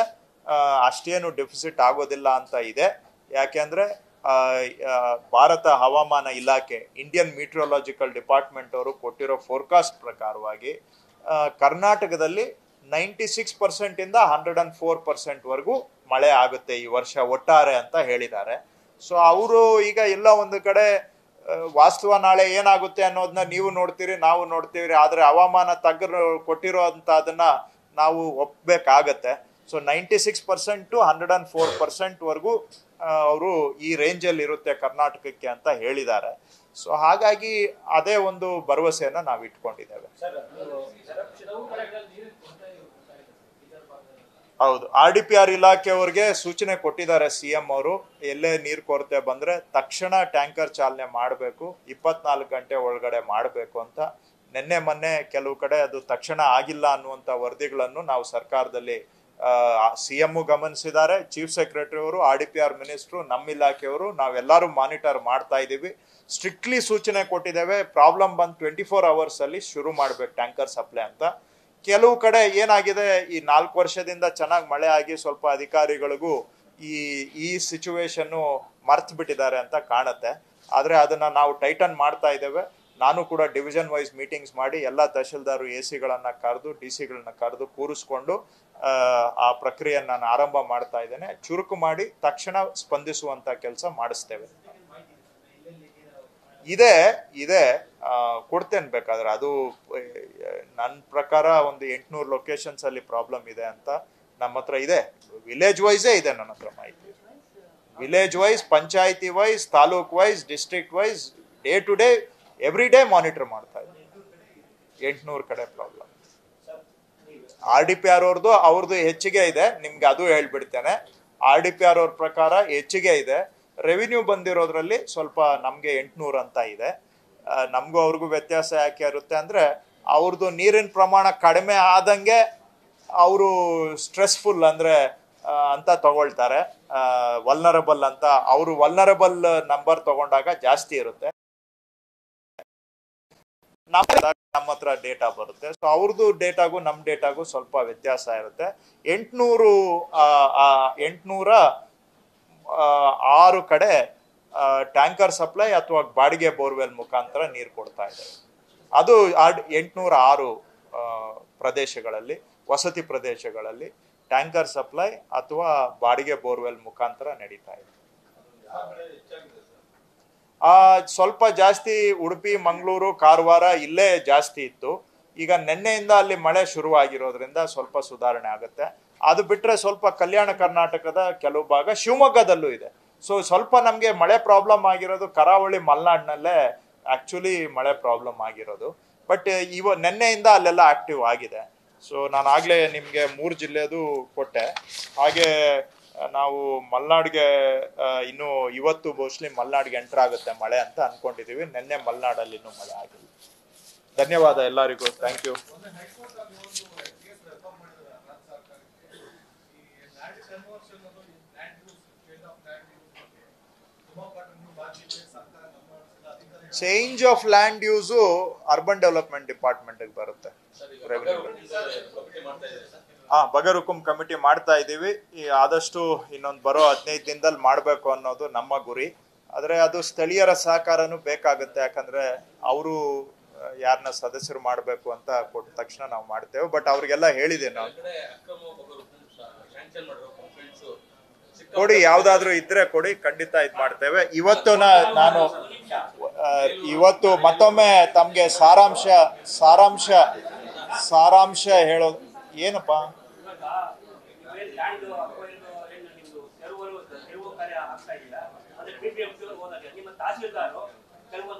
ನೀವು ಮೀಡಿಯಾದವರ ಏನು? ಹಾ ಹಾ ಹಾ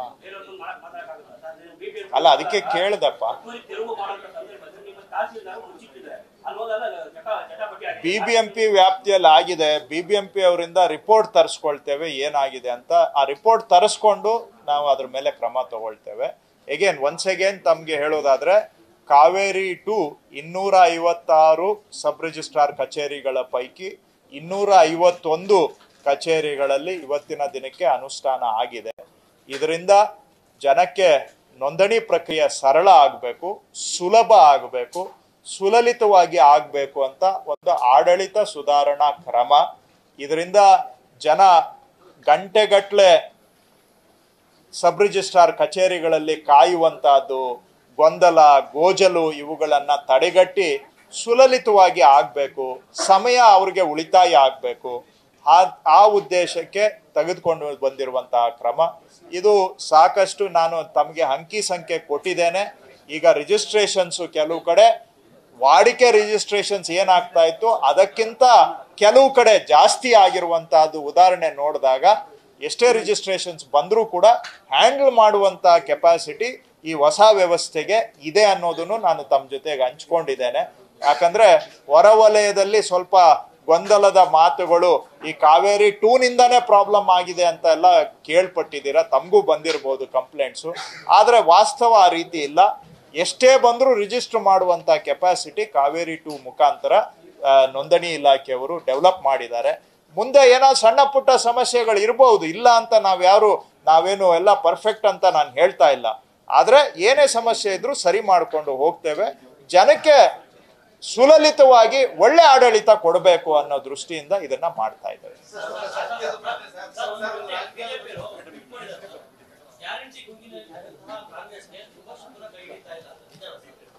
ಅವೆಲ್ಲ ಬಿಡಿಯಪ್ಪ, ನಾನು ಅದ್ರ ಬಗ್ಗೆ ನಾನು ಏನ್ ಏನ್ ಹೇಳ್ಬೇಕು ನೀನೇ ಹೇಳಪ್ಪ, ನೀನೇ ಹೇಳ, ನಾನು ನೀನ್ ಹೇಳಿದ್ರೆ ನಾನು ಹೇಳ್ತೀನಿ ನಾವು.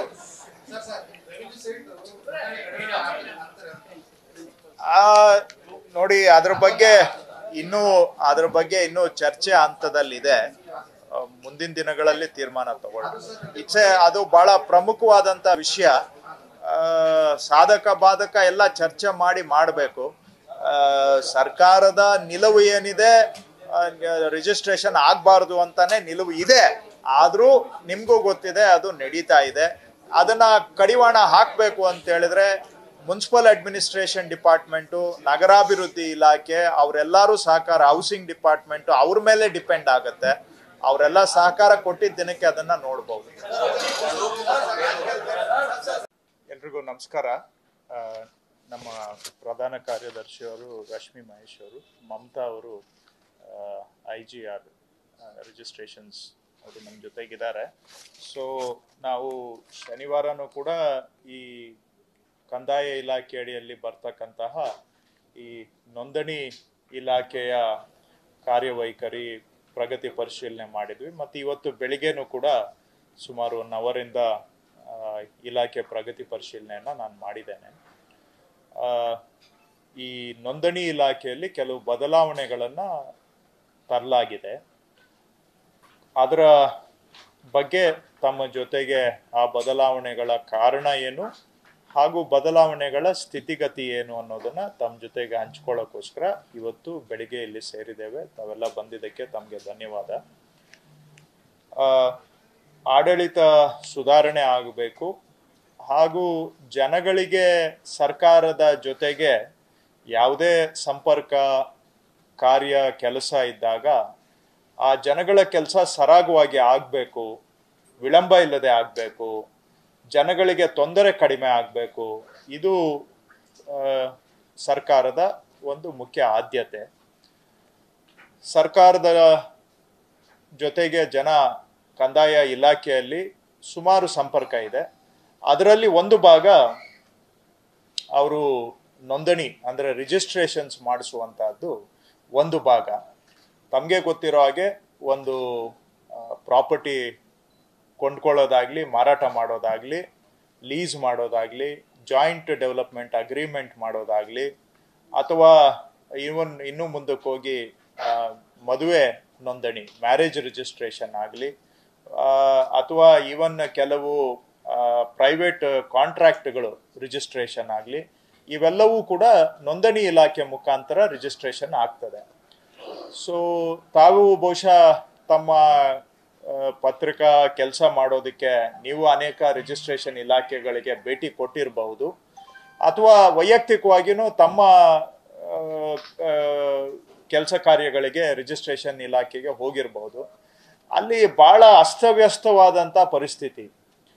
ಜನ ನೂಕು ನುಗ್ಗಲು, ಆಮೇಲೆ ಒಂದು ಸಿಸ್ಟಮ್ ಇಲ್ಲ ಗಂಟೆಗಟ್ಟಲೆ ಕಾಯಬೇಕು ನೋಂದಣಿ ಇಲಾಖೆಯಲ್ಲಿ.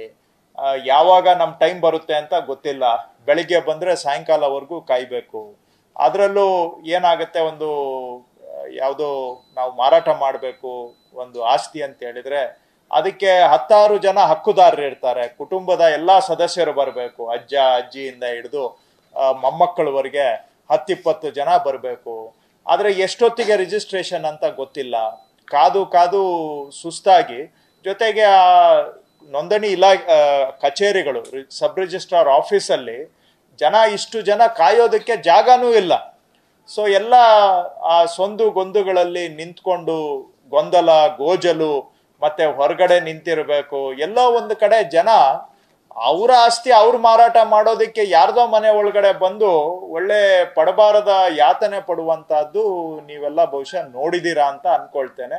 ನಾವು ಇದನ್ನ ಅನುಭವಿಸಿದ್ದೇವೆ. ಸೊ ಇದನ್ನ ಸುಧಾರಣೆ ಮಾಡಬೇಕು ಅಂತ ಹೇಳಿ ಬಹಳ ವರ್ಷಗಳ ಪ್ರಯತ್ನದಿಂದ ಮೊದಲು ಕಾವೇರಿ ಒನ್ ಅಂತ ಒಂದು ಸಾಫ್ಟ್ವೇರ್ ಡೆವಲಪ್ ಮಾಡಿ ಅದರ ಮುಖಾಂತರ ರಿಜಿಸ್ಟ್ರೇಷನ್ಸ್ ಮಾಡ್ತಾ ಇದ್ರು. ಅದು ಎರಡ್ ಸಾವಿರದ ಮೂರರಲ್ಲಿ ಆರಂಭ ಆಗಿತ್ತು. ಅದಾದ್ಮೇಲೆ ಕಾವೇರಿ ಟೂ ಅಂತ ಅದು ಬಹಳ ವರ್ಷಗಳಿಂದ ಇನ್ನಷ್ಟು ಸುಧಾರೀಕರಣ, ಸರಳೀಕರಣ ಹಾಗೂ ಸಲೀಸಾಗಿ ನೋಂದಣಿ ಆಗುವ ಉದ್ದೇಶದಿಂದ ಕಾವೇರಿ ಟೂ ರೋಲ್ಔಟ್ ಮಾಡಬೇಕು ಅಂತ ಬಹಳ ವರ್ಷಗಳ ಪ್ರಯತ್ನದ ನಂತರ ಈ ಏಪ್ರಿಲ್ ತಿಂಗಳಿಂದ ರೋಲ್ಔಟ್ ಅನ್ನ ಆರಂಭ ಮಾಡಿದ್ದಾರೆ. ಇದ್ರ ಬಗ್ಗೆ ಸಾರ್ವಜನಿಕ ವಲಯದಲ್ಲೂ ಕೂಡ ವ್ಯಾಪಕವಾಗಿ ಚರ್ಚೆ ಆಗಿದೆ.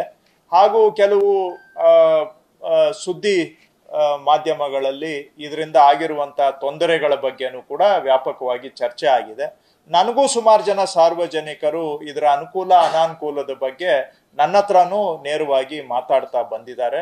ಕೆಲವು ಜರ್ನಲಿಸ್ಟ್ಗಳು ಕೂಡ ನನ್ನ ಹತ್ರ ಸಾಧಕ ಬಾಧಕ ಮಾತಾಡಿದ್ದಾರೆ. ಅದಕ್ಕಾಗಿ ನಿಮ್ ಜೊತೆಗೆ ಇವತ್ತು ಇದರ ವಾಸ್ತವ ಸ್ಥಿತಿ ಏನು ಅನ್ನುವಂತ ಮಾಹಿತಿಯನ್ನ ತಮ್ಮ ಜೊತೆಗೆ ಹಂಚ್ಕೊಳ್ಳೋಕ್ಕೋಸ್ಕರ ಇಲ್ಲಿ ಸೇರಿದ್ದೇವೆ.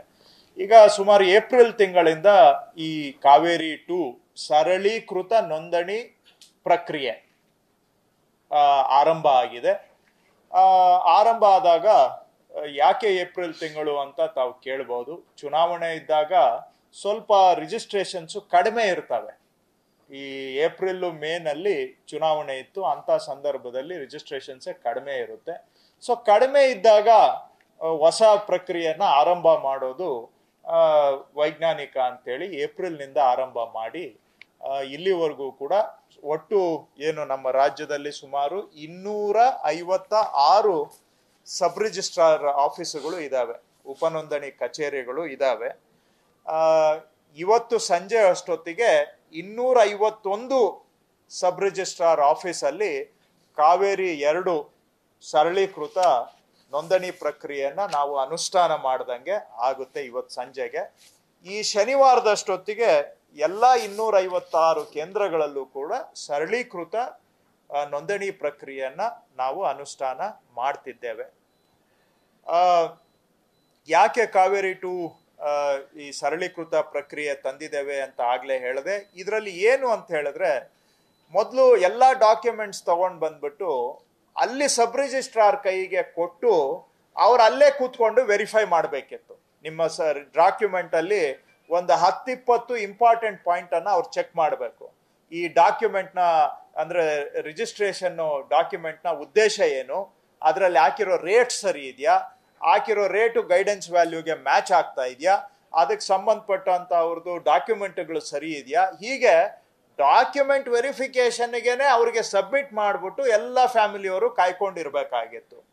ಈಗ ಕಾವೇರಿ ಟೂನಲ್ಲಿ ಏನಂದ್ರೆ ಆ ಡಾಕ್ಯುಮೆಂಟ್ ರಿಜಿಸ್ಟ್ರೇಷನ್ ಡಾಕ್ಯುಮೆಂಟ್ ಆನ್ಲೈನಲ್ಲೇ ಸಬ್ಮಿಟ್ ಮಾಡಬಹುದು ಮೊದಲೇ ಸಬ್ಮಿಟ್ ಮಾಡಬಹುದು ಸೊ ಮೊದಲೇ ನೀವು ಆನ್ಲೈನ್ ಡಾಕ್ಯುಮೆಂಟ್ ಅನ್ನು ಸಬ್ಮಿಟ್ ಮಾಡಿಬಿಟ್ರೆ ಎಲ್ಲಾನು, ಅದನ್ನ ಸಬ್ ರಿಜಿಸ್ಟ್ರಾರು ಕೂಡ ಆನ್ಲೈನ್ ಅಲ್ಲೇ ವೆರಿಫೈ ಮಾಡಿ. ಅವರು ಎಲ್ಲ ನಿಮ್ದು ಡಾಕ್ಯುಮೆಂಟ್ ಸರಿ ಇದೆ ಅಂತ ಹೇಳಿ ನಿಮ್ಗೆ ವಾಪಸ್ಸು ಆನ್ಲೈನ್ ಅಲ್ಲೇ ಅವರು ನಿಮ್ಗೆ ಸುದ್ದಿಯನ್ನ ಮುಟ್ಟಿಸ್ತಾರೆ. ಸೊ ಆನ್ಲೈನ್ ಅಲ್ಲಿ ಸರಿ ಇದೆ ಅಂತ ನಿಮ್ಗೆ ಸುದ್ದಿ ವಾಪಸ್ ಮೆಸೇಜ್ ಬಂದ ಮೇಲೆ, ಆಮೇಲೆ ಅದಕ್ಕೆ ತಗಲುವಂತ ವೆಚ್ಚನೂ ಕೂಡ ಆನ್ಲೈನ್ ಅಲ್ಲೇ ಪೇಮೆಂಟ್ ಆಗುತ್ತೆ. ಅದನ್ನ ಅವರೇ ಮಾಡ್ಬೋದು. ಯಾರು ಸಾರ್ವಜನಿಕರೇ ಆನ್ಲೈನ್ ಅಲ್ಲಿ ಪೇಮೆಂಟು ಕೂಡ ಮಾಡ್ಬೋದು. ಆನ್ಲೈನ್ ಅಲ್ಲಿ ಪೇಮೆಂಟ್ ಮಾಡಿದ್ದು ಸೆಕೆಂಡ್ ಸ್ಟೆಪ್.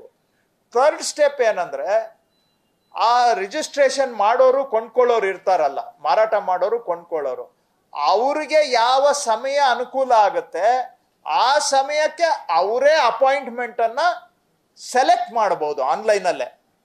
ಇಂಥ ದಿನ ಇಂತಿಷ್ಟು ಗಂಟೆಗೆ ನಮಗೆ ಅಪಾಯಿಂಟ್ಮೆಂಟ್ ಬೇಕು ಅಂತ ನಿಮ್ಗೆ ಅವ್ರದ್ದು ಯಾವತ್ತು ಯಾವತ್ತು ಅವೈಲಬಿಲಿಟಿ ಇದೆ ಅಂತ ಆನ್ಲೈನ್ ಅಲ್ಲಿ ಕಾಣುತ್ತೆ.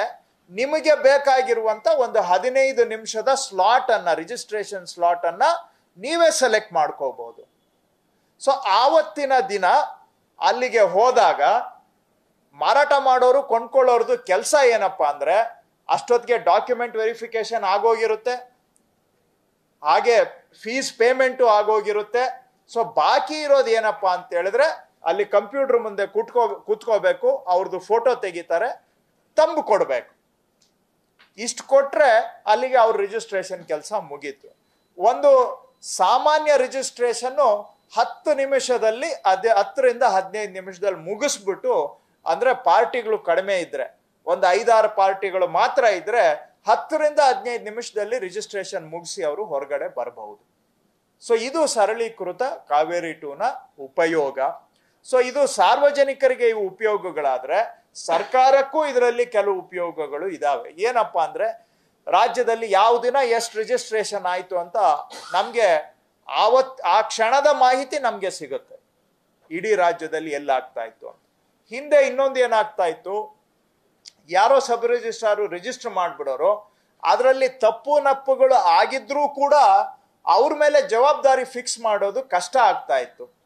ಆದ್ರೆ ಈಗ ಪ್ರತಿಯೊಂದಕ್ಕೂ ಒಬ್ಬ ಸಬ್ ರಿಜಿಸ್ಟ್ರಾರ್ ಅದನ್ನ ಸೈನ್ ಆಫ್ ಮಾಡೋದ್ರಿಂದ, ಅದನ್ನ ಆನ್ಲೈನ್ ಅಲ್ಲಿ ಅಪ್ರೂವ್ ಮಾಡೋದ್ರಿಂದ ಯಾರು ಮಾಡಿದ್ದಾರೆ ಯಾರು ತಪ್ಪು ಮಾಡಿದ್ದಾರೆ ಅನ್ನೋದು ನೇರವಾಗಿ ಜವಾಬ್ದಾರಿ ನಿಗದಿ ಆಗೋದ್ರಿಂದ ಅವರು ಮಾಡೋವಾಗ ತಪ್ಪುಗಳನ್ನು ಮಾಡದೆ